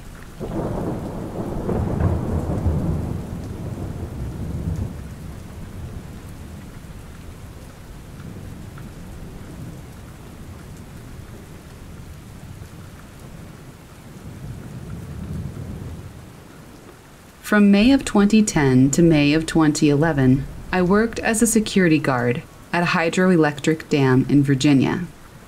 It was a fairly isolated location. If you needed an ambulance, you could expect at least a 20 minute wait. About a month after I was hired, one of the guys at the dam told me that most security guards out there quit after a few days because they got so creeped out being alone at the dam at night, and that he was glad I was sticking it out. In truth, it could be creepy. Sometimes at night, when I was patrolling the basement level of the dam itself, I would think about the fact that I was 50 feet below the water line on the low side, the only human being in about a mile and a half radius. Sometimes I'd hear weird noises in the woods, or catch a flash of a shadow while I was inside the dam. It takes a lot to scare me, though, and I knew I was either hearing critters in the woods or my mind was playing tricks on me. One night, however, something happened that scared the living hell out of me. It was a little after 11 p.m., and I was sitting in the guardhouse reading a book. Suddenly, I heard a tap at the door. What was creepy about the guardhouse at night was that when you had the lamp inside turned on, People could look through the windows at you, but the glare made it difficult for you to see outside. When I heard the tap at the door, I thought it was a bug hitting the glass. It was so faint, and I knew there weren't any contractors at the dam. I had the place to myself. Then the tap came again, more insistent this time. I grabbed my flashlight and opened the door. There was no one there. Then I let the door slip from my hand and shut behind me. To my left, previously concealed by the door as I had opened it, was a huge man, at least 400 pounds, wearing a gray sweatshirt and gray sweatpants. The sweatshirt was smeared with fresh blood. My heart started hammering. My blood ran cold. I was so scared I couldn't speak. As it turns out, he was a local fisherman who had been fishing off the bridge over the tailrace. And he was wondering why the power company hadn't started back pumping into the lake yet, because they usually started a little before 11, and that was what always drew in the big striped bass. He was smeared with blood, because he'd already caught and gutted a couple and wiped his hands on his shirt. He felt really bad when he realized that he had approached me basically in the same way that a murderer in a horror movie would have. I am thankful to this day that I was unarmed security, because if I'd had a gun, I would have either shot him or accidentally shot myself while trying to shoot him. Either way, paranormal or not, that was the scariest night of my life working that job.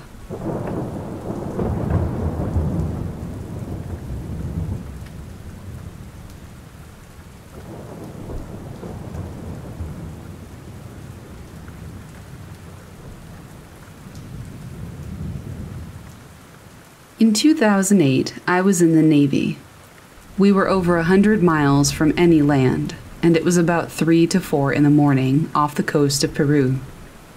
I was an electronics technician, so I worked in radio with one other guy, a radio man, and we just sat up scanning the HF, UHF, and VHF radios listening for drug runners. We intercepted a UHF signal that played a short piano preamble followed by a haunting, computerized sounding woman's voice reading numbers 11, 9, 4, 6. This went on for about a minute. Then the preamble repeated, followed by the same number sequence. Then it was gone. We recorded the transmission, wrote the numbers down, informed the captain, and shortly a message was sent off to the area commander about the strange message. The reply we received was disregard. Creeped me out. I came to find out that this is a number station, and while the phenomenon is not entirely understood, it's likely a method for getting a secure message or code to an intelligence agent in the field over an insecure method of communication. Since the numbers could be attached to a one time code, it's basically indecipherable. Either way, it was super creepy.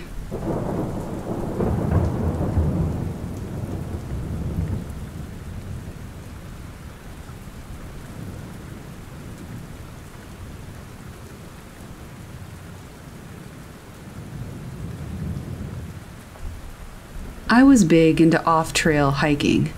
I would usually track animals and find really cool spots to hang out, meditate, and smoke a bowl.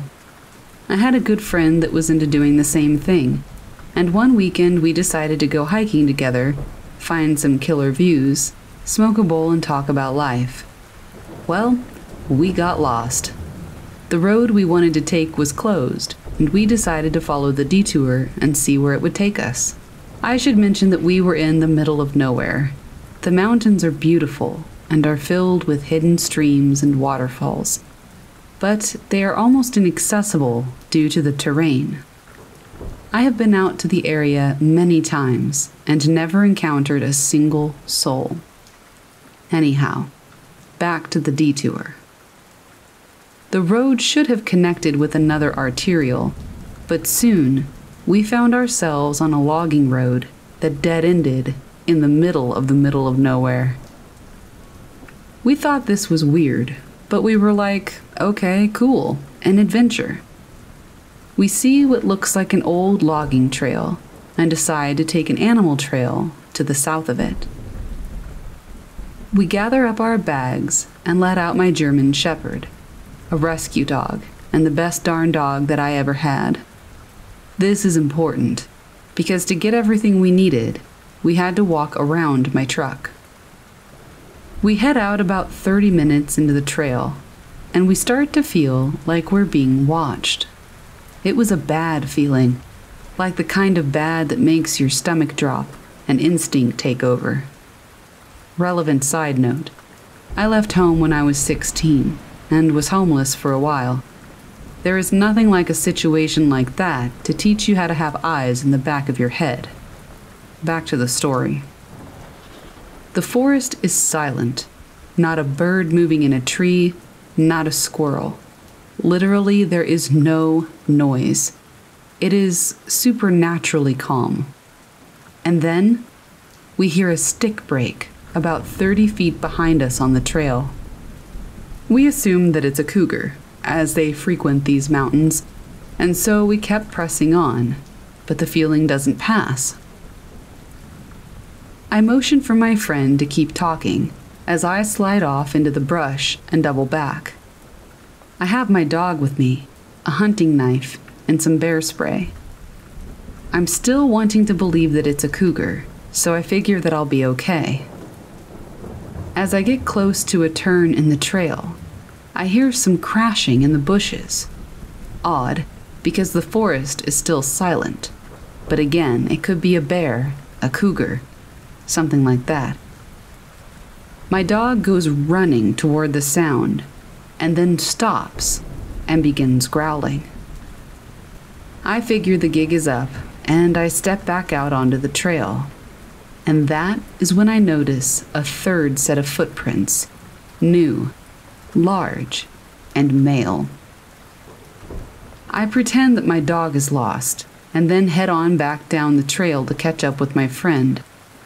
I mouthed to her that I saw another set of footprints, and at that time, we decide to climb higher up onto the mountain so that we can see if anyone is approaching from below. I'm pretty sure that this decision saved our lives. As we're hiking back to the car, we discover several hunting blinds. This is off season hunting, and it's illegal, and most of the animals people really want to poach are still higher up in the mountains. But there was still warm food sitting on a plate. It was eerie as hell. We flat out booked it off the mountain so fast, with my dog running off and growling at the person that we now know was following us. We unlock my truck as soon as we see it and grab my dog in as we're pulling away. And that's when we notice the flat tire. Someone had sliced my tire to shreds. This is when I said screw it and gave thanks for having a sturdy truck that I didn't care about. I didn't care if I ruined the car, the axle, or the wheel. I just wanted out of there.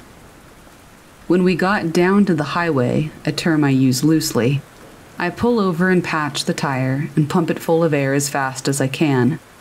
I know that we saw something we shouldn't have seen. We made it to a gas station, just barely. Also very creepy, complete with the old man and dusty cans of beans. Change the tire, and then drive as fast as we can back into cell range, where we call the cops. I don't think that they believed us. I'm pretty sure they thought it was an animal. But people go missing in the woods all the time around here, especially in that area. Unfortunately, I didn't know this until I got home and did some research. That was the end of my off trail hikes. I now only go on heavily populated trails with a group of people, and I always leave the name of the hike and a map, along with my expected return time, with my best friend. It isn't nearly as enjoyable, but it sure is a heck of a lot safer. Moral of the story? Trust your instincts. Tell someone where you're going and when you'll be back. Carry bear spray and your survival pack. Always have an emergency repair kit in your car a battery charger, air pump for your tire, a patching kit, flares, and a couple of flashlights. No matter how safe and reliable you think the location you're going to is. I forgot to mention earlier, we saw the same footprints leading from the shelter down to the animal trail we had been on. There is no doubt in my mind that we were being stalked if not hunted.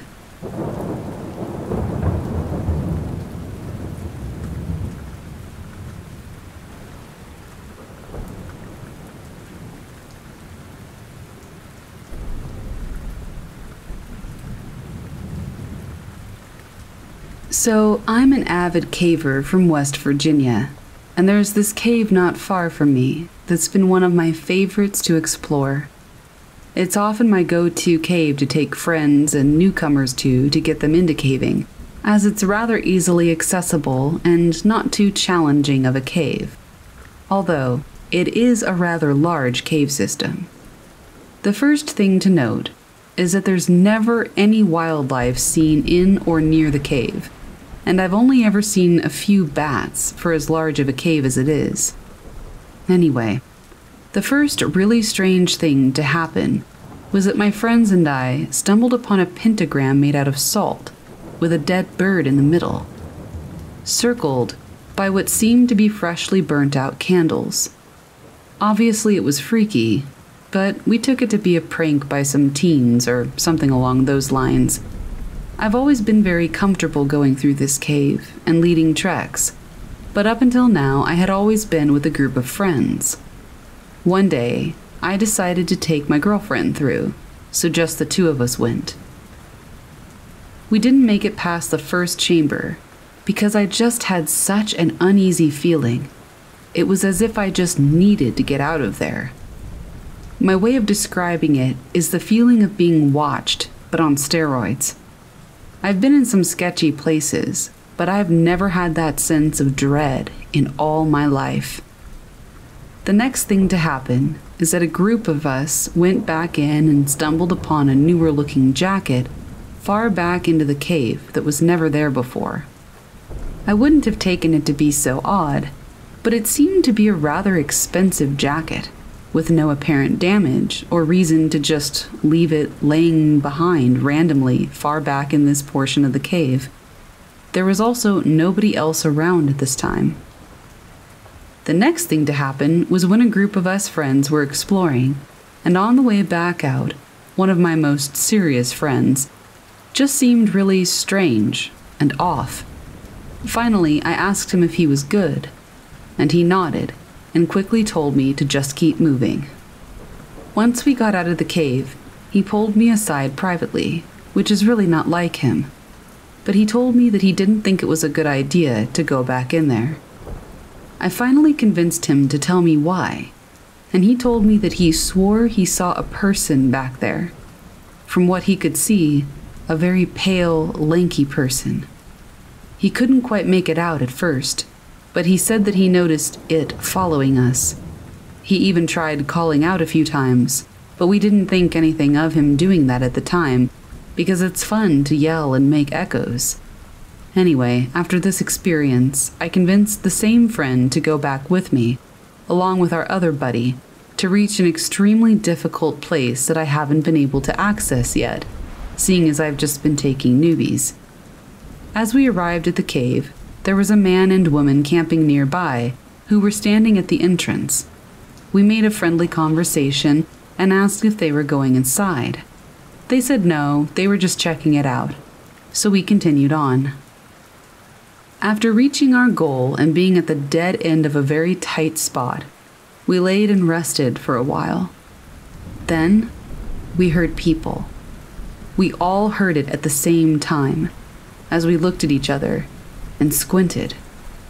We couldn't quite make out what they were saying, as it was very distant and echoed and muffled, but we could clearly make out that it was English, male and female voices, and we heard laughter and water splashing. We thought it was pretty odd because it was in the morning and we didn't expect anyone else around but those two campers, so we figured it was them. Anyway, as we were exhausted, we rested for a good while longer and shut off our lights to save battery. We remained quiet as we were just resting, and after a while we couldn't hear them anymore. Then we went ahead and made our way back out of the cave.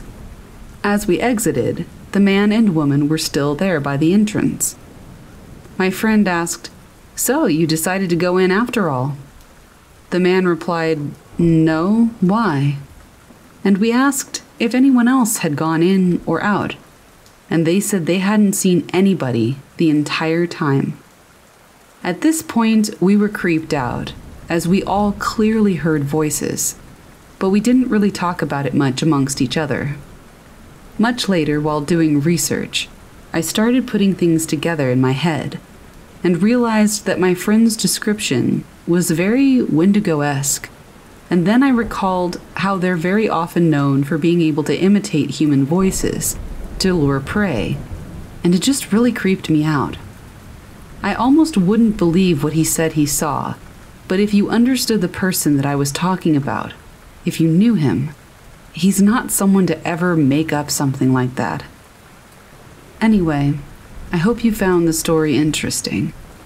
I still don't know what we encountered, but if you have any ideas, let me know.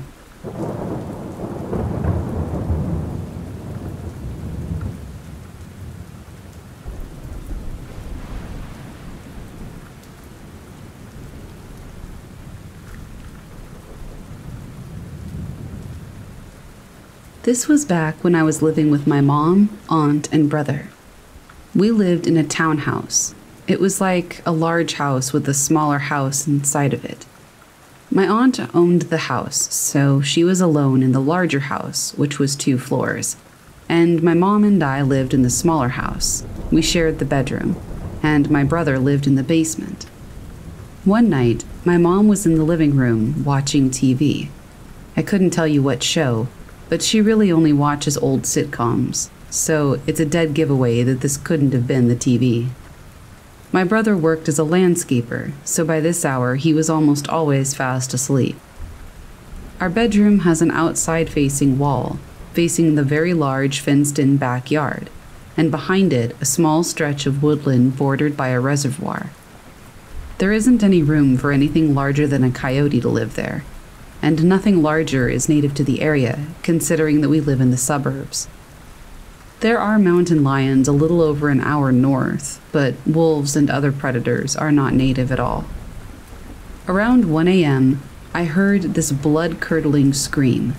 Before you say anything, yes, I am aware of mountain lion screams, and I've listened to them extensively, but this was absolutely not a mountain lion. It wasn't a fox either, or any other animal that I could think of that we have here, but I'm open to suggestions if you think you know any. It goes on for a good 10 or so minutes while I lay paralyzed with fear. It sounds almost like children screaming, except deeper and more terrified. It genuinely sounded like someone being killed. The next morning, I asked my mom about it, and she said she didn't hear anything. My brother said that he did, but he thought that I was just up watching TV, or that maybe my aunt was fighting with her boyfriend. My aunt thought it was my mom having a temper tantrum. To this day, I don't know what it was, and though I don't live there anymore, it still makes me very afraid.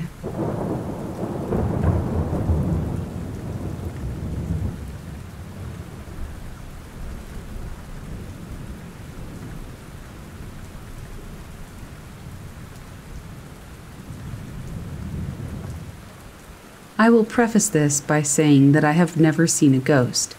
I believed in them in my youth, and I'd been rather agnostic about my beliefs for a long time, simply believing that anything could exist.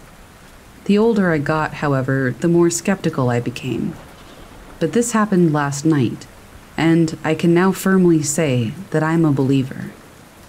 My friends and I were in a local park last night. We were walking along a trail and right away, something was off.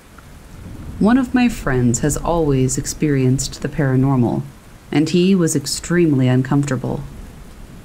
He said he was seeing figures and hearing footsteps throughout the extent of the walk.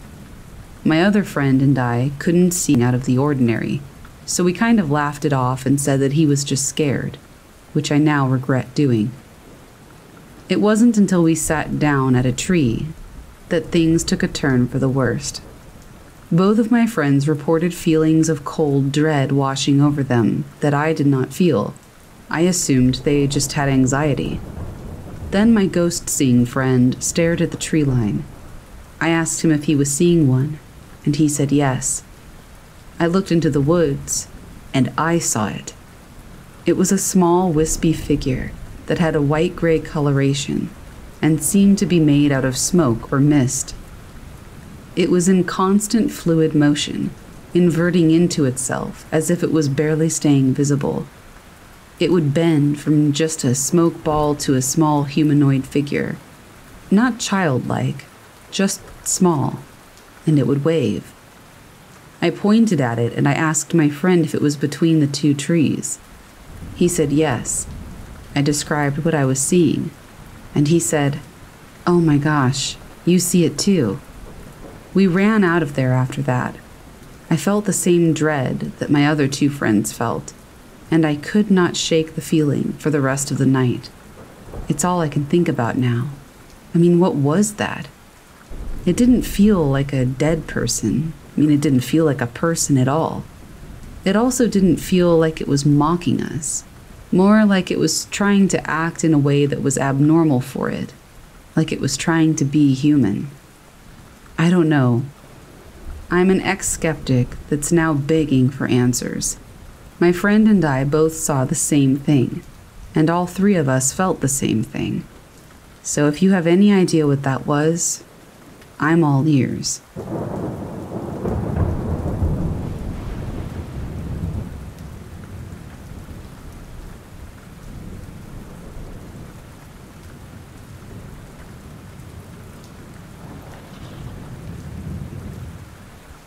Boyfriend and I went up to his parents' cabin a few years ago. We were the only ones up there for the weekend. We went on a short hike up along a creek known as the Strawberry Trail. We were about a half a mile up, just enjoying the beautiful scenery. We embraced in a hug, and we both closed our eyes as we did so. But as soon as we did, we heard this loud flapping of wings, or running of some large animal. It was so loud that we could feel the vibrations and a sort of wind that came with it. It felt like the animal or thing had stopped right in front of us. I was so terrified I kept my eyes closed, but as soon as I opened them, we both looked around and there was nothing there. We didn't hear it leave, and trust me, we would have. We were spooked, so we booked it back to the cabin.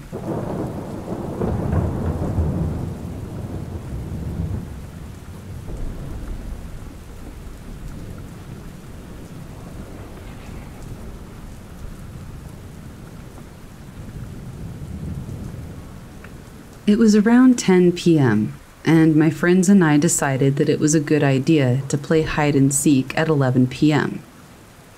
So when we started to play, I ran into the middle of the forest, where I hid. Around a tree, I saw a woman in a white dress just staring at me. Obviously, I got scared and ran outside of the forest. On the way out, I got a cut that was about three or four inches long on my left hand. I only saw it when I was clear of the woods. When my friends got the balls to do it and go in there, they saw her too. We all ran to the highway, which was about 200 feet away.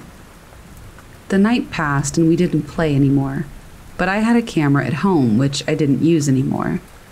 I decided to put a 128 gigabyte SD card in it and place it near the tree that I had hid around to let it record anything. When my friend went to get it, he said that the woman appeared on the camera until 3 a.m., when she suddenly disappeared. Unfortunately, we have since lost the footage, but either way, it was a very scary experience.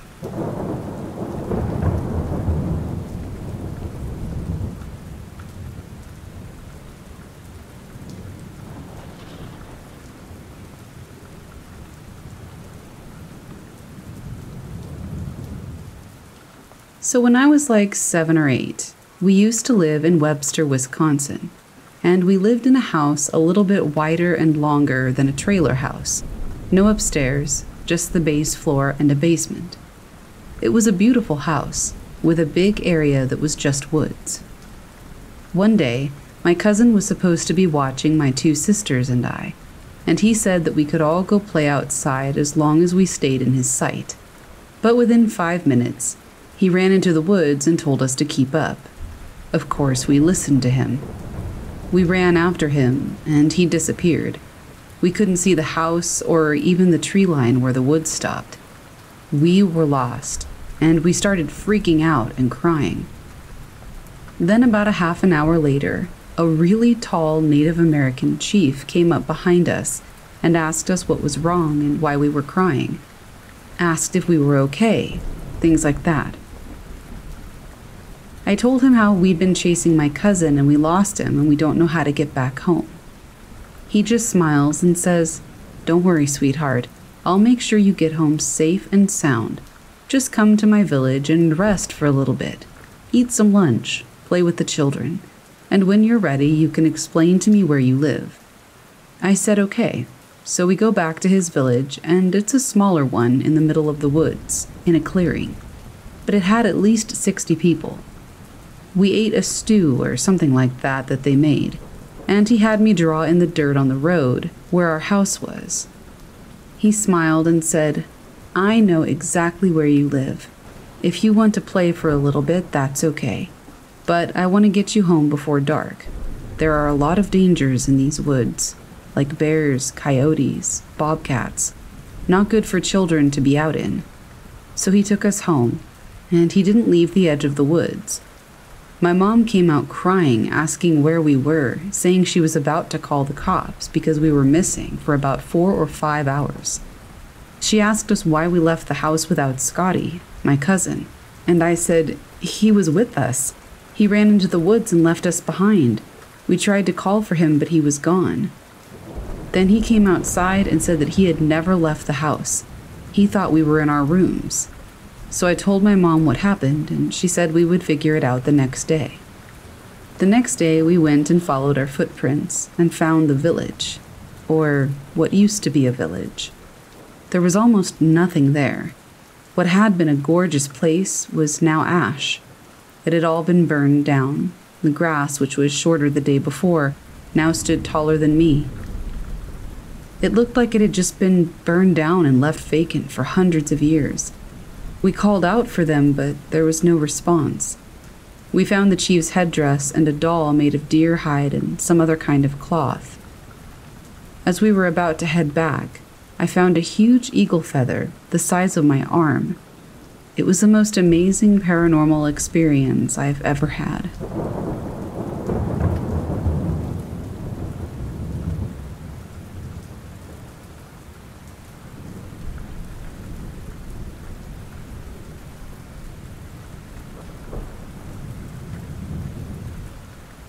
I was hiking a section of the North Umpqua Trail in the northern part of southern Oregon a few years back with my sister in law.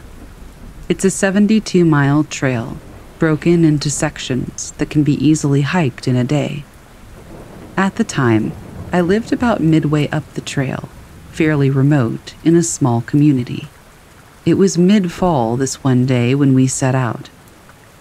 The trail was running along the south side of the North Umpqua River and was pretty up and down in the beginning. We made it to a fairly flat section that was running just above the river. There was this beautiful view of the river through the trees, so we stopped to get some pictures and take a water break. I immediately felt extremely uncomfortable, like somebody was watching us. I slowly turned my head to look behind us, across the trail, and up. At the top of this very small incline, I could see a small meadow through the trees. Across the meadow, maybe 15 yards from us, was a tent, an old canvas style tent. As I'm looking, I notice bones strung from the trees all around the meadow, like creepy death wind chimes. My stomach just clenched and dropped. I leaned into my sister in law and whispered, do not, not turn around and look behind us. Just continue walking up the trail and run when I tell you. We were close enough to the river that nobody who wasn't immediately next to us could have heard this. She did exactly as I told her to do, setting off at the brisk walk we'd been at before. We got maybe 10 yards, and I could hear footsteps through the forest floor coming from behind and slightly above us. That part of the forest is very dense. There's thick moss cover under the trees, so footsteps on it make a very specific sound. I leaned forward and told her to pick up her speed. She did. I did. And so did whoever was behind us. I leaned forward again and told her to run as fast as she could and not to stop until I told her so. For two middle aged women, both slightly overweight, we ran like the wind. I just kept telling her, Go, go, go. I could see ahead of us that the trail had an incline and then veered to the right along the river and around a cliff. I knew at that point that whoever it was was going to have to come down onto the trail or stop. We kept running.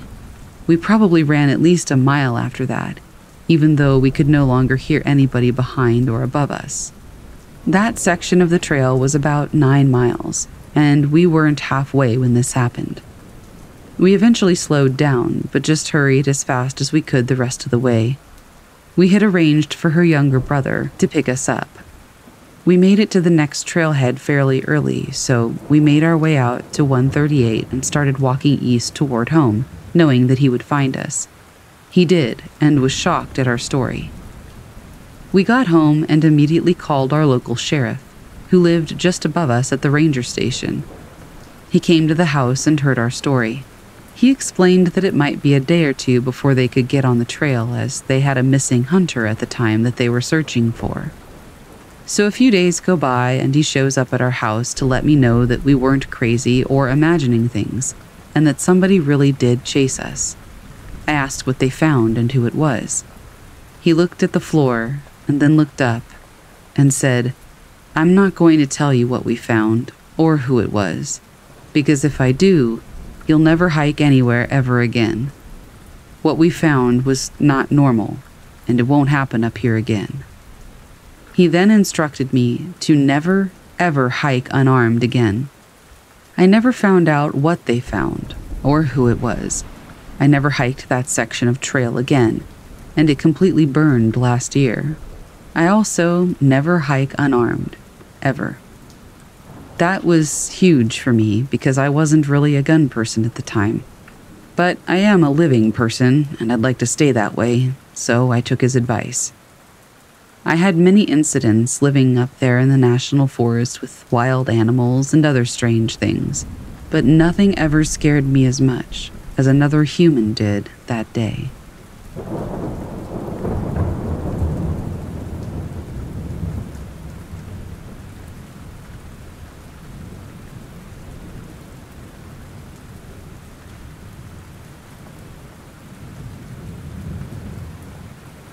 In Sydney, there's this National Park Drive where people complete runs, which consist of trying to complete the drives within a timestamp. I've been doing these so called Nasho runs for a while now with my best friend. Nothing has ever happened before, and the drive through the park is spooky at night, sure, but I've always found comfort in the woodlands or in night drives, so I never really thought anything of it.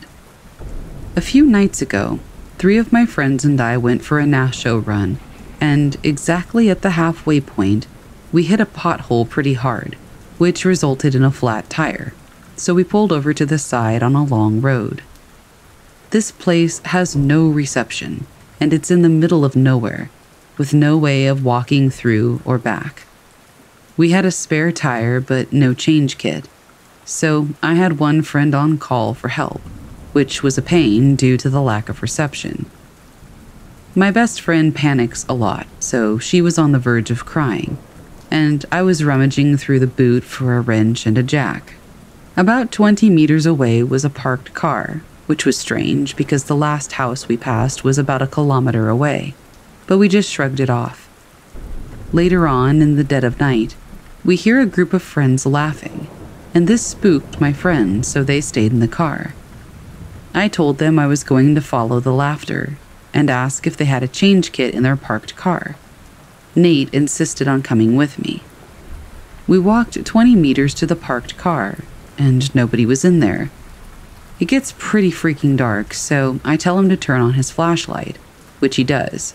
We turn a corner on a gravel road, and once we do, we see a woman standing there with her back toward us.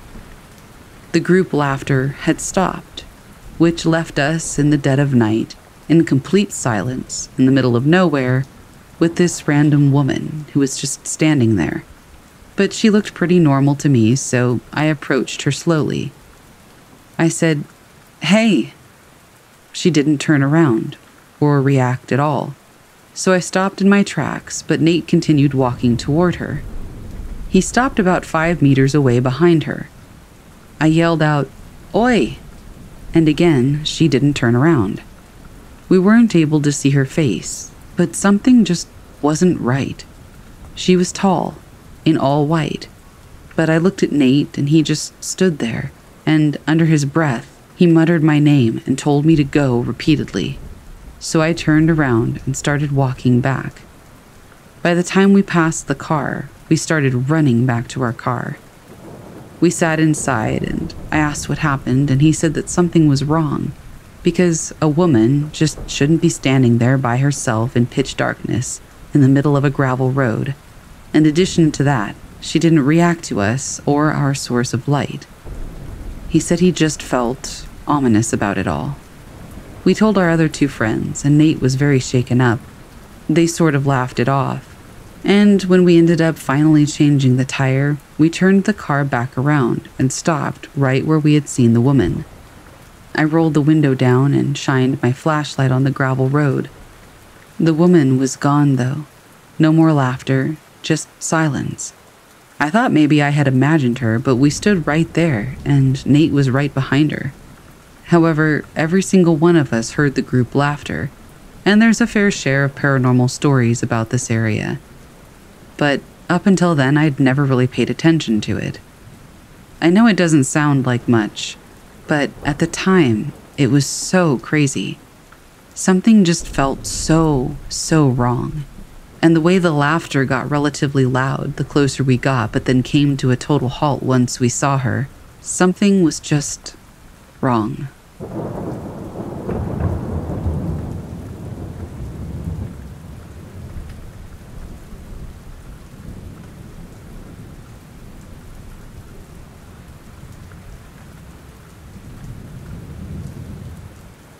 It was somewhere in the middle of the White Mountains in the summer when I walked into what looked like a scene from a horror movie. A person with zero hiking, camping, or other experience had gotten themselves into trouble. Big trouble. It was around 7 a.m. when I found the campsite. The first thing that hit me was the eerie stillness until I noticed the shredded tent under a tree and the desperate looking human figure covered in blood, whimpering quietly. I put my bag down, grabbed my kit, and went over to the person. They looked like they had just lost a knife fight with a four armed man. Deep slashes from one shoulder to the hip, single punctures up and down his back, and hands and forearms full of what looked to be defensive cuts.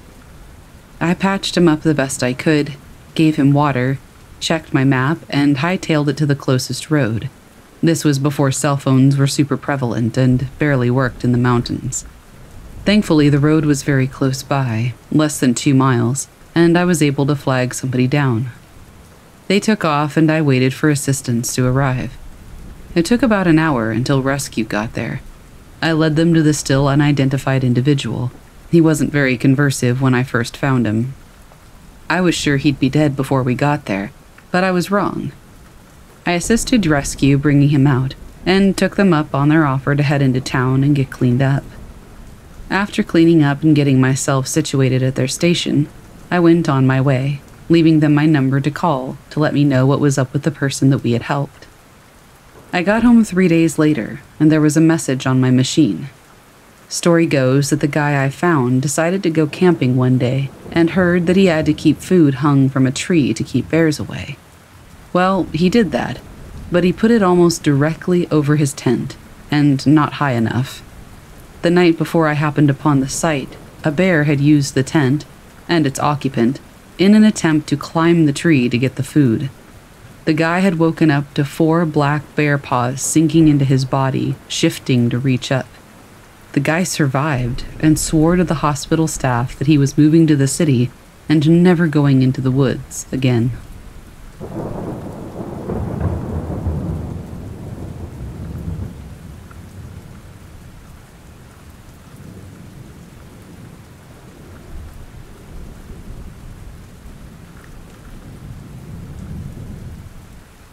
I distance hike when I can.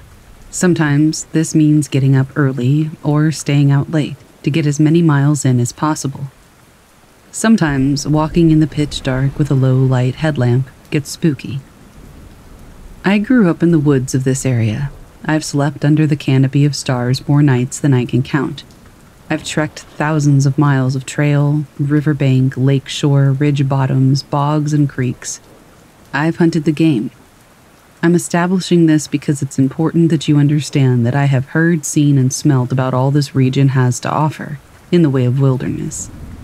My scariest experience, though, happened at about 4:30 in the morning. It was late spring, so the first morning light wouldn't be visible in the treetops for another 30 to 45 minutes. Another hour past that until sunrise. I was on mile 5. I'm in a low bottom that's wedged between two steep ridges.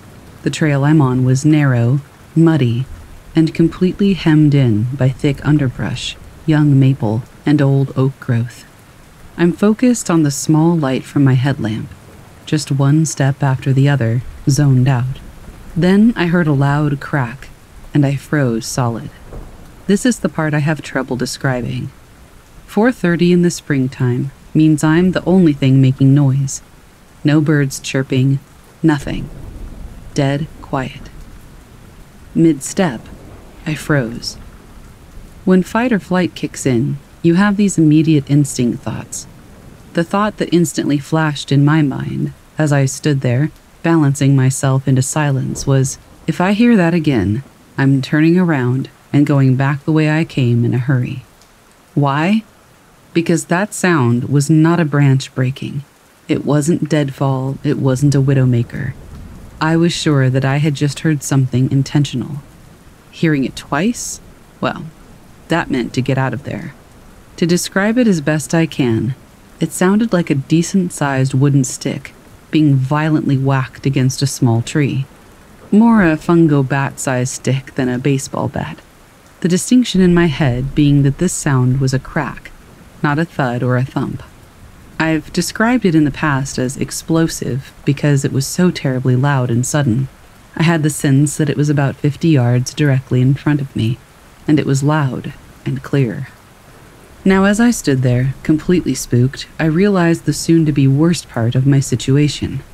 I knew where the sound had come from, and I knew where the trail went. In about 30 yards, I was going to come across a 180 degree turn and start up the ridge going away from the creek. This meant that as soon as I got the courage to move toward the noise, I was going to have to turn my back to it and get up that ridge. This made me very nervous. My head is somewhere between there's a murderer and there's Bigfoot, and I really didn't know which. Minutes pass. I just breathe the foggy breath and listen. Nothing. Dead quiet.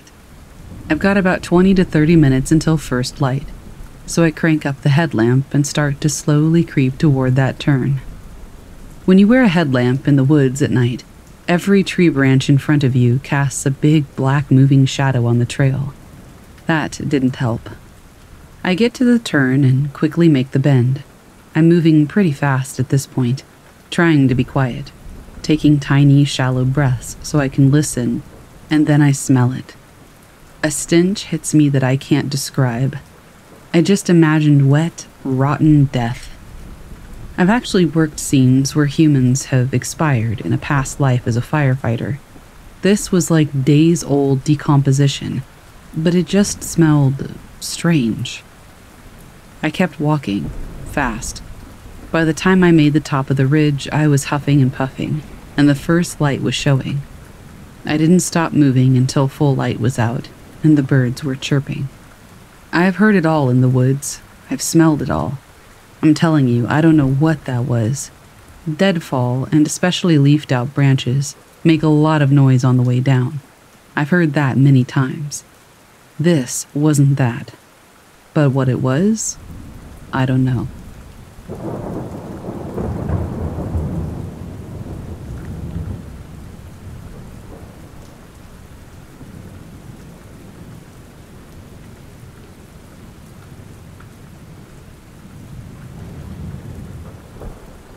So I live in Kentucky, in the city now, but we lived way out in the country when I was younger, in a very old, giant farmhouse. My family got it for cheap because it was falling apart, and the basement would flood and have a crawfish infestation because it was so old. The basement floor was basically dirt and mud. My dad and I would go on walks across the property to our neighbor's pond to fish He allowed us free access to do this. This neighbor also owned a herd of cattle. One day, we were walking there, and at the top of a very tall tree, it had to have been 40 to 50 feet off the ground, there was a young calf simply impaled on one of the top branches. It had not been stormy for days, so it couldn't have been a freak tornado. It's worth noting that I was also abducted from this house twice. This was over 20 years ago, but I will never forget that moment. It is one of the things that's convinced me there's so much to this world we don't understand.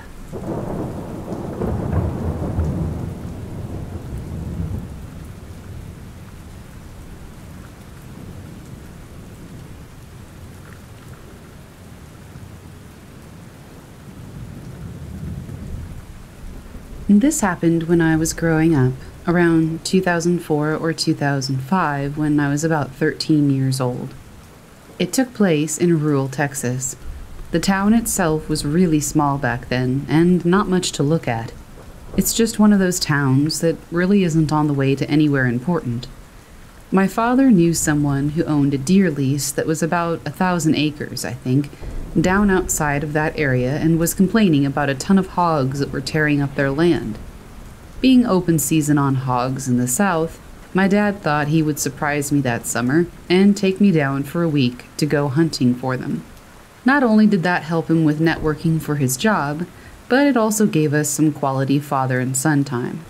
I remember the drive down there from Dallas was torture. It was about seven hours in my dad's hardtop Jeep Wrangler. The car was so uncomfortable. I hated it. All I had to do was either stare out the window or try and beat Super Mario Land 2 on my Game Boy Pocket, something I was never able to accomplish in my youth. The drive, obviously, took most of the day, so we got there in the early evening. The owner of the land had told my dad that he hadn't had anyone lease it that year and that the cabin and the property might be a little rough and dusty. I didn't really care. At this point in my life, I had been in scouts for a couple of years, and I spent a lot of my free time in the woods or fishing with friends. Needless to say, I was pretty comfortable roughing it. So, after unlocking the gate and driving to the cabin on the land, we settled in. The cabin was pretty rough dust and dirt everywhere, flies. I remember that it looked like some raccoons had gotten into the cabin and crapped on the floor. After cleaning up a bit and getting the sleeping bags out and then setting up the cots, we decided to sleep. Something about that night was weird. I was never able to get comfortable enough to fall asleep for any restful amount. I couldn't put my finger on why, but I had that feeling of being watched. I was finally able to drift off for what I guessed was an hour, maybe. When we woke up, it was early, about 7 a.m. We decided to scout around the land for tracks and signs of hogs and find a good place to set up a blind. It was the summer and horribly hot in the afternoons, so morning was the best time to be out and about. After walking for an hour or so, we came to an area of trees, lightly dense and luckily found some signs of hogs. Typical torn up ground where they'd been rooting, so we followed them into the trees. I was looking for more signs when my dad stopped me with his arm. I remember looking up and seeing someone standing about 50 yards away. Some of their body was blocked by trees. This was private land, so they definitely weren't supposed to be there. We also had confirmation from the owner before we got to the lease that nobody was there, not to mention the gate was locked up when we first arrived. The person was wearing some bright colored red jacket. We slowly walked toward them. My dad called out something like, Hey, we're, we're hunters. This is private land. The person didn't move at all, dead still. We were about 30 yards away and could see that he was turned away from us with his hands in his pockets. Weird thing was that the person was in a ski jacket and what looked to be ski pants. Now, this is Texas in the summer. It was about 98 outside by then. My dad called out again. No reaction. He told me to stay behind him and unsnapped the clip to his pistol holder. That's all we had at the time since we were only scouting the area The rifles were back at the cabin. We approached the person's right side, and then my dad told me to stay put about 20 yards away. I stayed and crouched down, watched him circle around to the front of the man, all while talking to him, asking if he was okay. He finally passed around to the front of the man, and my dad stood straight up with a really confused look on his face. I called out and said, What's wrong? He called back, saying, It's a mannequin. I walked over to it while my dad stood there staring, and as I got closer, one thing stood out the most. The clothes it was wearing were brand new. No dust, sap, bird droppings, or signs of being outside for more than a day at the most. At that moment, I looked at my dad and I could see him get worried. Almost immediately after, I felt that feeling again, like we were being watched and I knew that my dad felt it too. I wanted to start crying. I remember feeling suddenly like I was so scared. My dad whispered, We're leaving right now. He grabbed my hand and drew his pistol. He scanned the area the whole way back while I was trying to hold back panicked tears. We got back as fast as we could. I was terrified, so it felt like an eternity but in reality, it was probably only about 45 minutes max. After returning, we packed up and beat feet. We drove back home that day and didn't talk much on the way back. I remember right after we left, my dad called his buddy, the owner of the land, and he was confused. He said that he would go check it out next week when he was in the area. He also said that he had never had an issue with people on his property because it was high fenced. My dad normally isn't a paranoid person, but me being young and the lease possibly having someone there that we didn't know about, he decided to be cautious and just get out of there. After we got back home, we talked, and my dad wasn't able to sleep the night before as well. He had the same feeling, but didn't want to wake me up because he thought I was sleeping. Turns out that next week he got a call from his buddy, and he checked the whole property and never found a trace of anyone including the mannequin.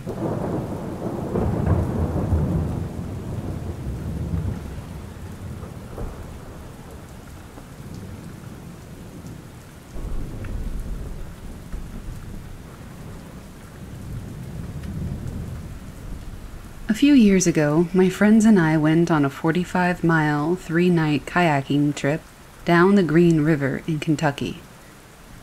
It runs above the Mammoth Cave System, the world's longest known cave system, with more than 400 miles of surveyed passageways. We brought everything we needed in our kayaks and one canoe food, tents, water filtration, etc. And we camped each night on the riverbank when it started getting dark, and we found level enough ground most times.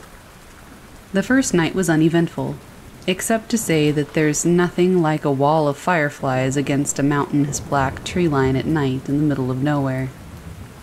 The second day, around sunset, after a long day of kayaking and baking in the July heat, we came upon a stream on the bank that opened up into a large ravine. The stream, as we found out, was a cave spring, pouring out blue, freezing cold cave water into a lagoon about 30 feet wide and so deep the blue water turned black after a few feet. The lagoon had a long sandy beach, secluded by hills on either side, and a tall, overhanging cliff behind and above us. It was a beautiful, otherworldly place. Time moved very slowly there. We decided to camp there for the night. The sand was soft, white, and very fine, ideal for sleeping. For some reason, the place deeply frightened me, but I didn't speak up. We were all tired and everyone was having fun. We built a small fire and enjoyed the stars through the leaf canopy for a while before everybody went to bed. I slept hard that night. At around 5 a.m., I woke up with an urge to relieve myself. It was still dark. I had the tent door zipper about halfway opened and had just popped my head out when I heard a loud and terrible roar or scream. I immediately cowered back into the tent and zipped it closed, and I waited. The scream came from about 10 feet to my left, near the dwindling fire. It was high pitched, but not like an owl's screech, although I'm not ruling that out. It was a wretched, pained scream that got lower pitched at the end. Being that we were in the middle of nowhere, Kentucky, most likely it was a fox or a boar or some kind of bird. Whatever it was, I lay awake for an hour, listening. I heard absolutely nothing. Granted, we were on a soft beach, but I didn't hear a single twig snap, not a single leaf crinkle, when whatever it was finally shuffled away. It was bizarre. I should mention at this time that up the beach and off to the side of the lagoon was a small, dry cave opening, maybe three feet wide. I cannot say with any certainty that it was not some ancient cave dwelling creature that surfaced to investigate our camp. I somehow fell back asleep and awoke the next morning shaken. I asked if any of my friends had heard the terrible scream, but no one had. We pressed on down the Green River. The third night, at dusk, we came upon a large rocky beach. We pulled our boats ashore and decided this would have to do, as we didn't want to go farther down the river and risk being stuck on the water at dark. This rocky beach was where the river split into two, and in the middle formed a collection of pale rocks, tall grass, and dried out wood, a desolate pile of muck the size of a football field. The land mass was covered in jumping sand spiders and tiny frogs. Again, otherworldly. We set up camp, ate, and all went to bed at around the same time. It was silent for probably 20 to 30 minutes, I'm not sure. I was asleep, as the others most likely were as well. I was having a dream, but suddenly, my dream was interrupted by what sounded like a booming, loud, mechanical, wooden beast. I awoke and shot straight up. It was truly the loudest thing I have ever heard. It sounded like a massive bulldozer tearing down a huge steel and wood building. Then came a boom followed by its echo throughout the river valley. The animals shifted and the birds flew away.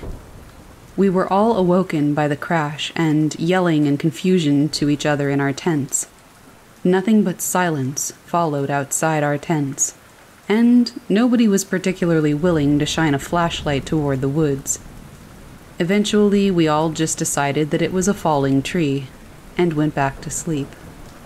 The next morning, I thought about it some more. It didn't sound like just a falling tree. I must stress that it had a metallic quality, and it was projected purposefully. It almost sounded like a roar.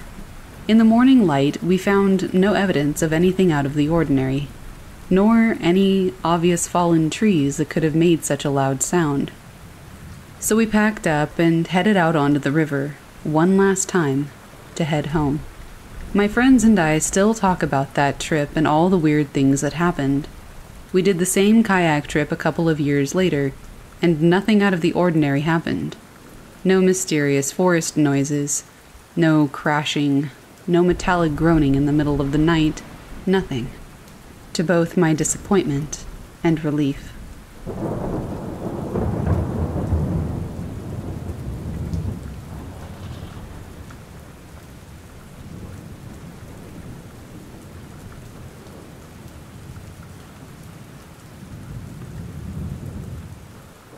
This is a story that my mother and aunts told me when I was in high school. I'm 21 now, and it has never left me. I think about it constantly and ponder over what happened. My grandfather passed close to a year ago in June of 2020. He was 96 when he died, and it caused some issues in my family. They don't really pertain to the story, but there are some things about him that I have to share in order to explain the story in the best way. My grandfather, John, was a man who was extremely calloused and old fashioned. He was bitter, abusive, and a complete macho man. My mother was raised never showing emotion or pain due to his abuse and lack of compassion for others. He had many secrets in my family that are now coming to light after his death. Everything that happened around him was brushed off and forgotten because he had more important things to do, like drinking or having affairs. Just an overall intense and very no nonsense type of man. He was also not religious at all and found things like faith or hope stupid. This story takes place sometime in the 70s, most likely early to mid 70s. My mom was born in 65 and remembers this story clearly. My aunts, as well, remember this happening. But nobody knows exactly what year. One summer day, John decided to take his family on a small outing with the intent to have a picnic in the woods.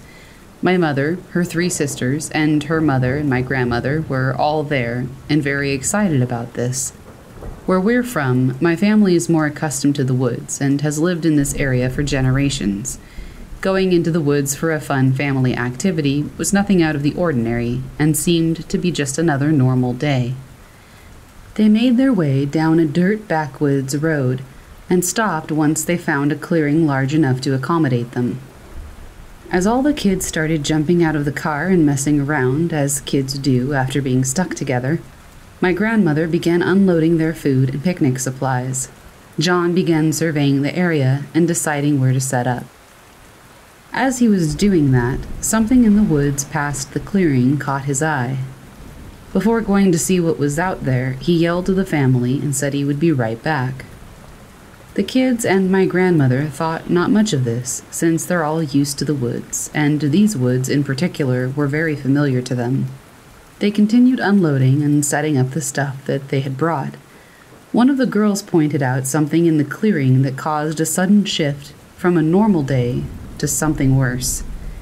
It was a dirt mound that looked like something was buried under it. This mound was about the size of a small person maybe even child sized. It was too big to simply be any animal in these woods. There were nothing but squirrels and raccoons in the area. Scattered amongst the mound were larger river rocks. There was no pattern, but they were definitely placed on the mound intentionally. Also, the dirt seemed to be fresh, as though just buried. It was loose and slightly darker than the area around it. The mood immediately shifted to something dark. My grandmother became concerned and told the girls to stay away from it.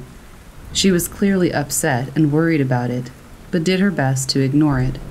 The girls, all being children, didn't have the same amount of worry and continued playing while just avoiding the mound. They tried to return to their picnic, and the girls were already chasing each other in circles again. It was supposed to be a joyous, sunny day, and my grandmother wanted to keep it that way. Things seemed to return to normal for a beat. The trees around them created a wall of dense foliage, blocking their view from anything inside the forest.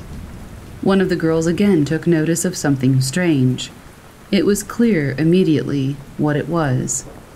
Along one of the long branches of the tree hung a noose. It was tied with a rope and hung high above their heads. A lump of dirt can be explained away by nature but someone had to have placed the noose there. My grandmother stopped dead in her tracks when she first saw it. Something was wrong. Very, very wrong. They couldn't just pack up and leave. John was still out in the woods. Even children can recognize a noose as a symbol of death. The children started to become very anxious. Whatever innocence was keeping them from worrying about the mound had completely vanished. My grandmother, the resilient woman that she is, soothed her children and told them that it was just left by deer hunters. But she knew in her heart that they needed to leave. No deer hunter would hang a deer and then bury it. At least, no sane deer hunter. It wasn't until they started hearing something in the woods that they really began to panic. My grandmother, as well as all the children, began hearing a rhythmic chanting from deep inside the woods. It sounded as though there was a group of people all singing in deep voices to the beat of a drum.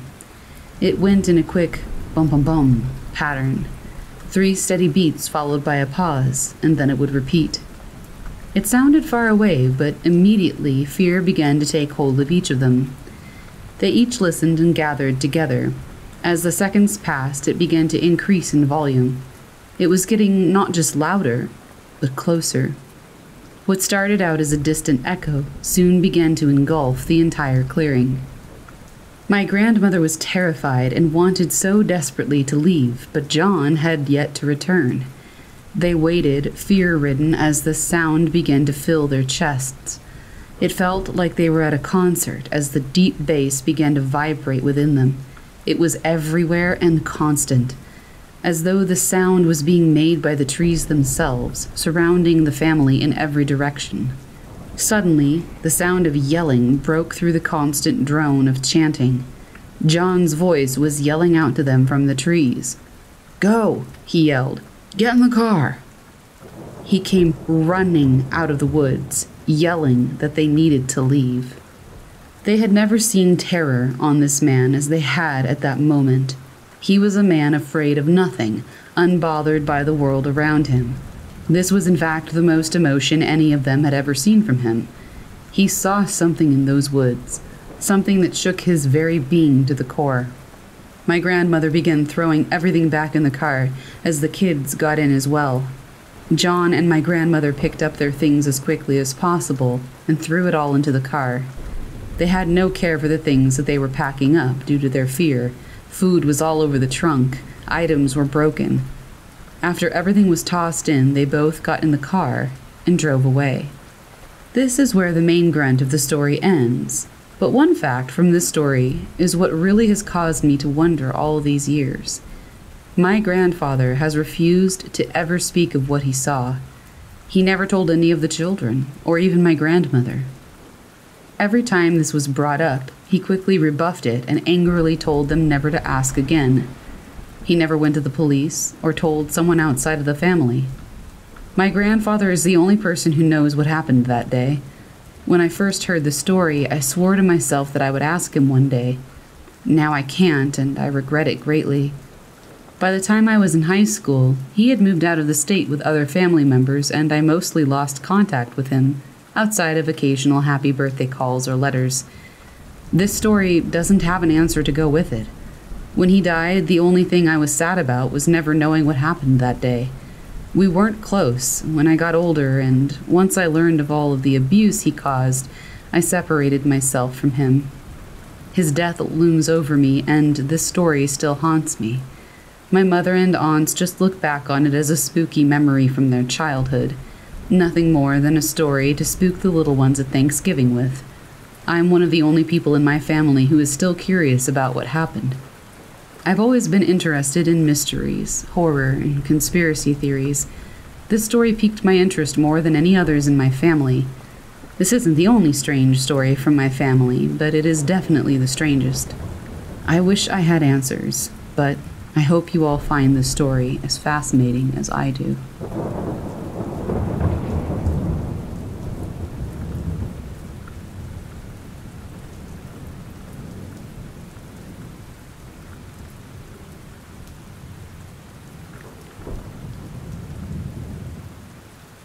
My wife and I have been having a lot of paranormal activity. After moving into a wooded area just outside of Pittsburgh, everything started. Our house is isolated from the neighborhood. That only makes the fear of something terrible happening even worse. I would like to point out that my wife and I are logical, rational thinkers who are educated to some degree. Since we can't explain these events and we fear ruining people's perception of our family, we've turned to all of you. All of these experiences have happened while sober and within the past two years. There's a lot, so please give us a chance and let us know what you might think it is. Incident 1 First things first, animals dying in the wild is common. Duh but hearing the screams of struggle and pain, almost as if the animal is being tortured, I don't know if that's normal, but the sound sends chills down my back. This incident happens frequently. Incident 2 When we're walking in the woods, accompanied by my wife and kids, I stumble upon a small clearing in the trees. Under the leaves were children's shoes shoes that were worn out as if they'd been there for a very long time. Incident 3. This one is hard to believe. Trust me, I know. I was in denial and didn't tell my wife what I had seen for weeks because it just sounded so fake. And I didn't want to catch any flack for seeing whatever it was. Smoking a cigarette out of the second floor bathroom window last fall, while scrolling on my phone, I had that feeling as if someone is staring at you. I glanced away from my phone to look. I caught in my peripheral vision a humanoid type being.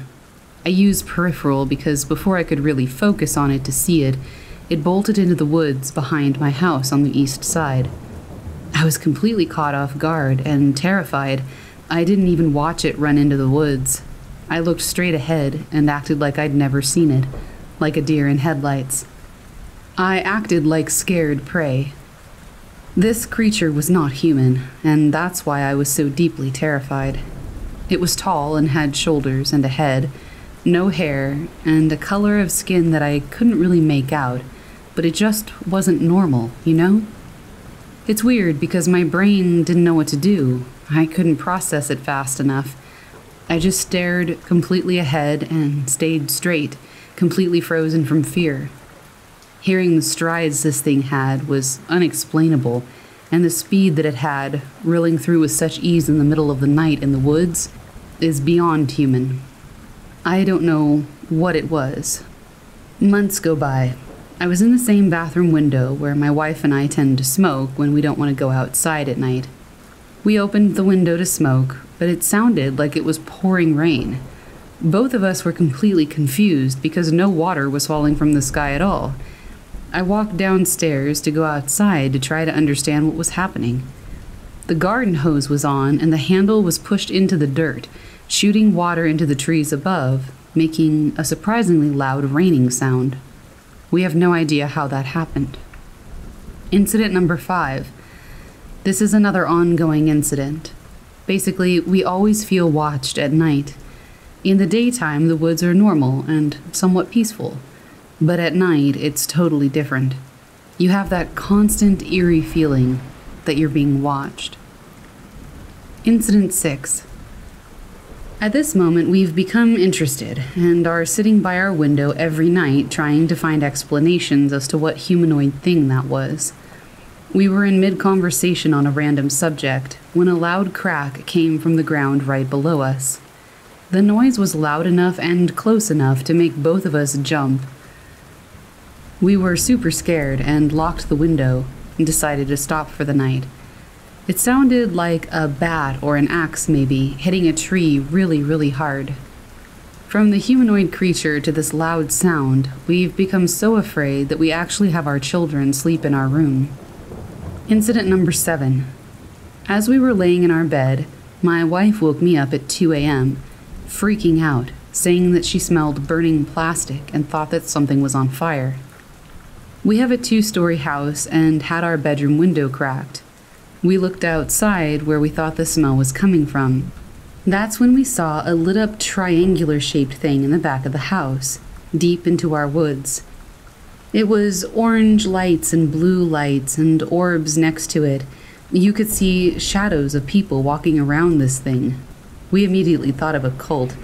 We were so scared we were about to call the cops, but doubt set in when we double checked the window, so we never ended up telling anybody. Incident number eight. After all of this, we still have to stay active, so we went on a walk one evening with the children around the neighborhood. Noticing that the sun was setting, we headed home. Obviously, this place is weird, so who would want to be outside in the dark? We got to our gravel driveway, which is about a hundred yards, tall trees on one side, and bushes and smaller trees on the other. As we're walking about 15 feet onto the driveway, we noticed bats flying down left to right and right to left. We'd only ever seen up to this point maybe a couple in our yard, feeding off the bugs, I guess. I started to walk down the driveway. My wife stayed behind, opposing this idea. The farther down I got, the scarier it became. I had completely underestimated the amount of bats. I started running because my children became frightened. As I start running, bats, and I'm not kidding, began to line their flight path with my head. They would turn away probably five feet from my face, maybe closer. This was completely terrifying. As I'm trying to avoid these demons, I hear my wife screaming as she flies past me and beats me home. My daughter, on the verge of tears, was saying that she was so scared she thought she was going to pee her pants. Now, before everybody loses their mind, I know that bats are docile and pose absolutely no threat to humans despite rabies. These bats were not acting like normal docile bats, which is why this was so weird. I cannot explain why or how it happened, but it was as though something went off in their brains that just said, attack, or at least make us really afraid. They came in a line at us and then veered off right at the last. I've certainly never heard of that happening, and I know that's not normal. So we didn't treat them like docile bats because they weren't acting like docile bats. Incident number nine. I didn't personally see this, but it was weird and doesn't add up, so I'll include it. One Sunday, my parents were over for dinner. When I came back down to talk to my wife, I said, Yo, my mom said she saw some chubby girl with a black sundress come out of the woods, walk in the tree line, and then go further down. This lady came out of the north side of the house, like east northeast. I know it's hard to picture if you don't know what the property looks like, but that's what happened. The odd part of this is that the northern tree line of the property is pretty rough terrain steep hills, torn bushes, loose soil. It would be hard to hike it, let alone in a sundress. Although about a mile and a half north through the woods, you do pop out right outside of a small town. So I suppose it could be rational, but it still seemed really odd with everything happening. Most people wouldn't go hiking through that kind of terrain dressed like she was. The last incident, so far anyway, is that if either one of us goes to smoke at night at the window in our bathroom, we always hear this kind of bell. It kind of sounds like a cymbal. Being skeptical, we thought it was wind chimes. We've looked, though, and there are no wind chimes at my neighbor's house. It's the only neighbor we have, for about 200 feet in between each other on our south side. The bells are coming from the southeast side of the property, and this is something else that we cannot explain. We're pretty scared, and as you can tell, it's pretty unbelievable what's going on. We don't really know what to do. All these weird things just keep happening, and we're afraid that it could escalate or take a turn for the worse. It's already overwhelming. So overwhelming that it's the only thing we've been able to talk about for a long time now. Anyway, if any of you have any idea what could be going on, let us know.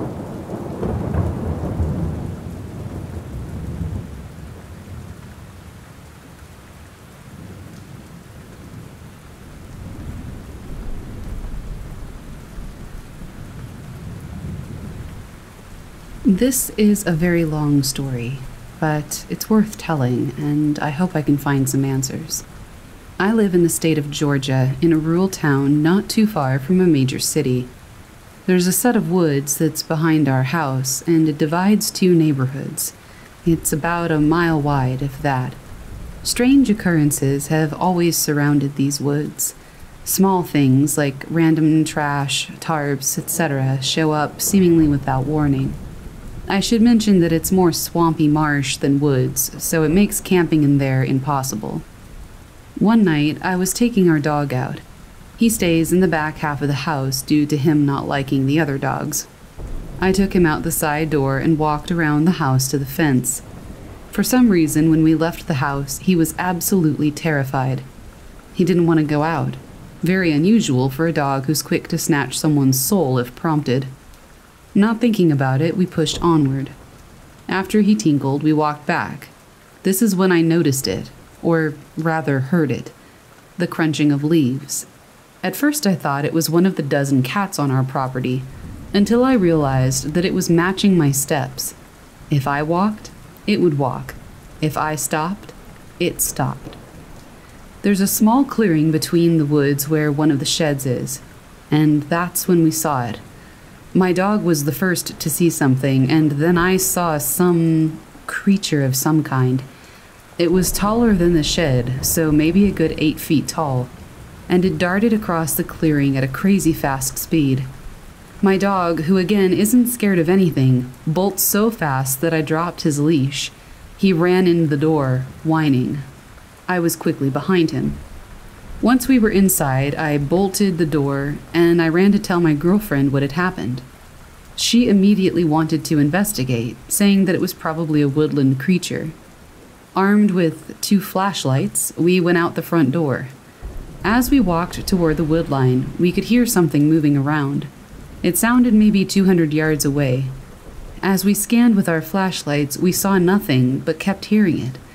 Then we heard it get closer and closer until it was maybe 20 feet away. But still, nothing. No eyes, not even an animal call. Just rustling. My girlfriend, now scared, heads for the house. I decided to check with the neighbors to see if maybe one of their many dogs had gotten out. When I arrived at his house, my neighbor, who we'll call Dave, explained that all his dogs were accounted for, but he was curious, so he came to investigate. This is when I noticed that whatever this thing was had followed me along the wood line to Dave's house and was now behind his house. Gun in hand, we went into the backyard scanning for something. We could hear it rustling, or maybe running, about a hundred yards away in the thick, swampy woods. Way too thick for a person to walk in, let alone run in. And then it stopped. It was dead silent. Scanning and on edge, we hear and see nothing. And then, bam! All of a sudden, it was five feet in front of us, sprinting at me. It slammed the fence so hard that it rocked it back and forth. Dave, scared shitless, shot randomly at, well, nothing. We never saw it. We never heard it get close to us. Again, as I mentioned, the woods are thick, too thick to run in, so what teleported silently in front of us and slammed into the gate? Spooked, we were about to run. But then we heard it. It was human in nature, but not English. A language, sounded alien like, but not a known language, that's for sure. Dave, a hunter for the last 40 years, still to this day cannot explain what that was. Anyway, after we heard that, we bolted. He covered me, and I ran to the house. Not ten minutes later, we both hear a loud explosion coming from the woods. It shook our houses and flickered our power. I ran outside to see what it was, and of course, nothing. But when Dave came out and confirmed that he felt the same thing, we were both once again terrified. Moments later, a few strangers from the neighborhood came driving down to our cul de sac, and they all agreed that the blast sound that they heard came from behind our house. 911 was called, and the two police officers interviewed us separately. Our stories matched. The responding officers refused to go anywhere near those woods. They took the report and left. To this day, we're still not sure what that encounter was. Also, Dave doesn't go outside at night anymore. That's how bad it spooked him.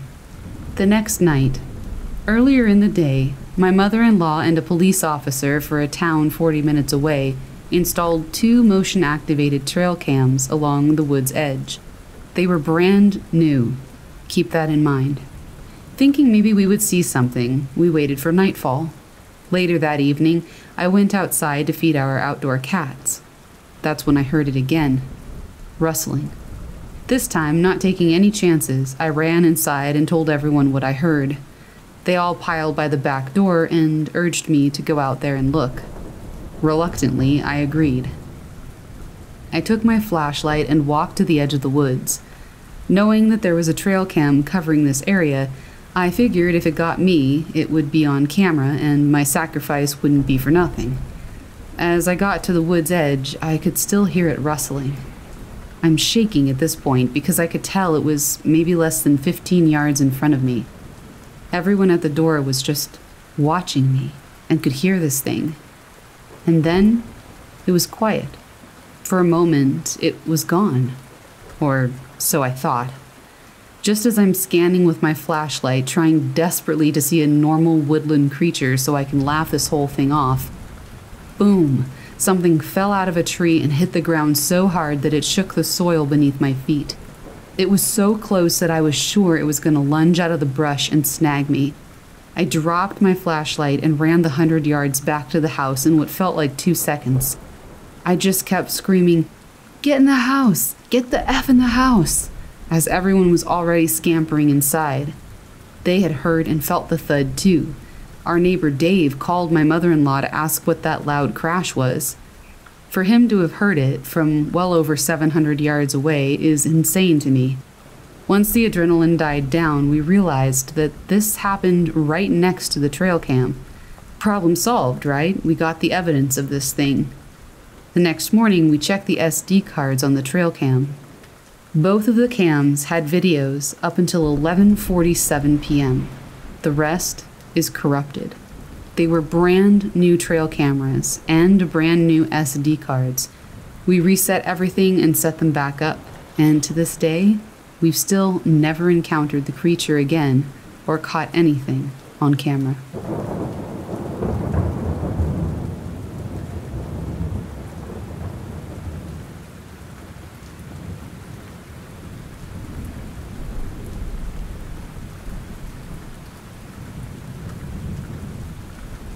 My dad grew up on a forestry in Queensland, Australia, as the son of a forest ranger.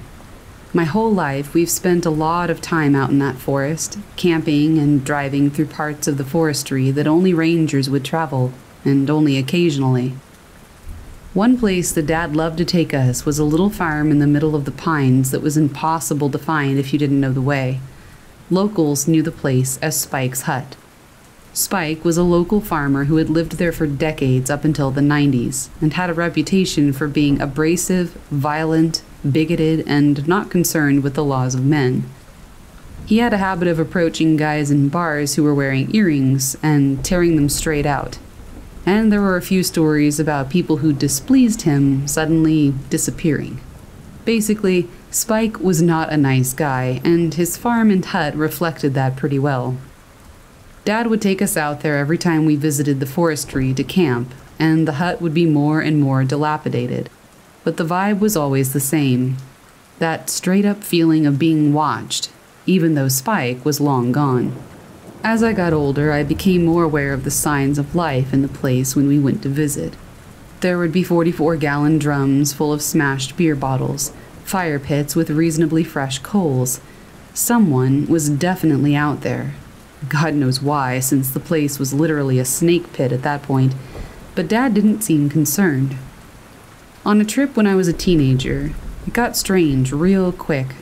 My friends and I were all piled into my dad's 4x4, and we were driving through the bush to Spike's so Dad could tell his scary Spike stories and freak us all out. We drove onto the property, and something immediately caught my eye. Up on the hill opposite Spike's hut, there was what appeared to be a cowboy slumped against a log, hat over his face, taking a nap.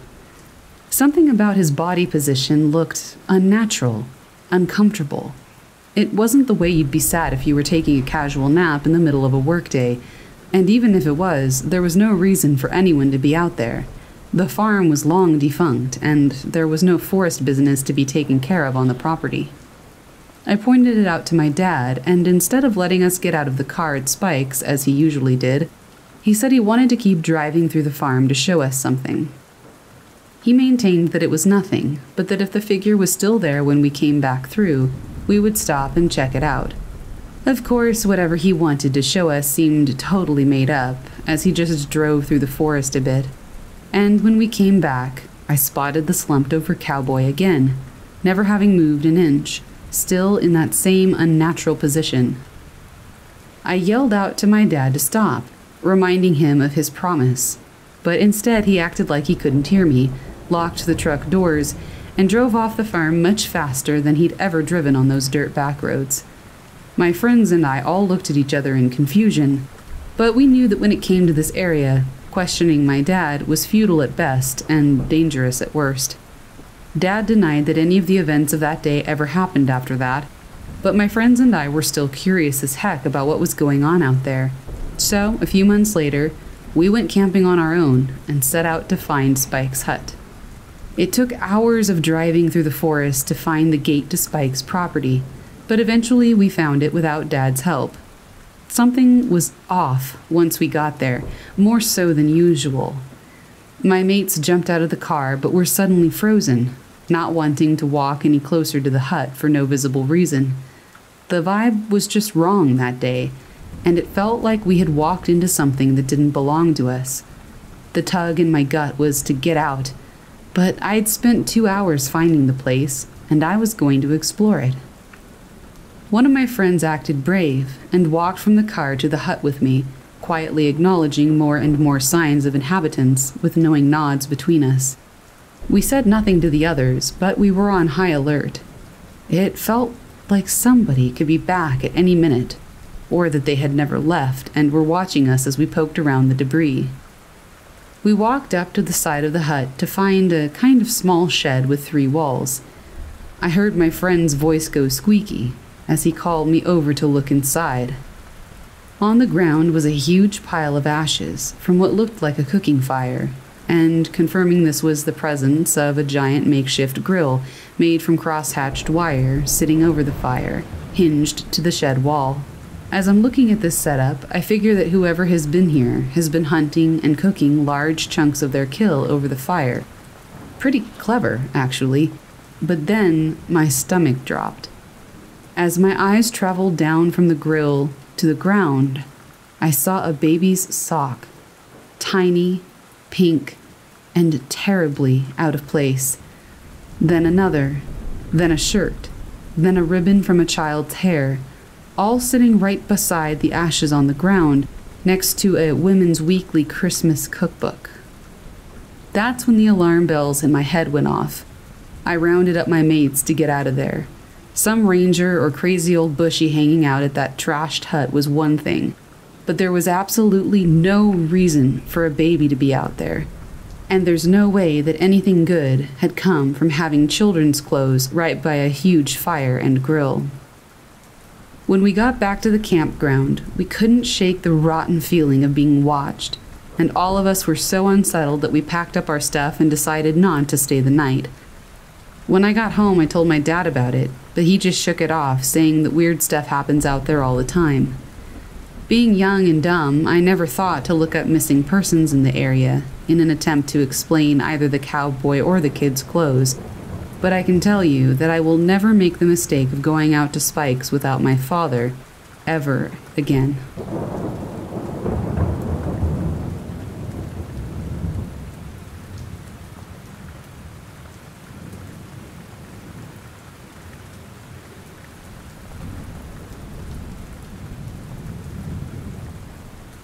I was with my niece, who's on her high school soccer team and is taking it pretty seriously and attempting to get some kind of scholarship out of it. I'm pretty healthy. I don't really work out too much, but something I often do is run and hike. I live in Kentucky, not in a rural part, but there's a state park near my house that's 6,500 acres, so it's pretty secluded and densely wooded. There are some really nice trails that allow you to run for a good chunk and then hike for a bit to split up the long bits of the trail that are flat. She decided to tag along with me today for a quick three to four mile run. It was raining, but nothing too heavy, kind of a spitting rain, nothing we can't handle. We got up to the peak of this one hill, and it had been about two miles or so, according to our phones. So we decided to turn back and head back to the car as we were headed down the steep side of the climb, we were walking pretty slowly, just to make sure we didn't slip and lose our footing. When out of nowhere, there was the coldest chill that came from behind us once we made it about halfway down. At the time it happened, we both commented on how cold it was, but we didn't make too much out of it and just went on with our conversation. In these woods, there are some wildlife, like small deer and maybe some coyotes, but they tend to stay away from the paths. At least I have only heard them in my many years of coming here. Never once have I seen anything more than a few tracks. Once we got off the hillside and hit a stretch of the trail that was flatter ground, we began to pick up the pace when a deer darted across the path, maybe ten yards in front of us, causing us to stop in our tracks. The first deer was then followed by three more, and not one of them even so much as looked in our direction. My niece looked at me, puzzled because of the oddity of it. To me, they acted like they were running from something, a predator of some kind. Once they'd gone, we started back with our run, and we heard a noise behind us a loud booming noise of something of substance falling to the ground from some height. When we stopped and turned, we saw nothing. No animals scurrying away like one would expect after a substantial noise in the wilderness. In fact, everything was eerily calm. Just as we looked at each other to ask what the actual hell that was, there was yet another cold wind gush through the valley, pushing all the rain off the leaves surrounding us, soaking our sweatshirts. Internally, I started to freak out, but I was doing my best to stay calm for my 17 year old niece. But I'm pretty sure she could tell that I was freaked out. I tell her, Come on, let's get to the car. And we turn to take off again. And there was a man leaned up against a tree on the side of the trail dressed in a black suit with a white button up shirt.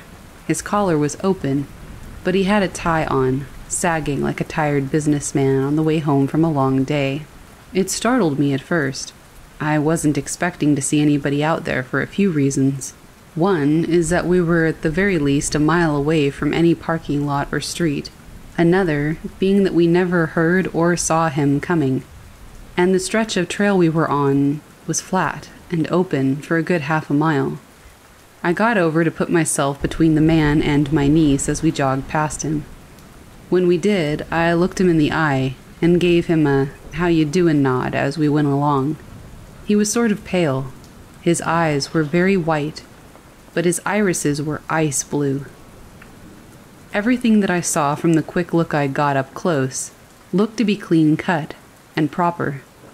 I didn't notice a speck of mud anywhere on him, and the two of us had it caked on the bottom of our shoes and even on the backs of our pants and shirts from kicking it up as we ran. We had to get to the top of another hill, smaller than the last, but still quite the hike up.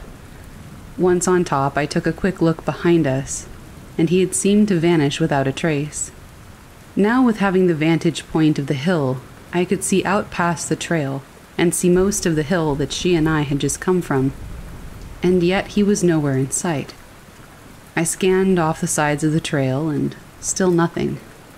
My niece asked me who that guy was and why he was out so deep in the woods wearing a suit questions I simply didn't have the answers to. We made it back to the car with nothing else out of the ordinary happening to us on the trail. As we came to my car, I pulled the keys from my pocket and unlocked the doors from maybe 10 feet out.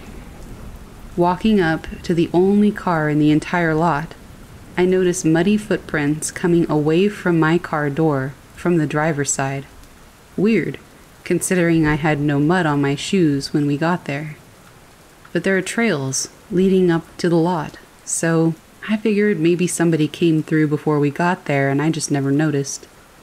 However, when I pulled the handle to open the door, the handle was caked with mud underneath, almost like somebody was attempting to open my door with a muddy hand. Nothing more happened, but the entire encounter leaves chills covering my body the more I think about it.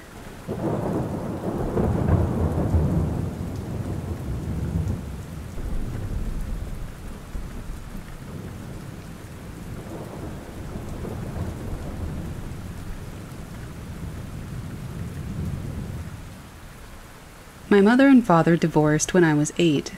I lived with my father until late 1995. I was 13 when I moved in with my mother. But in 2002, I had a falling out with my stepfather and ended up moving in with my father. My father lived in the country while my mother lived in a small town. My father's home was surrounded by forest with few neighbors, situated on a hill. When I was a child, I used to walk through the woods so I knew them really well. In 2004, my father's home burned to the ground, and we left the area, moving into a small town and living in an apartment. I ended up in college studying film, and I was tasked with making a film, of course. I decided to shoot a short film about a serial killer stalking campers in the woods, because apparently I was really unoriginal at the time. So, me and my two friends, Adam and Zach, were looking for locations. I figured the forest where I used to live would be perfect because it was in the middle of nowhere and there would be no sounds. So, we did what you normally do scout locations one for the campsite and routes that the protagonist and antagonist would take through the forest. We arrived and were deep in the woods, as this time only one person still lived in the area, and he wasn't home, nor did he own all the land, so we stayed well clear of his land. As we were moving through the forest, trying to find the perfect clearing, all was quiet, which was startling, because though we were deep in the woods, the sounds of birds and bugs were kind of a normal thing. It was in the afternoon, so there really wasn't any reason for the forest to be silent. We came across a clearing that I knew well, but it was different. When I was a child, deep in the forest there was an old wooden structure. It was flat, and we called it the stage because that's what it looked like. It was in a clearing, right next to a tree line with a wide field that could fit hundreds of people there for a concert. Whether that's what it was, or it was something as simple as the floor of an old shack, I don't know. All I know was when I had gotten there, there was a camper, and someone built a pond right in the middle of the clearing. We decided that clearly somebody was using the space, so it would be best to find a different spot. We went to the tree line and descended down a steep hill to a creek, all the while talking to ourselves about how weird the silence was if you live in or around a forest, you hear wildlife all the time. The lack of it in such a dense area was strange. We crossed the creek and made our way through fallen trees and large rocks until we found ourselves in a very wooded area. Adam had noticed first and pointed to a grouping of trees that made a perfect circle. Under the dead leaves lay stones, arranged in a circle, and in the center was broken bottles. I walked over to it and ended up tripping. I braced myself with my forearm and deeply cut it on a broken bottle. As I stood up, the silence was broken by a loud scream. It sounded human, female, but it was a scream. I turned to where I thought it came from, and beyond the trees, in the brush, I saw something red run off. We decided to head back. As we came back to the stage and pond area, a truck pulled up. The guy that was the only person living in the area ordered us into his truck to take us out of the area. He said that he owned all that area and that we were trespassing. He knew me, so he didn't give me a hard time or threaten me. He dropped us off, and I asked him how he had known we were there. I didn't, he said. I just heard some scream and thought some idiot fell in the pond. I ended up with stitches in my arm after going to the ER. I only have two plausible explanations for that scream. First is that we didn't know what was beyond the brush. It could have been a home and maybe kids were playing. While the scream was loud and I saw something bright red running, we could have startled someone. But the problem with that theory is that the guy who came in the truck heard it too. And we were far enough away from where he lived to where he would have a hard time hearing it. The only other one is that the scream had come from behind us, and because of the trees, sound echoing made me think it was in front of us. This might account for how the guy had heard it too. His home is halfway to the stage area, which is why he was able to get there so fast. But that doesn't account for the red thing I saw, or what the scream was in the first place. And no, I don't think it was a fox or anything like that. I've spent enough time in the woods to know what those sound like. And the red that I saw wasn't like that of a fox. It was bright red, like dyed fabric. I still am completely unable to explain this.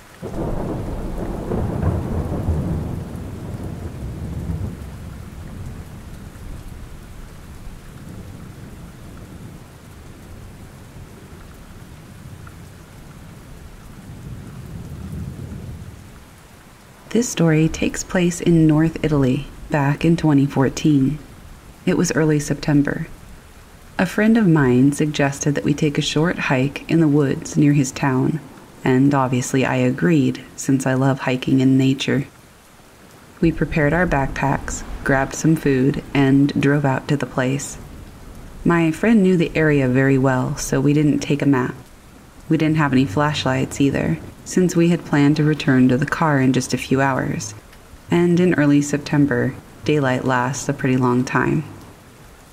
As we got deeper into the woods, we saw a lot of beautiful things rivers, a pair of caves that we explored.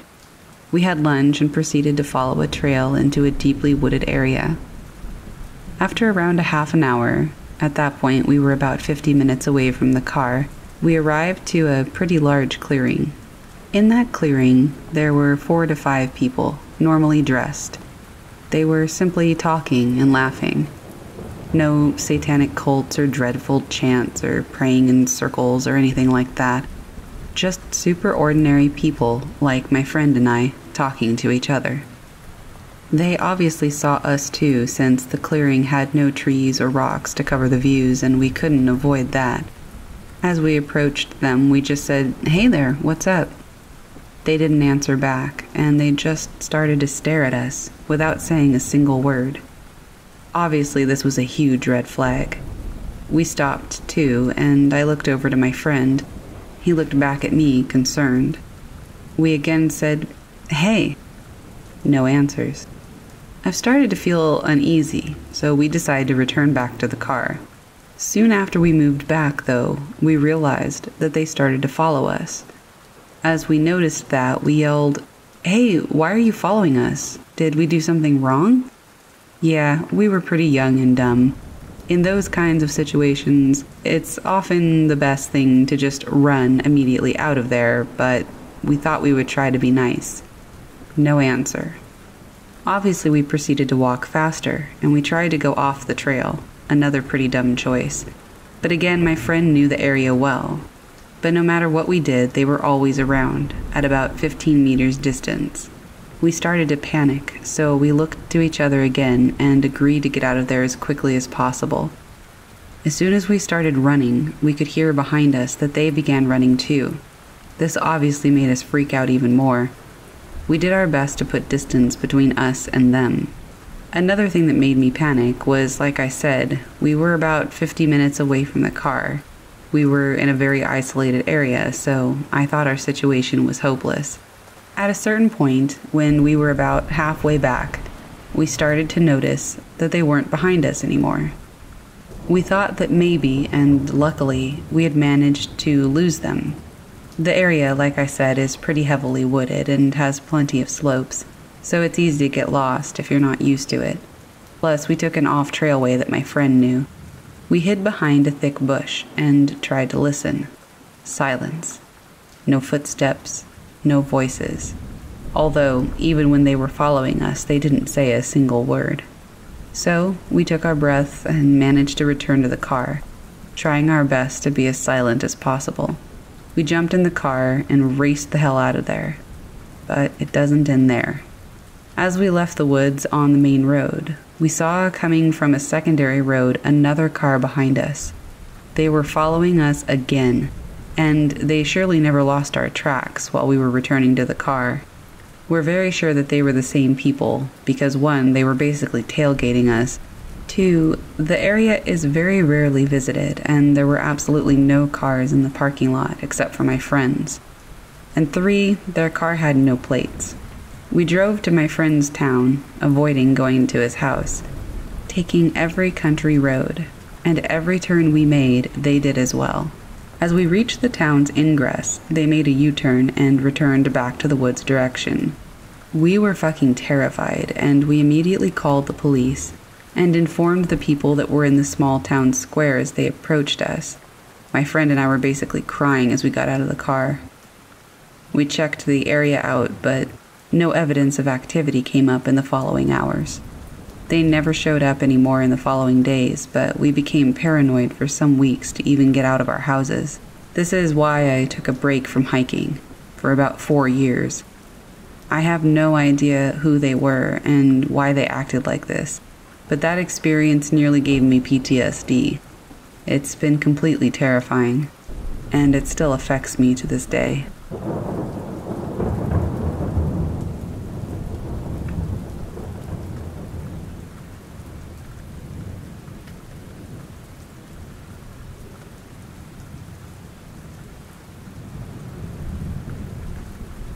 When I was young, I attended the local scout group based in my village in Hampshire.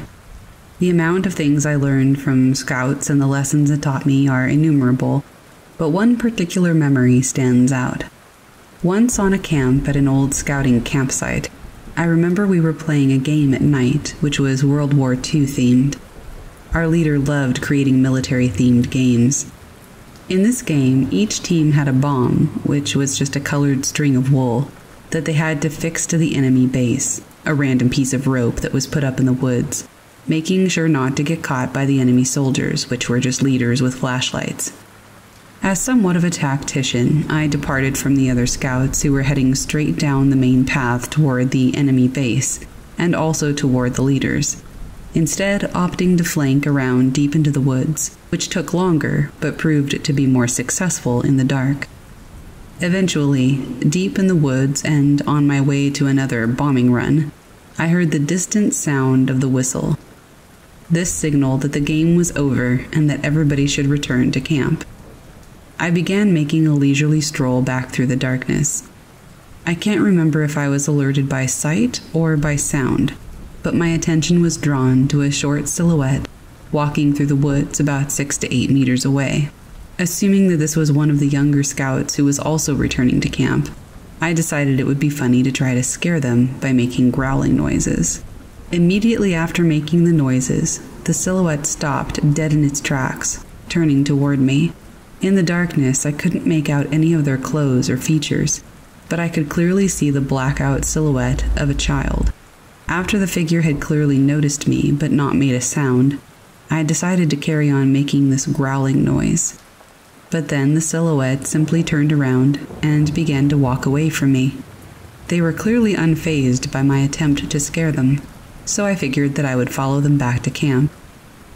However, after a few steps, the figure literally face planted into the ground, still about eight meters in front of me. I jogged a bit to catch up with them to make sure they were okay, but upon reaching where they were, there was no trace of anyone. Confused, I looked around for a short while, seeing if they had scrambled off, but there was no noise of someone running away, and I didn't notice them get up. They just vanished. Still in a state of confusion, I continued to walk back to the camp alone, and I didn't really tell anybody until years later when it clicked in my brain that things just didn't add up. Something else that sticks in my memory from that camp, which is probably unrelated but still strange, was that that part of the woods had been cut down and the ground heavily churned up by some sort of heavy duty machine Whilst exploring this area, some of my friends and I found an old leather briefcase that looked like it had been churned up by whatever machine had been in the area. Upon opening the briefcase, we found a really old scouting uniform with quite a few loose badges and some other personal items that I can't remember. I've always wondered if the boy and the briefcase were connected.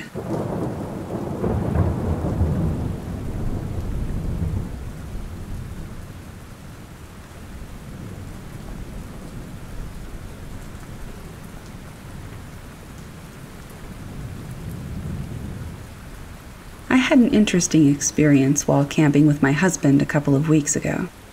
It was a nice drive in a campsite, a corner spot next to one of the other campsite and woods on the other three sides. We had a nice day hiking and cooked some fajitas and s'mores over the fire, and then we settled into our tent to sleep. Later that night, I woke up and heard a weird noise. It sounded kind of like an electronic tone, and then I heard what sounded like people talking right outside of the tent. They better get out of that tent. I saw a possum go in there. Thinking that there must be other campers walking around, I turned over and tried to go back to sleep.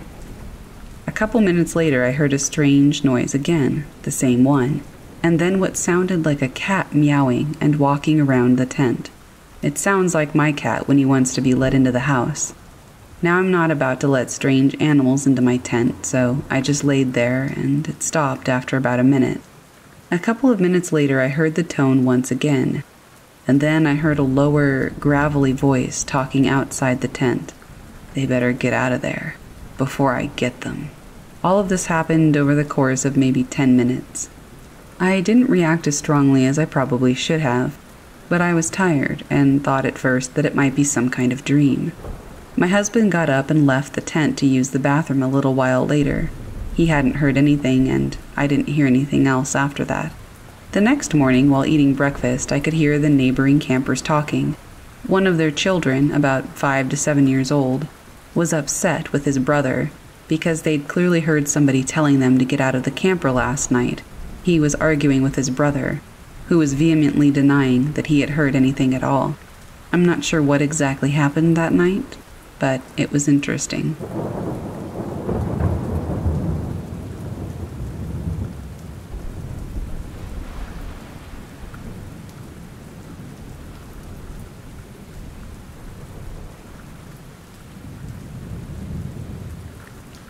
This experience has left me feeling extremely shaken, and I would love some opinions, especially from somebody with experience. Last year, I had a very strange experience in a national forest out in California. I was by myself on a road trip with my dog, and I was driving pretty far into Mendocino National Forest. I like to camp in national parks and forests because it's isolated, so my dog can roam, and they're free of charge a trade off for sketchy and rough drives into the park sometimes, and a lack of service and assistance. Anyway, I was driving up this dirt road, kind of curling up a mountain, around maybe 5 p.m. It was very nice out, sunny, and warm with a slight breeze. Nothing serious happened, but I felt extremely uncomfortable driving into the area, and that feeling did not let up. Driving up the mountain, I felt like I shouldn't stay there and I even texted my boyfriend about it for as long as I could before my phone completely lost service. I was looking for a sign of another person having been around the area lately, but I didn't see anything. I pulled over and got out of my car with my dog to look over the edge, and I noticed a dead squirrel and some broken glass mixed in with the dirt and gravel road. Yucca, my dog, started to growl slightly. She is vocal, but I have almost only ever seen or heard her growl at or with other dogs. I did see her growl at a possum once, so it could be something she smelled, maybe. This place continued to make me feel quite on edge, but I pride myself on being an independent traveler and backpacker, so I decided to continue at least a bit further with my grumbling pup to see if I could find a good place to camp. I continue to notice more and more dead animals, Keep in mind, no one's going to be driving more than 5 to 10 miles per hour up this thing, and that's if there's even anybody out there. I hear men's voices. They sound close, and I think that I should call out to them, so I stop my car. But then I kind of freeze up and feel like I shouldn't. I can't really make out what they're saying. I don't see any sign of people anywhere. I get back in my car and continue to slowly drive forward and cautiously look for where the voices could be coming from. I've never run into other people in a national park or forest when I've gone in this deep. The unsettling feeling grows about these voices, which have sort of come and gone a few times, and I give up and begin to turn my car around. I honestly don't even remember how Yucca was acting on the way down. I was scared and focused on getting out of there. I just distinctly remember being surprised at her grumbling when we were standing outside of my car. A bit dangerously fast for the road, I went back down the mountain, not seeing any sign of anybody. I decided to spring for luxury and get a hotel for the night. I figured I was just fine. Huge and open spaces can be intimidating, I told myself, and the voices could have been echoing from somewhere far off, and they just sounded close. Animals die, glass gets broken. Nothing happened. Cool. But I remember this place. It sticks with me. Whenever I'm watching scary movies, if I'm walking my dog in the woods at night, nothing compares to the feeling I had driving up that mountain. And it's honestly kind of interesting to me, as well as frightening. I recently happened across some information, as well as some Native American lore, that made me feel extremely uneasy. Fast forward a year. I've mentioned this place to a few people and the haunting vibes that it gave me, but nothing much more. I googled the national park once and didn't see anything, but I didn't look much either. I like scary movies and things of that nature, hence my fascination with this little event.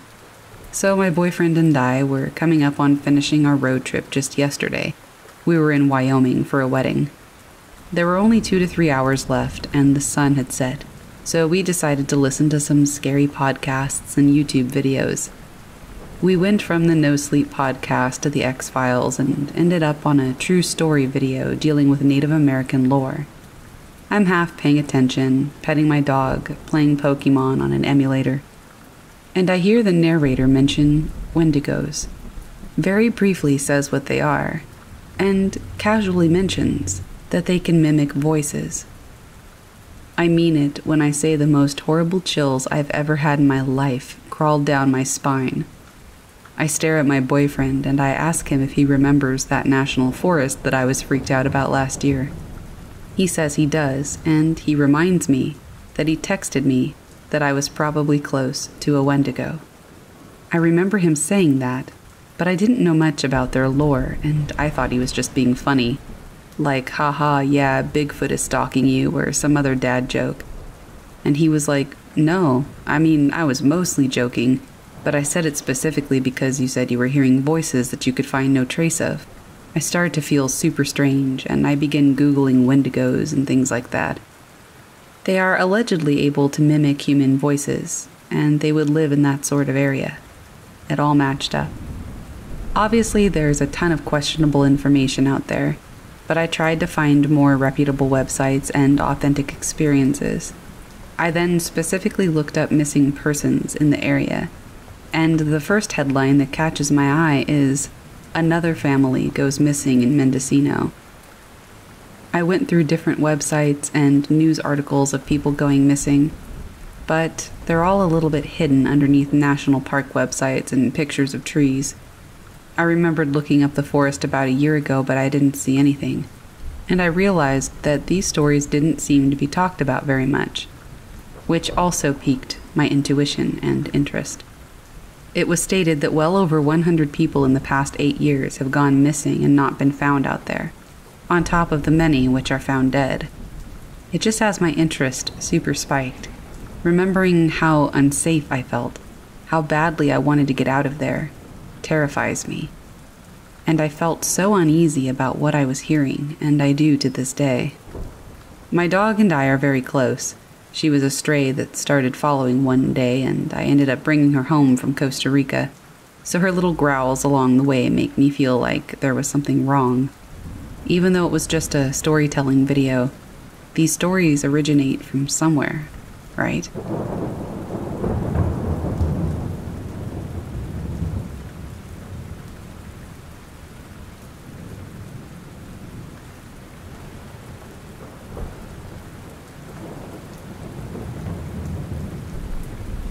This is a collection of my experiences revolving around the Blue Ridge Parkway. From the summer of 2002 until early 2004, I lived in a small town outside of Asheville, North Carolina. There wasn't much to do in the area on a Friday or Saturday night, other than hang out with friends at the movies, go to the bar or pool hall, or, in our case, the scenic overlooks on the Blue Ridge Parkway. My group of friends' go to meeting spot was one of the two overlooks off of the Blue Ridge Parkway.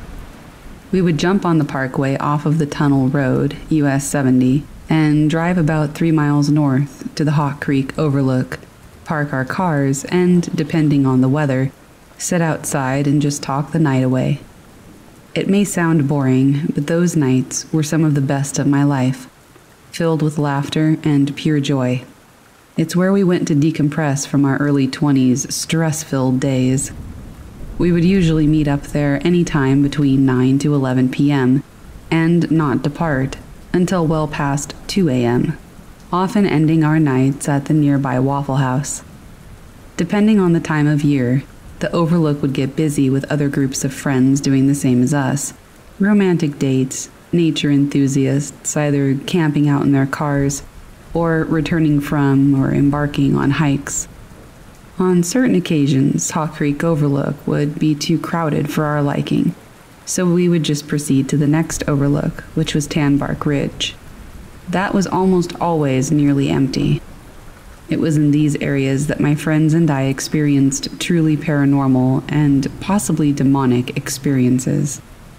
On most nights, they would come and go without any of the normal events to speak about. That slowly changed. On certain nights, there could be as many as six of us hanging out on the overlook, other nights, only two. On one particular night, and the first Blue Ridge Parkway experience that I can recall, we were standing and talking near the back of my car while we smoked a cigarette, facing the road, the parkway. We were the only car at the second overlook, Tanbark. When we weren't talking with each other, it would get quieter than quiet up there. The whole night we kept hearing what sounded like conversations or voices coming from the side of the mountain across from where we gathered. It wasn't uncommon for there to be night hikers or campers in the area, but these voices were not coming from an area that was known for trails or camping. As we were standing near the back of my car, we all heard the voices, louder than before this time. At first, it was from our left, then immediately from our right, and then finally straight in front of us. The voices, although rather loud, were unintelligible. We couldn't make out what they were saying. It was almost like gibberish or some kind of made up language. We were all expecting to see someone by how close in proximity the voices were, but there was nobody around us. No car had even passed the overlook for a while.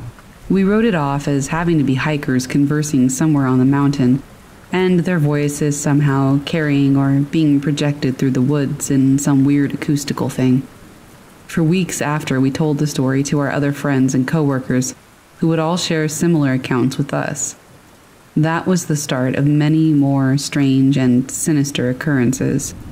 Simultaneously with the strange events that I experienced on the Blue Ridge Parkway, my family and I were also experiencing paranormal activity at the house we were renting in Swannanoa. I wondered at the time if the occurrences were related in any way, which, as time went on and more events happened, I don't think they were connected at all. The night that I believe triggered a string of events was a Saturday after work.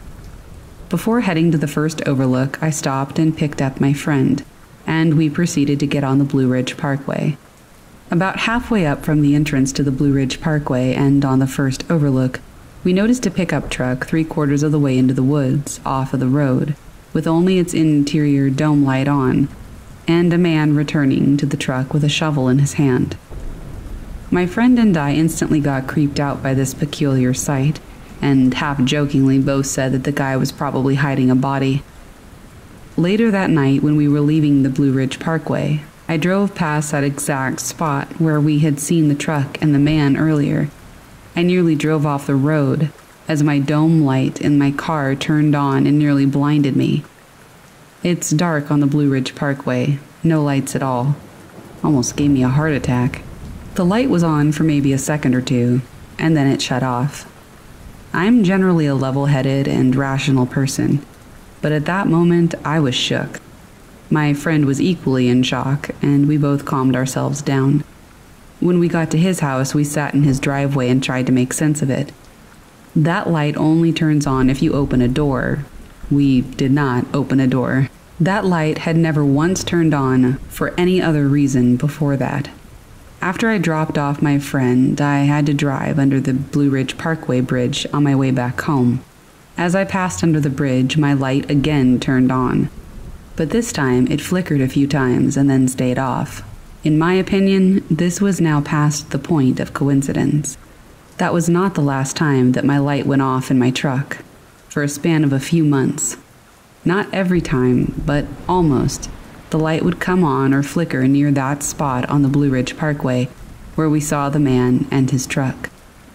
One of my friends who was driving behind me one night saw the light go off from her car, and it scared her so badly that she did not return to the Blue Ridge Parkway at night anymore. On one night, three of us gathered at the first overlook. It had rained a lot the day before and that morning. On the opposite side of the overlook, there was a sheer rock wall that ascended about a hundred feet. There was enough moonlight to see the water trickling down the rock wall. It was my friend that was riding with me when we saw the man, that noticed that the water coming down the rock wall appeared to resemble a person's head, tilted sideways. I agreed, and so did our other friend. But as more water ran down, it looked like it formed a rope around the person's neck. And as time went on, more water rolled down, and the person resembled a girl. It was almost too clear, like somebody was purposefully creating this effect. We started to concoct ideas that perhaps that man did do something bad in those woods, and maybe the light flickering and the water on the rocks was a calling of sorts. I had disabled the light in my truck from going off. It still went off a handful of times after that, which should have been impossible. But the cherry on top of it all was on the night that I was the last one of my friends to leave the overlook. As I drove down to leave the Blue Ridge Parkway, again near that spot, my front driver's side tire blew out. I pulled over on the shoulder of the road and tried to call one of my friends, but I didn't have cell reception. If it wasn't that I had to be at work in the morning, I probably would have just slept in my car until there was light, but that was not an option. I proceeded to get out and change my tire in the pitch black night. I felt so vulnerable, and although nothing happened, I felt as if I wasn't alone. I felt that at any moment, something, I don't know what, would occur to scare the living shit out of me. But nothing did. Until I got back in my car and started pulling back onto the road. At that moment, my light again flickered, and I swear I instantly felt my right side of my body get about 30 degrees colder. The next day, my friend and I called in anonymously to the Asheville PD and reported what we had seen in the woods the truck, and the man. Obviously, we did not mention any of the paranormal events that had occurred after that. We felt as if we had to say something, but for the longest time we weren't sure what or how to. We hadn't heard of any disappearances or murders in the area. But then again, in my early 20s, I wasn't an avid reader of the paper or watcher of the local news. These events all happened around spring to late fall. We stuck to the bars and pool halls for months after those events, until early the following year. We finally decided to venture back to the Blue Ridge Parkway more frequently. My friend and I, the same friend, were starting a new band, and the Blue Ridge Parkway was a great place to collaborate and write songs.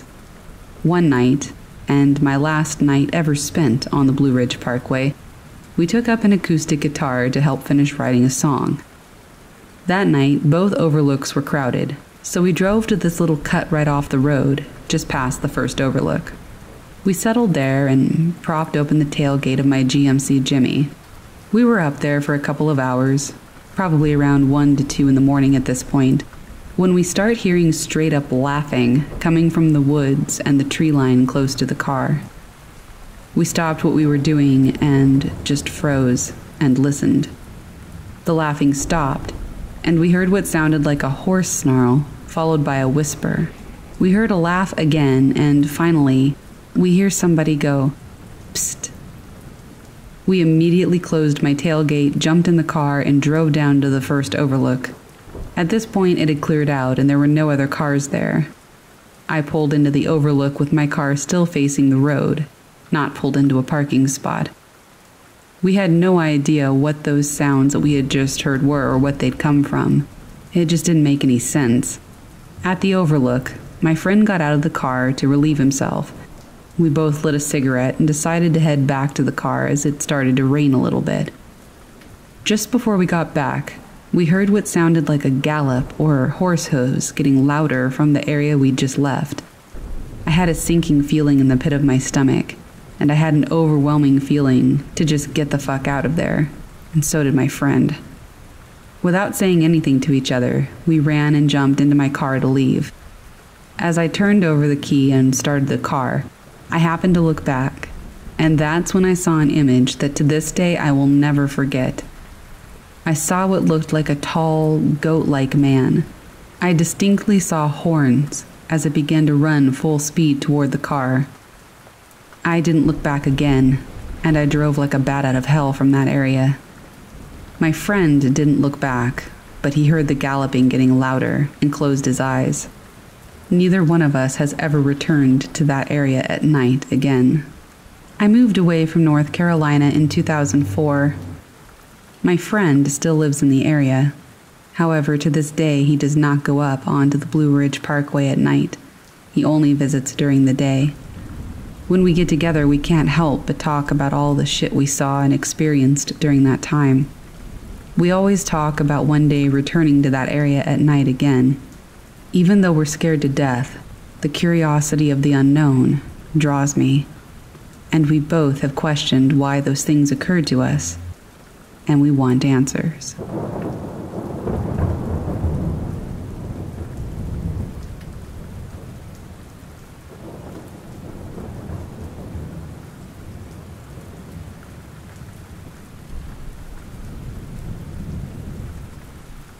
It was Labor Day of 2015.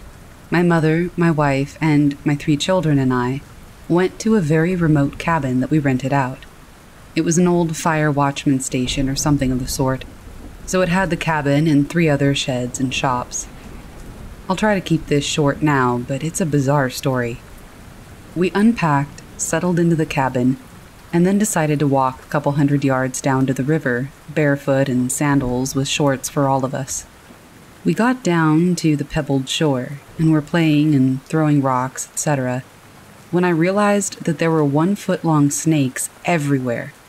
My wife, my mom, and I yanked up the three kids and boogied off. After reaching a safe distance from them, I went back with a water bottle and caught one in it to see what it was. Turns out we were in a nest of diamondback rattlesnakes. If one of those things had latched onto one of my kids, they surely would have died. We were about three hours away from any medical facility. We got back to the cabin, and my mom and I went for a hike and a walk alone, while my wife calmed the kiddos and fed them lunch. Upon returning about 15 minutes later, all three of my kids and my wife were inside with the doors and windows all closed up, even though we had had everything open to cool the place off. We went inside to hear all four of them yelling about a bear that was about 150 yards from the cabin huffing and puffing at the wife and kids on the front porch and eating. It was down by the river, another 30 yards or so down the hill, that he poked his head up and over from. A few hours go by, and in that amount of time, an ATV passes by three times, with two inbred looking freaks on it. Each time they stopped in front of the gate onto the property and stared at us or the cabin. Keep in mind that we're two hours into the wilderness in Idaho with no sight of a person the entire trip except for them. We decide it's bedtime for the kiddos as it's pitch blackout. Within 10 minutes, our son, who was five at the time, went from being perfectly fine and active and talkative to having a fever of 103 degrees, slightly foaming at the mouth, and then being completely unresponsive. That was it. We were leaving immediately and going to seek medical attention. I opened the front door to the cabin to start loading the two cars by the light of one porch bulb and the headlights on the cars, which were both parked facing the gate. And that's when all three of us adults heard about four to six large and heavy animals running all around the cabin and the property. There was one on the right side of the house when exiting that I could hear pacing back and forth and breathing heavily. I made everybody stay inside and close the doors every time I went out to transfer stuff to the cars, about four or five trips of this. I had a stick and a big pot that I was smacking as hard and as loudly as I could on each trip, and I was yelling loudly at random. As soon as I'm done loading, I take each kid out individually and load them up between the two cars. Then I escort my mom and my wife out. My wife and I were in the lead car, so we pulled up out of the gate and for some stupid reason or another, I felt that I needed to close the gate. So I got out of my vehicle and walked behind it and my mom's car about 15 feet, and I closed the gate. Now, this gate was literally a log that slid from one post to the other. It offered zero protection or barrier between me and whatever was out there. Right as I went to turn around, I heard loud padded footsteps walking up to me, directly in front of me, no more than 10 feet. And then I see eyes shimmering from the moonlight as the deepest, scariest growl I've ever heard in my life emanated. I turned and ran so fast that I swear I must have jumped from where I was to the driver's seat. I landed in the seat and slammed it into drive and spun out, finally leaving. But it gets weirder and scarier. About 15 minutes down the road, we were still panicking about our unresponsive son, and we both kept having this horrible, evil doom feeling, like a shadow was cast over us. I looked down, and I realized that I still had that baby rattlesnake in the water bottle in my cup holder. So I grabbed it and threw it out the window immediately. Not even two minutes later, we hear our son softly crying. We realize he's responsive, and he stated something along the lines of, Why are we leaving? What's going on? He was crying because he didn't want to leave. He couldn't remember the last hour or so. Quick backstory for what's next. My mother was about 58 years old at the time. She's been a Jehovah's Witness my entire life, plus many more years before that. And she's the last person in the world to believe in signs or evil spirits or omens or anything of the sort. The next day, my mom completely broke down, sobbing her eyes out, hardly able to talk. She confessed to my wife that the night before we left, she had a nightmare in which we went on the camping trip. We came across snakes, a bear, and a pack of wolves. She said she knew a lot of bad things happened at that outpost and that it was full of evil. Most of all, she said, In my dream, one of your kids died. I swear on my life to this very day, if I ask her who died and how it happened, she immediately starts crying and refuses to tell me or anyone. She lives her whole life now with the guilt that she willingly ignored this nightmare and feels like she put us into that danger, nearly taking one of her grandkids away from the world. She doesn't deserve to feel like that. I know this sounds crazy as hell, but a week later, on the local news, there were reports of a wolf pack in the area. Wolves and bears may not coexist in harmony, but as far as I know, they do share territories and respect each other. This outpost station of sorts was about an hour and a half into the wilderness from Lowman, Banks, Idaho area. If you want to verify the animals actually exist around there, go for it. Sadly, I grew up in the mountains for most of my pre and early teen years, as did my wife until she was 10 years old. I even have a half sleeve of the wilderness and trees on my left arm, but with that said, we don't care to go to the mountains anymore.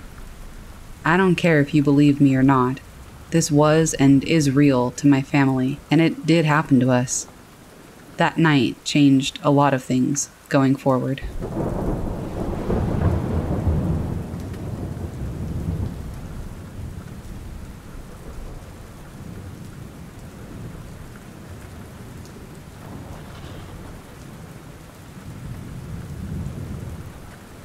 My husband and I really enjoy outdoor sports, especially camping.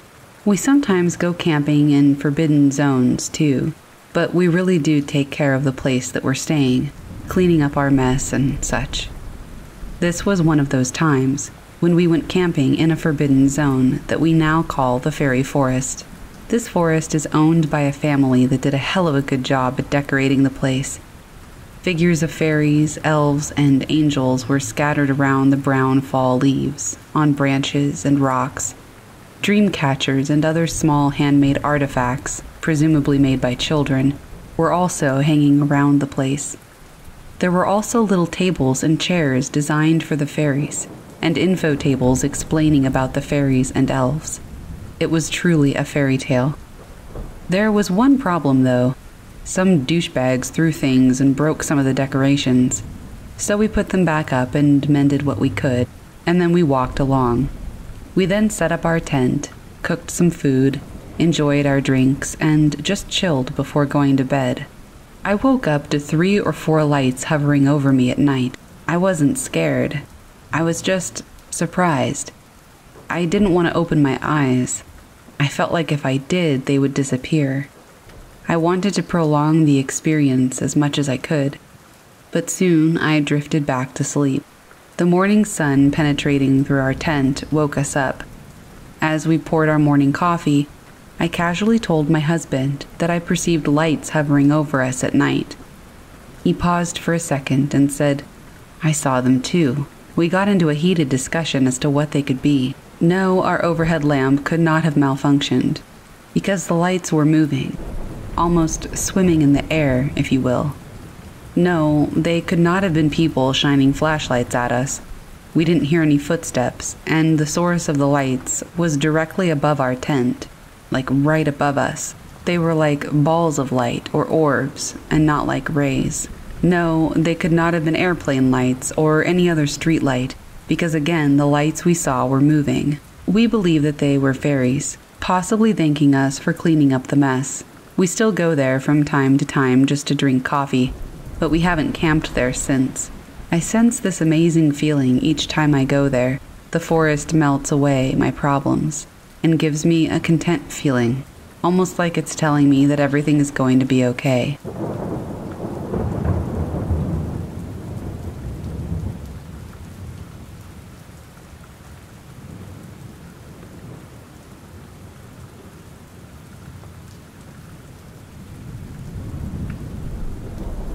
This is one of the most magical and unbelievable experiences I've ever had.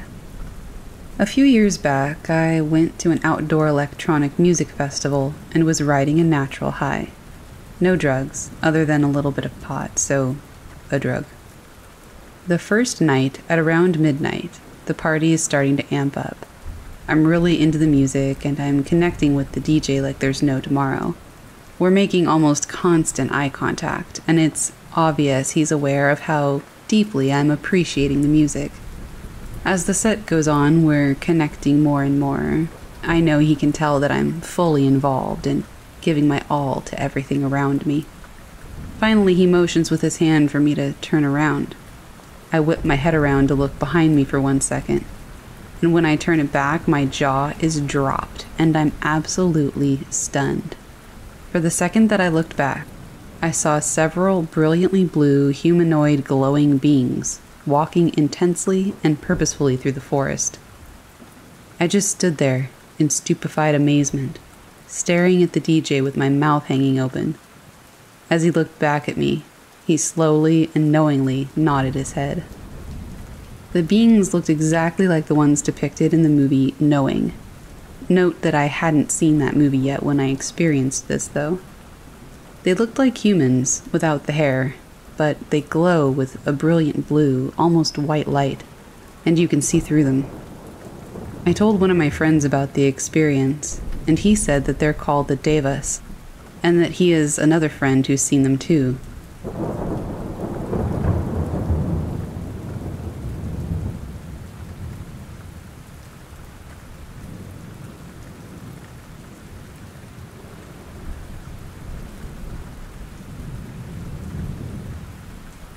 So, when I was like seven or eight, we used to live in Webster, Wisconsin, and we lived in a house a little bit wider and longer than a trailer house. No upstairs, just the base floor and a basement. It was a beautiful house with a big area that was just woods. One day, my cousin was supposed to be watching my two sisters and I, and he said that we could all go play outside as long as we stayed in his sight. But within five minutes, he ran into the woods and told us to keep up.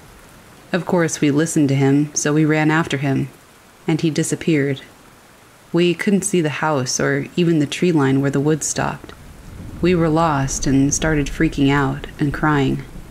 Then, about a half an hour later, a really tall Native American chief came up behind us and asked us what was wrong and why we were crying. He asked if we were okay and if we were lost. I told him how we were chasing my cousin and we lost him and we didn't know how to get back home. He smiles and says, Don't worry, sweetheart. I'll make sure you get home safe and sound. Just come to my village and rest for a little bit. Eat some lunch, play with the children, and when you're ready, you can explain to me where you live. I said, Okay. So we go back to his village, and it's a smaller one in the middle of the woods in a clearing.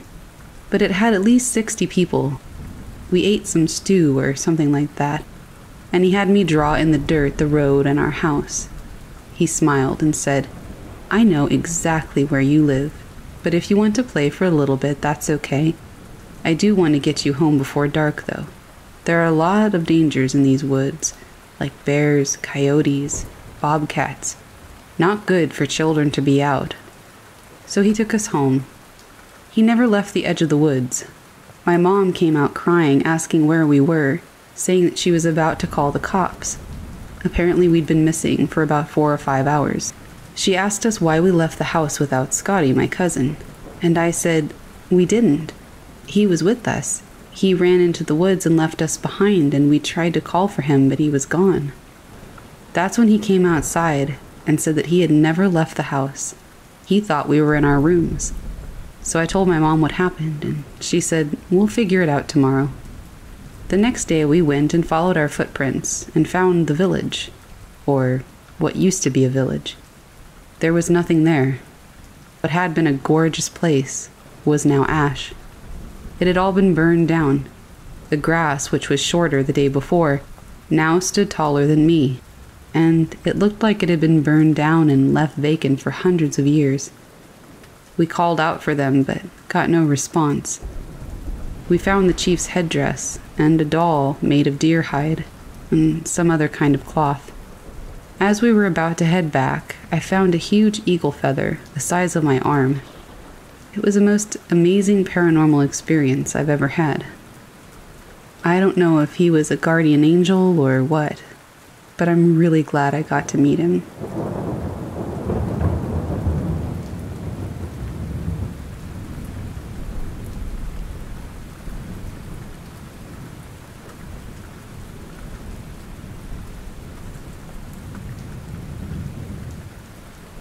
So, this is something that I've kept to myself for two years now, and every time I think about it, the hair all over my body stands up.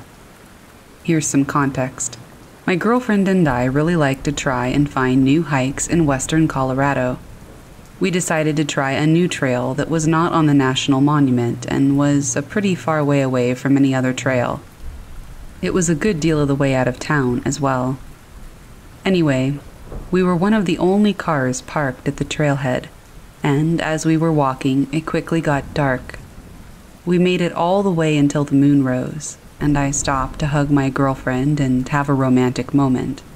All of a sudden, farther down the trail, at least a few miles, we hear automatic gunfire. It was just pop, pop, pop. Then silence for a couple of seconds. And then pop, pop, pop. Now, this kind of thing is normal for my area. Even though it was not public land, I knew a lot of buddies who would know of many forgotten trails to shoot on and not get caught at. My girlfriend asked me if I thought that those were gunshots, and I told her that I couldn't think of anything else it would be in the middle of the wilderness. We decided it would be best to turn back. We were about two miles down the trail at this point, at the top of a very large hill covered in desert shrubs. As soon as we stopped talking, we realized that something was wrong. All of the insects had stopped chirping. There had been dozens of crickets the entire hike up. All of the sounds of nature completely stopped. My girlfriend was facing farther down the trail, and I was facing back the way that we'd come, ready to turn back.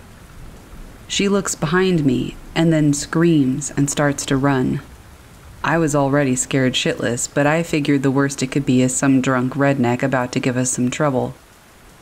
I turned and looked where she was looking, and then I immediately ran after her. I've never run so fast in my life. The shrubs were about two to three feet high in varying spots, and when I turned around, I don't know how to describe it, but it looked like a shadow, even with the moonlight directly shining on it. It was almost an absence of light. It was already slowly standing up when I turned around.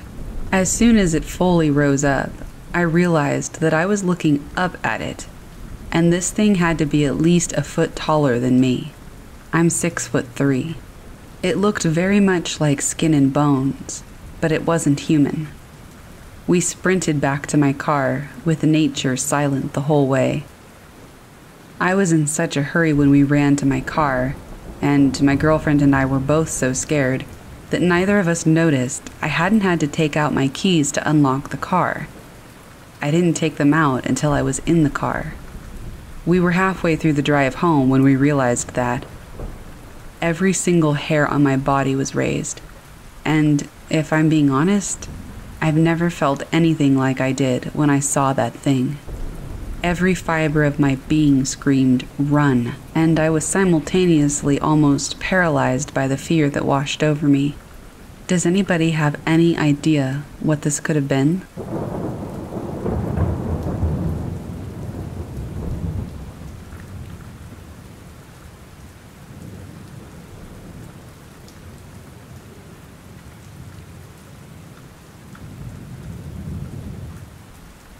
This happened a while ago, somewhere near the end of seventh grade. My aunt, my brother, my cousin, and I were visiting our grandparents' house in Washington. They lived in a pretty remote area, with only a handful of other houses around, and a good chunk of forest between each of them. Keep in mind it's also kind of an island, so they don't get many funky creatures there. My aunt and I went out while it was dark outside just walking the path in the forest and trying to figure out what was making this loud noise. Not a weird one, just a normal forest sound. I said it was frogs. She said it was crickets. I was right. Anywho, we pass a pond area and make our way to a clearing. I'm not really sure if this is relevant, but the clearing was a little bit small with an apple tree in the middle. That's where my brother and cousin and I would hang out whenever we were outside. When we reached the clearing, I started to immediately get this really bad feeling. I figured, you know, it's dark, I'm typically terrified of the dark, and I'm tired, but nothing's really going to happen. The path was a little bit overgrown around there, so we decided to turn back. Right before we did, though, I caught a glimpse of what could have been a really big owl up in one of the trees, just staring at us. Now, I'm an Arizona girl, so I don't know what creatures are normal in the forest, but this thing just didn't feel right to me. It just gave me a weird vibe. But my aunt kept walking and I caught up. Keep in mind, the path was pretty short, and it only takes about 10 minutes to get to the clearing and 10 minutes to walk back. But when we got closer to the house, we heard my grandma yelling for us. We run back to the house, and she says that we've been gone for hours we swear we'd only been gone for a half an hour at most, and when my brother and cousin come back, they tell us that they'd been out looking for us. We check the time, and they're right. Another interesting thing that could be connected. A few days before that, we heard some really weird noises coming from the woods while we were out making s'mores. Even my grandparents, who have lived there longer than I've been alive, admitted that it was unlike anything they'd ever heard before. It continued getting closer and closer and stopped anytime somebody would try to get a video of it. Eventually, I had to go inside because all of this was freaking me out so badly. I guess it's not all that interesting, but it was really creepy. Everything else in the story could probably be explained, but the time loss thing really haunts me.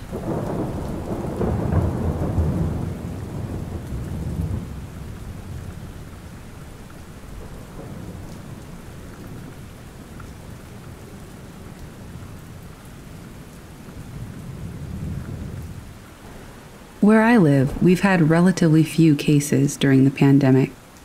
There were almost none back in the fall. Because of that, although we were still living under certain restrictions, we had more public health sanctioned freedoms than many other places. For example, at the time, we were permitted to share our social bubble with one other household and travel within our region. My family and our fellow bubble family decided to take advantage of this by going on a fall getaway we rented two side by side cabins in a beautiful waterfront wooded area and had a lovely, relaxing weekend. Although there were other cabins nearby, most were unoccupied, and we saw no other people, although we did hear a dog barking a few times somewhere not far off. On our final night there, my son decided to sleep in the other cabin with his bubble siblings, quote unquote. Around 11 p.m., he called over asking for some forgotten thing. It was a very dark night, and there were certainly no streetlights in the deeply wooded cabin area. So I grabbed my flashlight, and we walked the short distance to the neighboring cabin to deliver whatever it was that he needed. On the walk back, I heard a whistle. It was a very human sounding whistle, exactly the kind of whistle one makes to call in a dog. It sounded very close, but shining my light around, I saw nobody. I heard it again and assumed that somebody was whistling for the dog we'd heard earlier, so I didn't think much of it. A short time later, another call came from next door. My son couldn't settle and wanted to come back to our cabin. This time, my husband and I both walked over, collected our child and his things, said goodnight to our bubble family, and walked back. We heard the same whistle again, several times. It seemed to be on the dirt road ahead of us, gradually moving away. My husband commented that the dog must have gotten loose, and the owner was out looking for it. Inside our cabin, we continued to hear the whistling, coming at irregular intervals of maybe two to four minutes. At first, it would be loud and seemed quite nearby, and then it would gradually grow fainter, then stop, as though the whistler had moved out of earshot. Then it would seem to circle around, coming from the other direction, getting louder as it moved past our cabin, then fading again into the distance, and then it would start all over. Still not thinking much of it, my husband climbed into the loft to go to sleep while I started to pack for the trip home the next day. Our son was sleeping in a little room on the main floor to the left of the front door, and the small window in his room was cracked open to let in the unseasonably warm night air. I was standing by that window, quietly gathering his scattered things, while the whistle once again drew closer. But this time, instead of fading as it passed by, the next one was very close and incredibly loud, as though the whistler was just outside my son's window. The blind was down, but I was sure that somebody was on the porch, right outside. I leapt to the front door, flung it open, and threw on the porch light, ready to tell off some prankster on our doorstep. Nobody was there. I grabbed my flashlight and took a few steps out past the circle of light then thought better of it and retreated inside. I locked up the cabin, closed and latched all of the windows, and lowered all of the blinds. If someone was creeping around outside our cabin, I didn't want them looking in at us from the darkness. Deciding that I did not want to leave my sleeping son downstairs by himself, I settled on the sofa with a book. The whistles continued.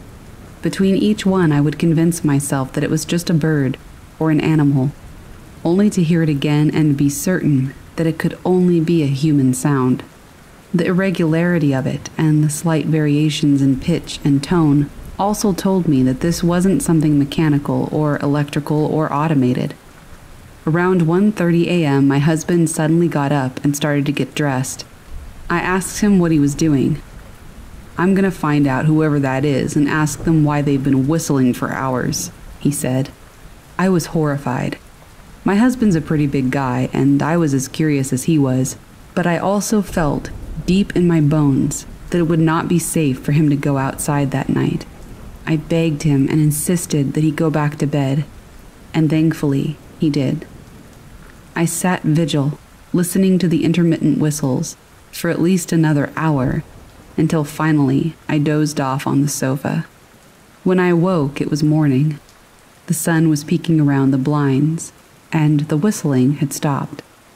I cautiously peered outside, half expecting to see some sort of evidence of a nighttime intruder, but there was none.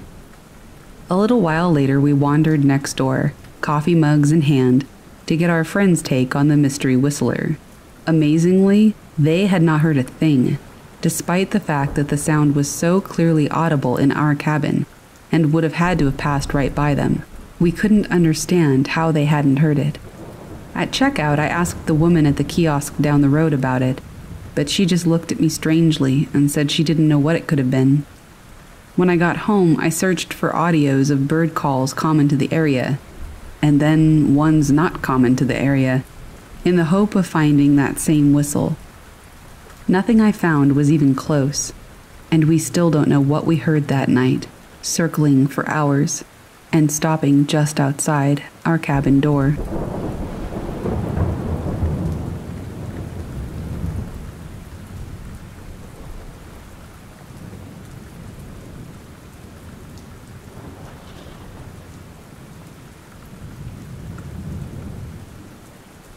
I grew up in the Arctic. In the town I lived in, as long as it was a clear night, It was an extremely normal occurrence to see all sorts of strange lights move across the sky. Keep in mind, the winter is long in the Arctic, which means longer amounts of time spent under the stars. It's quite beautiful, as long as you don't mind the cold so much. Sometimes I would drive a snowmobile a few kilometers out of town, shut it down, and just lay down on the snow looking up at the majesty of it all. The only thing disturbing the silence being the occasional breeze. The northern lights are also a common occurrence. Doesn't happen every day, but often enough that they start getting ignored after a while, as long as they aren't too spectacular anyway. On one particular night, without asking my parents, it was their snowmobile, I decided to go on one of my midnight drives out of town. I drove a few kilometers over the hills to find a spot devoid of light pollution from town, shut off the machine, and settled into a good spot to look up and be introspective. It wasn't all that interesting a scene. A few satellites passing here and there, some relatively boring activity affecting the magnetic field, and so on. And then I started noticing a clicking noise. At first, I thought it was the sound of the snow machine cooling down, as the engine expands and contracts a lot in the cold. But the source of the sound definitely wasn't coming from that direction. My next thought was that there must be an animal nearby, in which case I need to get out of there fast. You don't really want to be messing around with wild animals, especially in the Arctic but the clicking is far too regular for an animal to produce it. It was fairly mechanical sounding. And again, the source of the sound isn't coming from anywhere around me, not laterally anyway. It was coming from above me. So naturally, I look up, determined to ascertain the origin of this strange noise. I see what I always see stars, northern lights, a lazy satellite crossing the sky all normal stuff. But before I dismiss it altogether and begin heading home, I noticed something strange in the aurora borealis. There were three rather strong points of light. I ignored them at first, thinking that they were just oddly symmetrical stars, but this proved to be false. They were definitely getting brighter. I kept staring in morbid fascination as they grew stronger and stronger yet still only remaining single points in the sky. All the while, the clicking noise is getting louder and louder and more pronounced, almost like someone started with tapping a pen on a desk to clacking billiard balls together inside my head. Then it stops. The lights are gone, the clicking isn't heard, and aside from being a little stiff, cold, and rather petrified, so I jump back on the snowmobile, thinking maybe I'm going crazy. The machine takes a little longer than usual to start up, and I'm beginning to worry. But soon it's running and I'm heading back to town. As I'm driving back, several plausible scenarios as to what occurred are running through my head. I'm thinking it could have been a helicopter from the mine, or some strange Northern Lights behavior. Probably not that big of a deal, right? I pull up to my house. The lights are all dark. Strange. It wasn't that late when I left. I open the outer door as quietly as possible, remove my winter gear, and enter the inner door. The house is quiet. Really quiet. My parents are teachers and are usually up late marking or watching TV. All I'm thinking is I have to get to bed without anybody noticing. Proves to be easy, and I'm soon under my covers. I go to set my alarm for the next day, and all of a sudden, everything makes sense. The engine was hard to start. I was really stiff. It was rather chilly. Nobody up when I was gone what felt like a relatively short period of time. It was almost 11 p.m. when I left, and now it was creeping up on 6 a.m. I stood staring at clicking lights for almost seven hours. I never ended up sleeping that night, and I don't go on late snow machine rides anymore.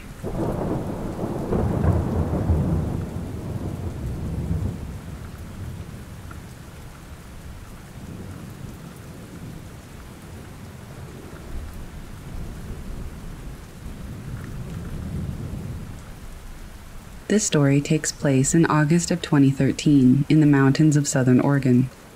I'm a U.S. Air Force Security Forces airman, military policeman. My girlfriend was at work, and as a swelteringly hot day began to turn into thunderstorms, my buddy Nick, another military cop, and I decided to go explore some back roads and get out of the heat in town. Southern Oregon is crisscrossed with logging roads, some actively used and many totally forgotten and grown over. Nick and I spent many of our days off starting on roads that we knew, finding roads that we didn't know, driving for hours into the mountains, and eventually navigating back to paved roads. On this particular day, with storm clouds building over the mountains, we set off on a road we had never been on and began the drive into the mountains. After driving for around an hour, we hadn't seen or heard any signs of other people in the woods. We rounded a bend in the thick fir woods and emerged in a meadow that was totally surrounded by thick aspen groves. The meadow was perfectly flat and eerily still. We both noticed the strange stillness almost immediately. No birds, hardly any insect noise, no squirrels, and certainly no other people. On the far side of the meadow, right at the edge of a tree line, there was a picnic table. The table was very odd, however. It was painted a bright orange and was much larger than a typical picnic table in a park. Remarking on this, Nick drove through the meadow to get a closer look. I remember being apprehensive as we approached. The whole scenario was exceptionally strange. The overall silence of the aspen grove was unsettling. Also, it was nearly impossible to see far into the trees, as aspens grow extremely close together. When we parked by the table, I hopped out of the passenger seat of the truck to check it out.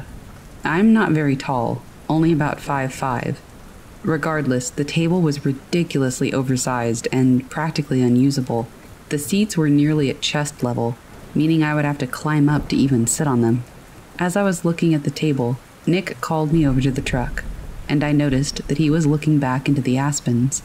At first, I couldn't see what he was looking at, but then I noticed a splash of color that was completely out of place in the thick trees. A small, one man tent was set back into the trees, about 50 feet from the strange table.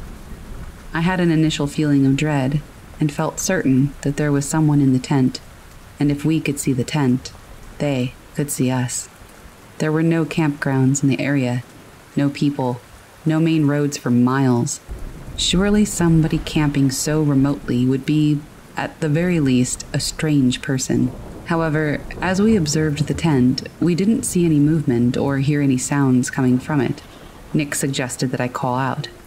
I didn't want to, but I did. Hey, anyone in there? I yelled.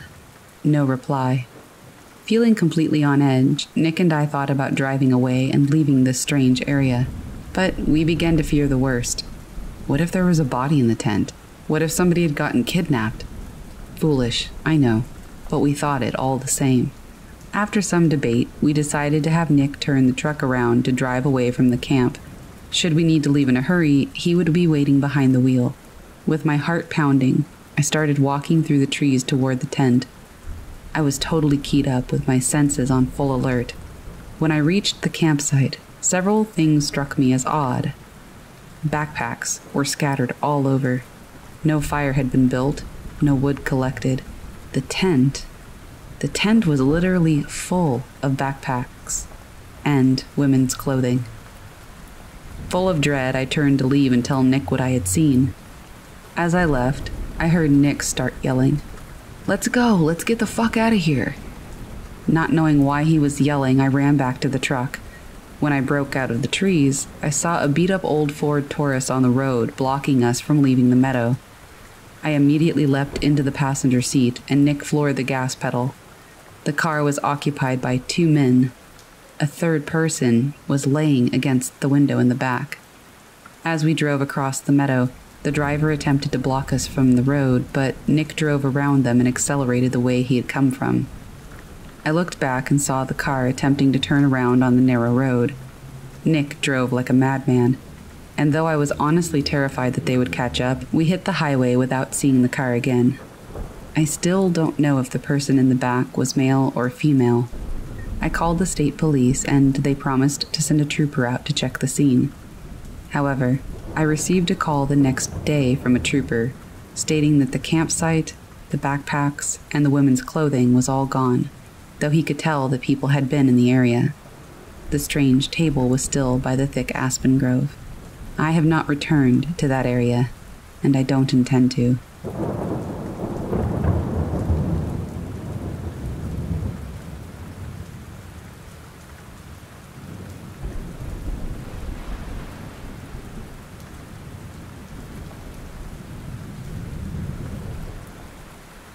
Growing up, I had a childhood friend that lived relatively close by. We were like two peas in a pod. We were both adventurous, believed in the paranormal, enjoyed astronomy, and generally just liked being outside. She was born in Alaska, and her dad had lived there for quite a while, so they were always into camping, hiking, fishing, skiing, you name it. It was with my friend's family that I got introduced to fishing and did a lot of camping. This happened during the mid to late 90s, and we were maybe about 10 to 12 years old. It's been a while, so I can't remember exactly.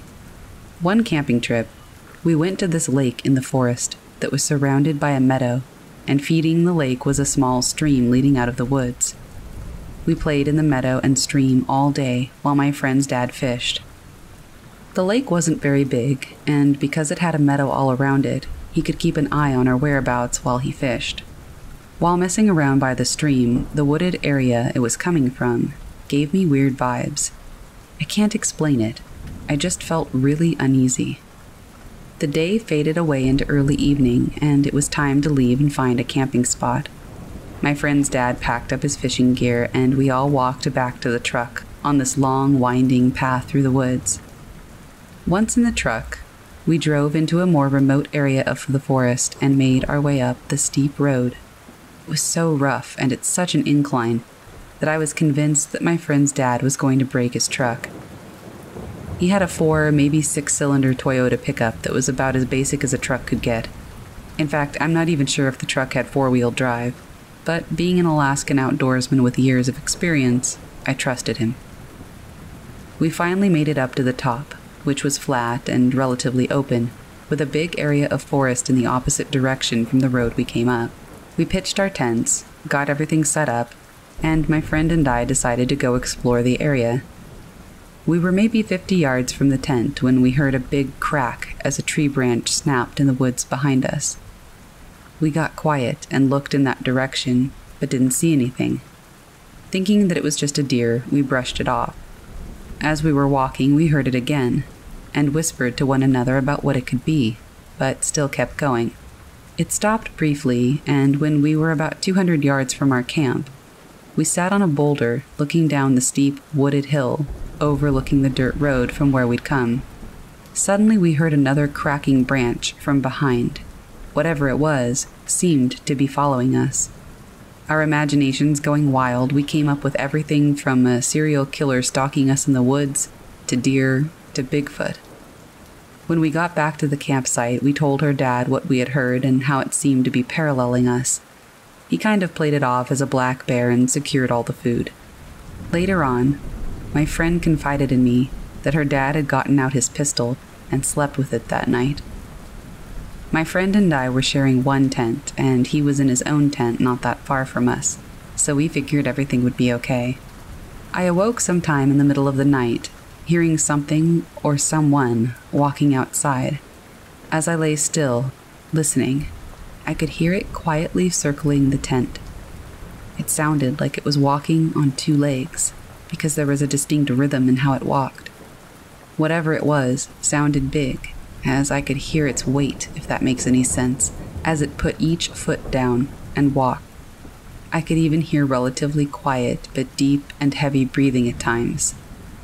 As I lay there, listening, I could hear it wandering to other parts of the campsite and then back to our tent, almost as if it was walking in a big, repetitive loop. This went on for who knows how long, but it felt like an eternity. Terrified and unable to wake my friend, I lay there and listened until eventually I somehow fell asleep. The next morning, I told my friend and her dad about it, but I don't know if they believed me or not. Interestingly, absolutely nothing in the camp was disturbed in any way. The ground was not very soft, and in some places it was covered in grass, so there were no footprints either. This is something that I have never been able to explain, and to this day, it lingers in the back of my mind when camping. I always wonder what it was that walked around our tent all night.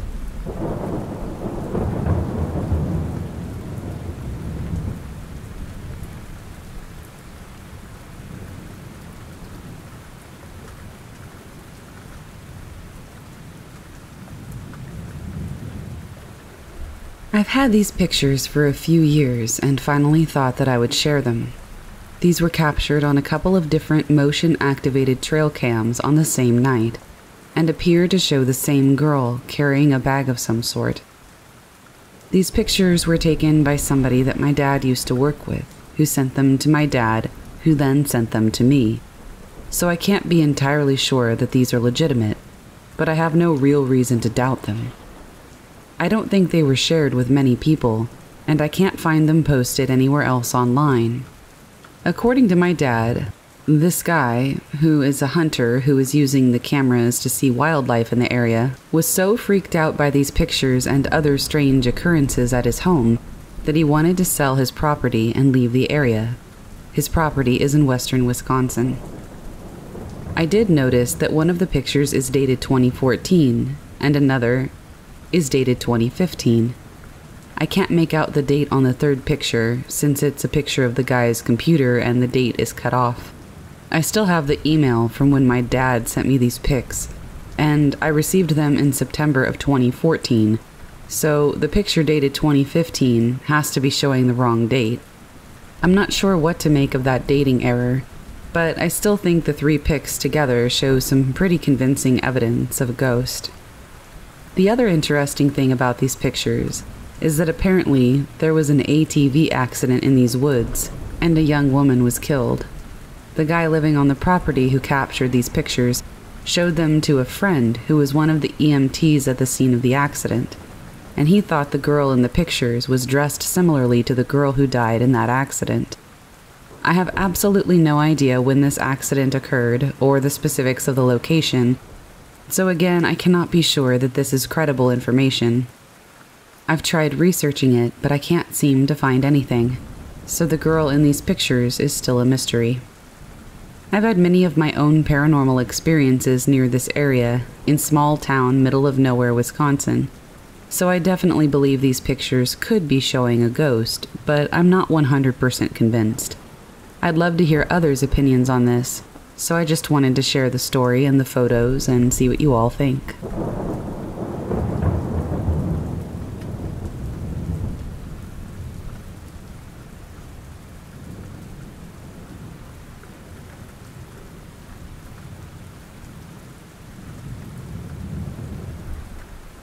Fifteen years ago, I went camping with two school friends in bushland that backed onto my dad's property in Wurriyaluk, Australia.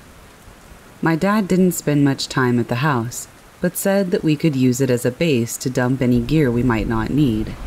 He also gave me a heads up that he might creep up to our campsite that night and scare the guys I was with. We hiked from the house for about four hours through very dense bush, where we found a clearing and decided to set up our camp.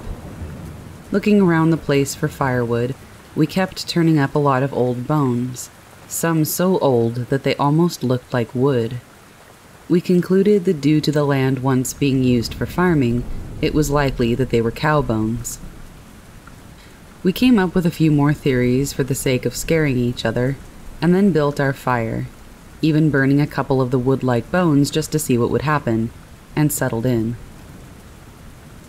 I was woken up by one of my buddies at about 1 a.m who said that he swears he saw torchlight on the tent wall. Excellent, I thought. We sat in silence for a few minutes before the light came back. This was great. My dad was clearly doing an awesome job. I really hammed it up, making up stories about murders in the area and escaped prisoners. The light from the torch fixed on our tent, then switched off. We could hear leaves and sticks moving around outside, and my buddies were on the verge of tears.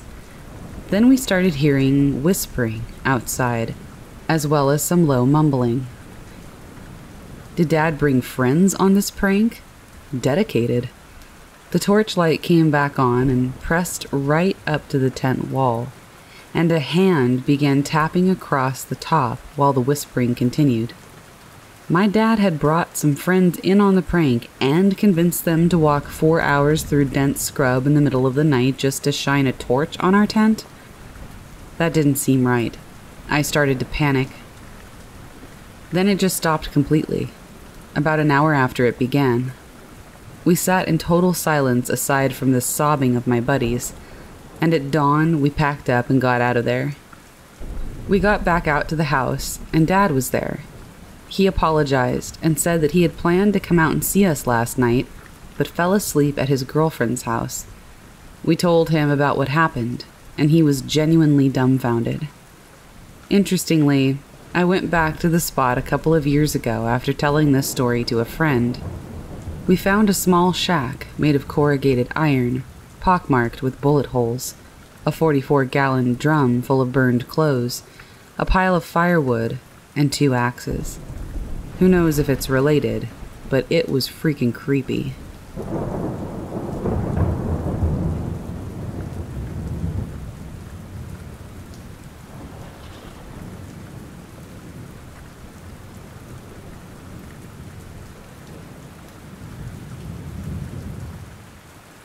Back in 2003, when I was 12 or so, my parents and I went on a road trip to Tasmania. At one point during the trip, we stayed over two nights in a modest caravan park. It seemed to have originally been built in the 70s with some refurbishments here and there. Standard budget cabin layout, sliding glass door entry to the kitchen and living area, hallway with a three bed bunk on the right, bathroom on the left, through to main bedroom with double bed. After we turned in for the night, I found myself laying awake, well after my parents had fallen asleep. Nothing new, though. I've always had insomnia.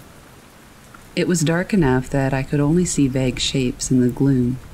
I could hear, through their open door, each of their distinct sleep sounds personalized pace, depth, intermittent snoring, and the like. Being a tiny cabin, they were mere meters away from me.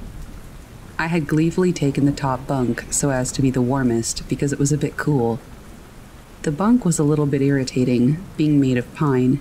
It would creak loudly at the joints. But that wasn't a deal breaker. I'm not fussy. At one point, I chose to lay on my left side, facing the wood veneered wall. I toss a lot when I'm trying to fall asleep, but this time I was refraining. I didn't want to make the bunks creak and wake my light sleeping mom. I limited my rolling. So I faced the wall one ear planted into the pillow, trying to not give in to the urge to flip over again, trying to drift off in vain. After a while, I was aware that I could now hear a third person breathing in addition to my parents. I was confused. It must be my own breath echoing as I was facing the wall, but how can a tiny cabin echo like that with its compact, wood veneered, linoleum floored, linen covered furniture nature. It confused and annoyed me, as I couldn't figure it out, and it was a little bit louder than my parents' collective breathing. So, as an experiment, I held my breath. Still, I heard three separate bodies breathing in the cabin. I thought to myself, okay, it's my parents breathing echoing weirdly. I'm too tired to try and ponder as to how, it doesn't make any sense.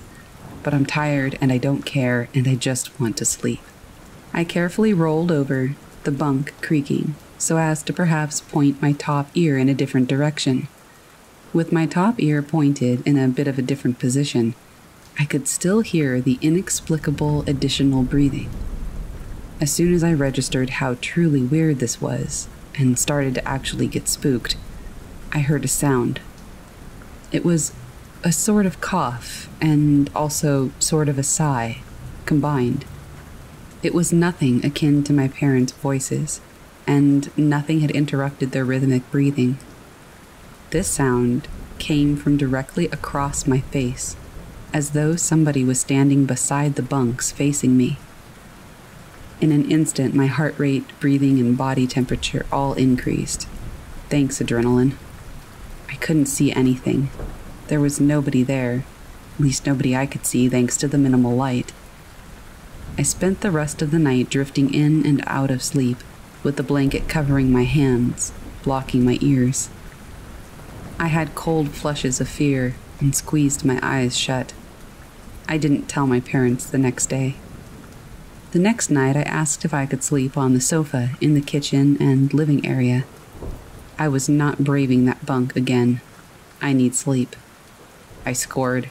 The sofa was actually a sofa bed, and the cabin had an old clock radio. My folks and I had adventures during the day, and I turned in for the night once more. I set up the sofa bed.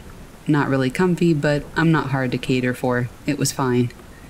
I set the clock radio over to the other side of the room and turned on a local radio station. Also, not a great station, but I'm easy. My parents went to bed a little bit before I did. I was still fussing about. Not much later, maybe 15 minutes later, I eventually turned the lights off and climbed into the sofa bed. As soon as I set my butt on that bed, the radio turned to static. I got up and switched the light on, to tune the radio. It had a manual turn dial for tuning. As soon as I set it again, switched the light off, and sat down, the tuning was thrown. Eventually, I gave up, turned it off, and buried my head under the blankets the whole night. I didn't sleep. I didn't tell my mom about this odd occurrence until about 10 years later. It might be a mundane story, but it definitely rattled me given that it felt so inexplicable, and still does. I can't understand how it happened, and that's why it bothers me so much. When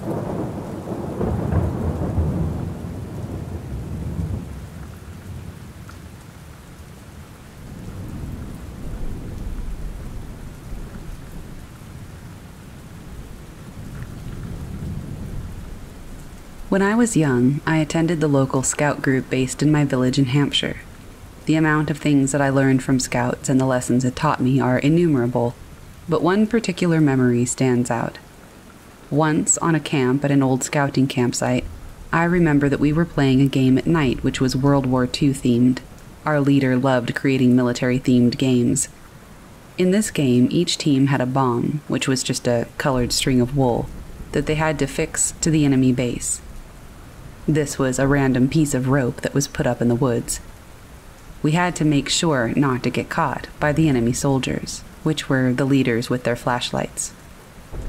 As somewhat of a tactician, I departed from the other scouts who were heading straight down the main path toward the enemy base, and also toward the leaders, instead opting to flank around deep into the woods, which took longer but proved to be more successful in the dark. Eventually, deep into the woods and on my way to another bombing run, I heard the distant sound of the whistle. This signaled that the game was over and that everybody should return to camp. I began making a leisurely stroll back through the darkness. I can't remember if I was alerted by sight or by sound, but my attention was drawn to a short silhouette walking through the woods about six to eight meters away. Assuming that this was one of the younger scouts who was also returning to camp, I decided it would be funny to try to scare them by making growling noises. Immediately after making the noises, the silhouette stopped dead in its tracks, turning toward me. In the darkness, I couldn't make out any of their clothes or features, but I could clearly see the blacked out silhouette of a child. After the figure had clearly noticed me but not made a sound, I decided to carry on making growling noises. But then the silhouette turned around and began to walk away from me. They were clearly unfazed by my attempt to scare them, so I figured that I would follow them back to camp. However, after a few steps, the figure literally face planted into the ground, still about eight meters in front of me. I jogged a bit to catch up with them to make sure they were okay, but upon reaching where they should have been, there was no trace of anybody.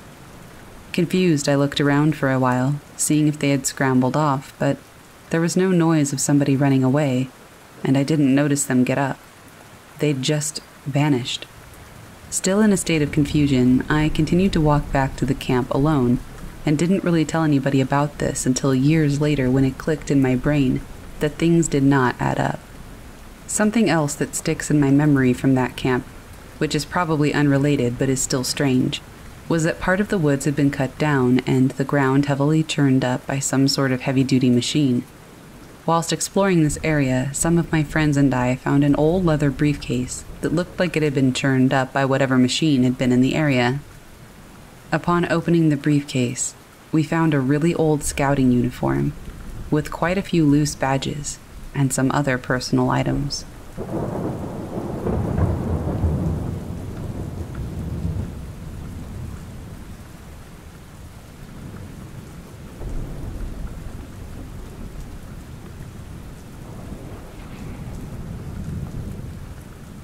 I'm a 23 year old boy whose family moved during the Yugoslavian War in 1999 from eastern Serbia to Switzerland. We used to live in a small village across the Danube at the Bulgarian and Romanian border, a region that has a very colorful history. Many bloody historic events occurred on the soil where we lived.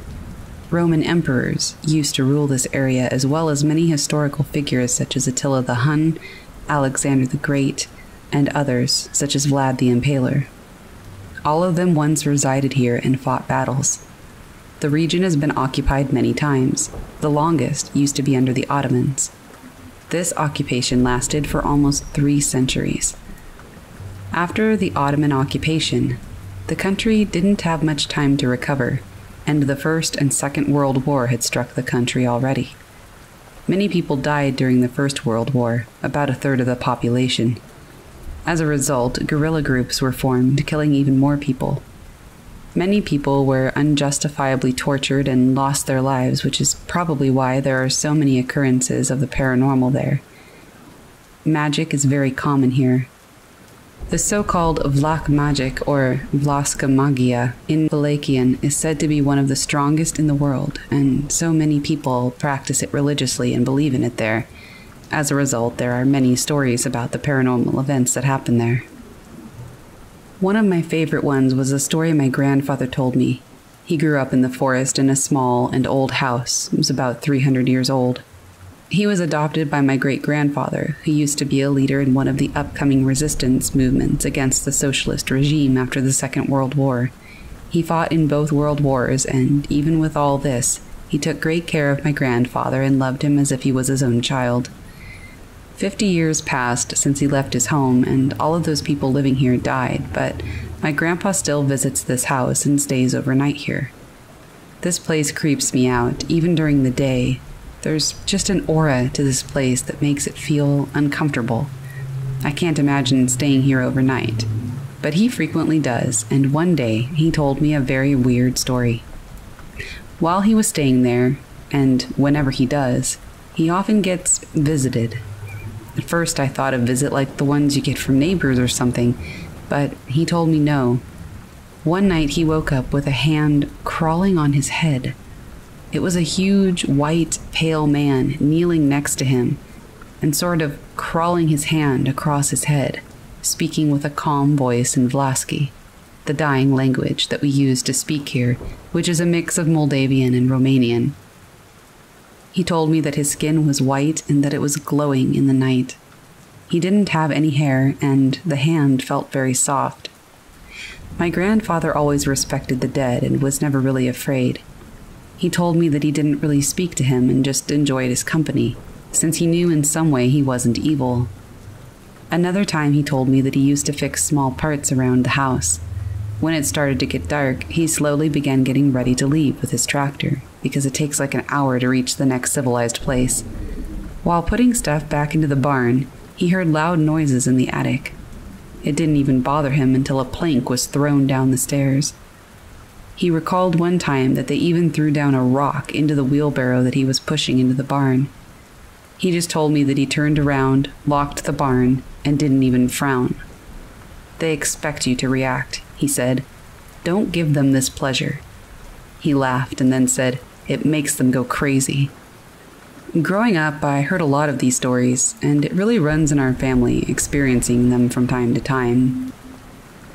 The scariest thing that happened to me occurred during the summer of 2009. My grandfather told me during this summer break, as usual, stories from his past of how he used to walk these woods alone in the dark and what he experienced while doing so. And since I was in my teen years, I started to question the reliability of his stories. From time to time, I took out my old motorbike and drove into the forest. Driving around was the only time that I could really think about stuff, you know, and be in the kind of state that you question everything and think about the world. So one day I took out my bike and decided to drive around. I still don't know why or how, but somehow I found myself driving to the old house he grew up in. I didn't really bother to question why my intention was to drive there, so I just kept going. I always believed that I'm a kid, pure by heart. No evil can come to me. While I was driving out, I thought about the probabilities of actually encountering a vampire. As I mentioned, I live in East Serbia where vampires are widely believed in. My grandpa always told me not to go out past dawn, but I didn't really care, so I kept going. Remembering back, I thought that his intention was to keep me scared and not get lost in the woods. But being a teenager at the time, I thought I was invincible, and in fact, even if a vampire would cross my path, that I would ease past him with no harm. There aren't really streets there, it's just a dirt road between trees that leads to what seems to be nothing. After an hour, even the dirt roads start to vanish. While I was driving and thinking about how strong I was, I noticed that my hand felt very wet. I thought it was because I was sweating, since this region can get very hot. After taking a look at my hand, though, I saw that there was blood all over it. I thought it might be a bug that I had squished, but there was just too much blood. I started looking for wounds, but my hand seemed perfectly fine. My heart slowly started to race and increased in pace, and I took a sharp turn and drove back home. I remembered this to be the moment that I was most scared in my whole life. I had the urge to look behind me every second that I was driving through the forest. It seemed like someone was sitting behind me, just waiting for me to fall down. After arriving home and telling my grandpa, he just started laughing and told me never to question their abilities again. I have a ton of stories regarding these events. Living in the Wallachian forest, you run into a lot of this stuff. But to this day, that was still the scariest thing that ever happened to me.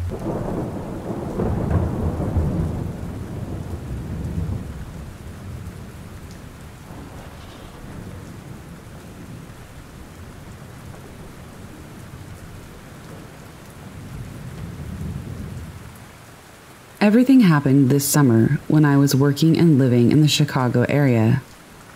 I don't know much about spirits or paranormal events, so I'll just give you the facts of what happened and you can draw your own conclusions.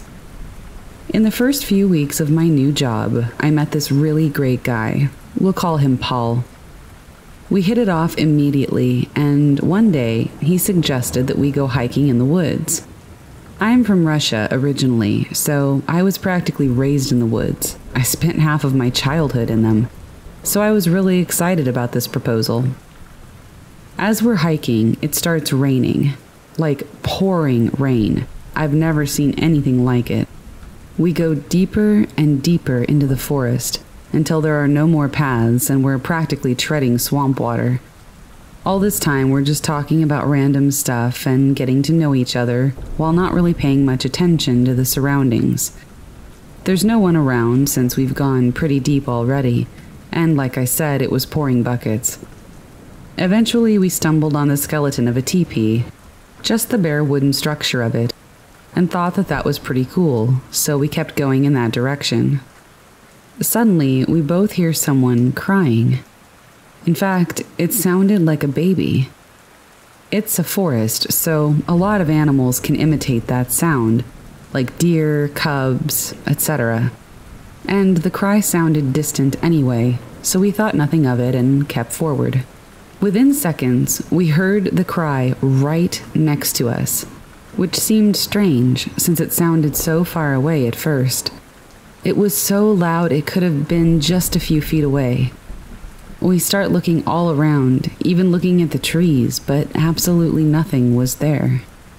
It was a pretty weird situation, so we kind of speed walked in the other direction. As soon as we stopped for a break, The sound started up right next to us again, like something was telling us to book it. So we did. We ran faster than what was probably safe in that kind of weather, half looking at Google Maps and half relying on memory. We finally made it back to the entrance of the woods. We both agreed that what happened was pretty weird and decided to look into the history of the place.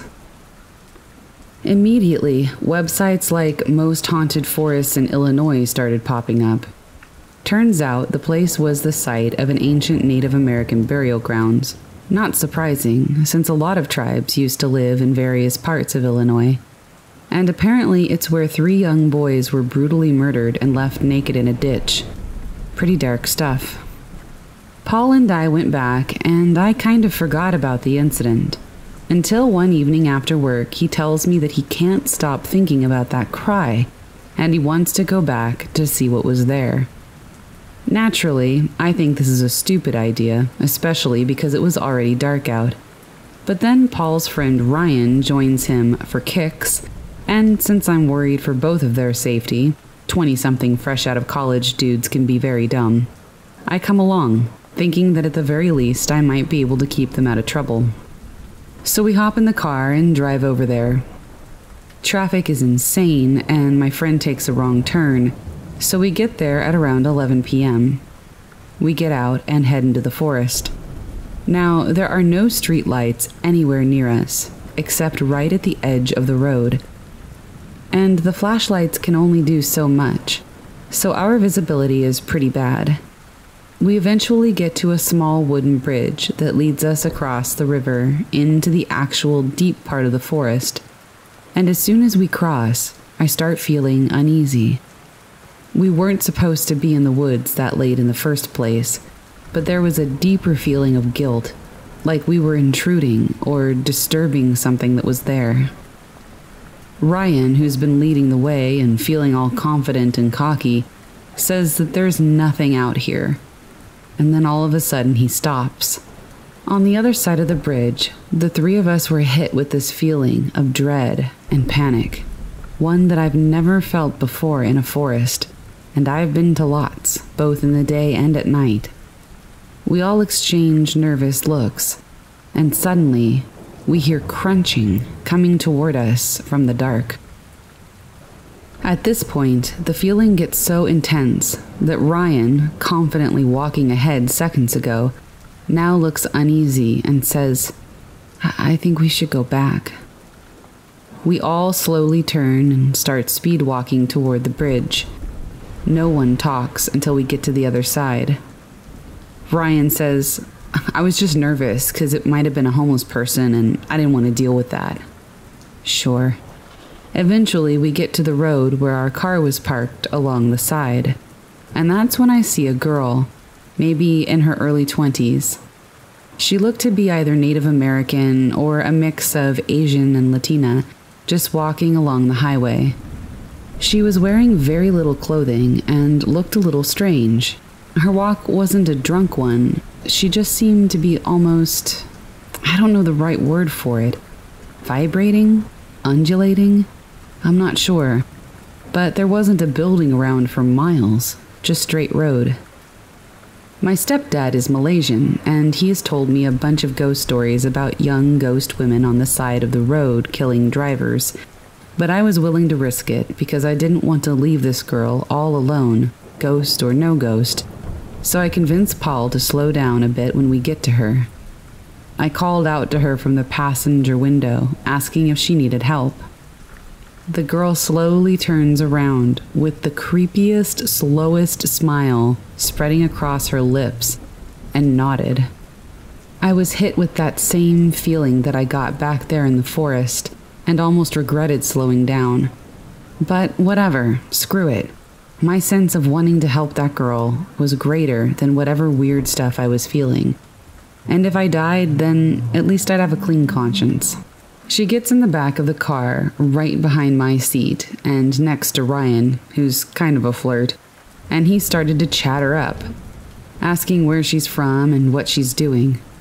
All this time, I'm turned halfway around, keeping an eye on her, because I feel like as soon as I turn around and face the road, Something bad is going to happen. She's making eye contact with me the whole time, even when Ryan is talking to her, with that slow, creepy smile, while slightly undulating, vibrating. I don't know, but it just seemed snake like.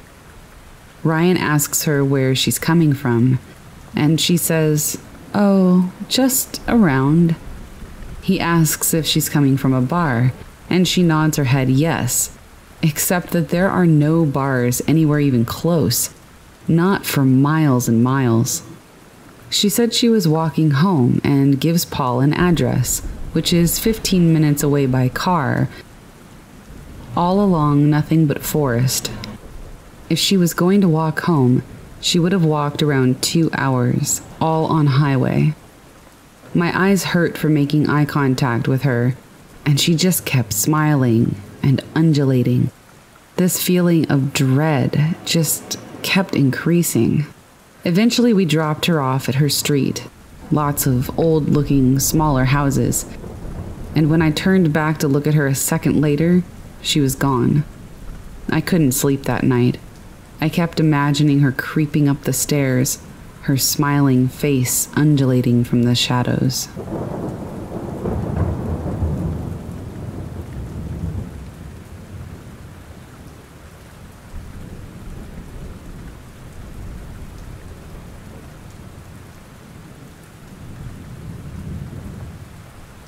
About three years ago, I was on a family vacation to eastern Washington, and a central aspect of our trip was visiting Lake Paragon State Park. It's in an extremely rural area with a tiny western town about a mile away, and that's about it for miles. Anyway, we had just arrived for our 10 day stay in the afternoon, and it was now around 11 p.m. My mom and I left our hotel to go down to the park, as she was really into photography and the moon was full. If you're not familiar, eastern Washington as a whole is very desolate, so the night sky is generally incredible, no light pollution. There were no clouds to be seen, and we were a ways down a dirt back road over the park. We were above the campground, with no real roads anywhere in sight. We got out of the car and took some pictures, with nothing more unusual than the eerie silence.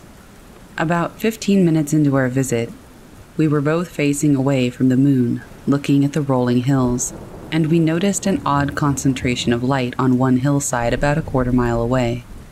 Before either one of us could point it out to the other, the mass of light shining on this hill rolled away into nowhere.